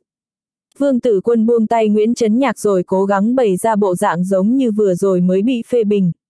Nhưng Nguyễn Trấn Nhạc nhìn gương mặt của Vương Tử Quân mà càng cảm thấy không thoải mái, hắn thậm chí thấy Vương Tử Quân lúc này có chút khoe khoang. Nhưng Nguyễn Trấn Nhạc có khó chịu thế nào thì vẫn phải cười nói, Bí Thư Lâm phê bình chính là bảo vệ anh, đối với nhiều người thì căn bản không thể tìm ra cơ hội để được Bí Thư Lâm phê bình. Hai người nói cười vài câu, sau đó Nguyễn Trấn Nhạc nhìn đồng hồ rồi nói, Chủ tịch Vương, ngài cứ bận rộn, thủ trưởng có việc tìm tôi, sau này chúng ta liên lạc lại sau. Vương Tử Quân có chút sững sốt, vừa rồi hắn chờ gặp mặt Lâm Trạch Viễn thì từ miệng một vị nhân viên công tác mà biết vị thủ trưởng kia vừa mới đi nghiên cứu công tác ở thành phố Ma Đô, mới một giờ qua đi, bây giờ sao có thể gặp mặt Nguyễn Trấn Nhạc cho được. Nhưng Nguyễn Trấn Nhạc nói như vậy thì Vương Tử Quân cũng không thể vạch trần, hắn cười cười nói, nếu như lãnh đạo có việc cần tìm thì bí thư Nguyễn nên nhanh chân hơn, có việc gì sau này chúng ta liên lạc với nhau sau. Nguyễn Trấn Nhạc nhìn hình bóng bỏ đi cao ngất của Vương Tử Quân, hắn thở dài một hơi, sau đó thầm mắng, hèn gì hôm nay mình gặp toàn chuyện không may, thì ra là đụng mặt người này. Nguyễn Trấn Nhạc cũng không dám nói quá lớn, vì vậy người đàn ông trung niên đi qua trước mặt cũng không hiểu hắn nói gì. Người này đi đến bên cạnh Nguyễn Trấn Nhạc thì khẽ chào hỏi, chủ nhiệm Nguyễn, anh đang bận rộn gì vậy? À, chào chủ nhiệm Tiết, hiện tại tôi có chút việc. Nguyễn Trấn Nhạc thấy người đàn ông trung niên kia đi đến thì dùng giọng không nhanh không chậm nói. Vừa rồi tôi nghe nói thủ trưởng đã ra bên ngoài kiểm tra công tác, sao anh còn ở lại chỗ này? Trong mắt của chủ nhiệm Tiết có vài phần hoài nghi, giọng điệu có chút giật mình. Nguyễn Trấn Nhạc nhìn gương mặt của chủ nhiệm tiết mà không khỏi cảm thấy không thoải mái. Hắn cố gắng làm cho nụ cười của mình ung dung hơn, à, là thế này, lãnh đạo sắp xếp cho tôi làm vài chuyện, cho nên không đi được. Sau khi chủ nhiệm tiết rời đi thì gương mặt Nguyễn Trấn Nhạc càng thêm âm trầm, lần này thủ trưởng thật sự đi ra kiểm tra công tác, thế nhưng cũng không nói hắn ở nhà làm chuyện gì. Nguyễn Trấn Nhạc nghĩ đến gương mặt đắc ý của người trước đó luôn phải làm trợ thủ cho mình, hắn cảm thấy lòng đau như dao cắt. Tuy thủ trưởng không nói lời nào, thế nhưng đó không phải là điểm tốt. Sở dĩ xuất hiện tình huống này thì Nguyễn Trấn Nhạc cho rằng 89 phần 10 là sự kiện ở Mật Đông. Hắn đã thông qua con đường của mình mà biết được kết quả ở tỉnh Mật Đông, hắn không ngờ một cục diện tốt đẹp lại biến thành như vậy. Mặc dù hắn và những người kia không có kết giao quá sâu, thế nhưng hắn lại cảm thấy mình giống như nhãi nhép đi qua đi lại ở sự kiện này. Khi thủ trưởng lên máy bay thì người phụ trách công tác có gọi điện thoại báo cho Nguyễn Trấn Nhạc một tiếng, yêu cầu hắn đi đến chỗ trưởng ban Dương. Hắn vốn có ý nghĩ đến báo cáo với Dương Độ Lực, bây giờ được lãnh đạo sắp xếp, càng nhanh chóng đi gặp đồng lục. Khi Nguyễn Trấn Nhạc đang suy tư xem lãnh đạo yêu cầu mình gặp Dương Độ Lục làm gì, mình nên nói những gì thì lại gặp Vương Tử Quân, điều này làm cho hắn cảm thấy buồn bực. Dù gì thì gặp phải Vương Tử Quân cũng không phải tốt lành gì cả. Nguyễn Trấn Nhạc đi đến phòng làm việc của Dương Độ Lục, lúc này Dương Độ Lục đang xem xét văn kiện trong phòng. Sau khi Nguyễn Trấn Nhạc đi vào thì Dương Độ Lục mới đặt văn kiện xuống. Nhưng lúc này gương mặt Dương Độ Lục không hiền hòa như dĩ vãng, căn bản là rất nghiêm túc. Trấn Nhạc, gần đây cậu công tác thế nào? Tuy giọng nói của Dương Độ Lục rất hiền hòa, thế nhưng lại làm cho một Nguyễn Trấn Nhạc hiểu rõ tính tình của trưởng ban Dương cảm thấy lãnh đạo đang mất hứng, thậm chí có thể nói là đang nổi giận. Nhưng mình làm gì mà Dương Độ Lục nổi giận? Thậm chí ai làm cho Dương Độ Lục nổi giận? Ý nghĩ này lóe lên trong đầu của Nguyễn Trấn Nhạc, điều này làm cho tâm tình không yên của hắn càng thêm bất ổn. Tôi công tác rất phong phú, đi theo thủ trưởng học tập được nhiều thứ. Nguyễn Trấn Nhạc khẽ ho khan một tiếng rồi dùng giọng có vài phần ứng phó việc công nói. Dương Độ Lục ừ một tiếng, cũng không nói gì thêm. Sau khi uống một hớp nước thì mới nói, thủ trưởng rất tán thưởng công tác của cậu, nói cậu công tác ở cơ quan trung ương nhiều năm, đã có nhiều kinh nghiệm công tác cơ quan, nếu như tiếp tục ở lại cơ quan thì căn bản là gây bất lợi cho sự phát triển của cậu. Nguyễn Trấn Nhạc không lên tiếng nhưng gương mặt chợt biến đổi, dù sao thì kết quả này chính là xấu nhất với hắn, mà kết quả xấu nhất này lại xuất hiện. Trưởng Ban Dương, tôi cảm thấy mình còn khiếm khuyết ở phương diện năng lực, cần phải tăng cường học tập thêm, tôi. Nguyễn Trấn Nhạc còn chưa giải thích xong thì Dương Độ Lục đã khoát tay cản lại, Dương Độ Lục nói, đến địa phương nào cũng là học tập, hơn nữa học tập ở thực tiễn là nhanh nhất. Tôi biết rõ năng lực của cậu, nhưng tôi còn phải nhắc nhở cậu, đó là làm việc nên nhận thức rõ bản chất, không phải dựa theo yêu thích của mình. Không nắm rõ bản chất mà lại mù quáng thực hiện công tác, cuối cùng chỉ là hại người hại mình. Nguyễn Trấn Nhạc không biết mình rời khỏi phòng làm việc của Dương Độ Lục như thế nào, thế nhưng trong đầu hắn chỉ lóe lên một câu nói sau cùng của Dương Độ Lục, đó là hại người hại mình. Audio điện tử võ tấn bền Hết tập 141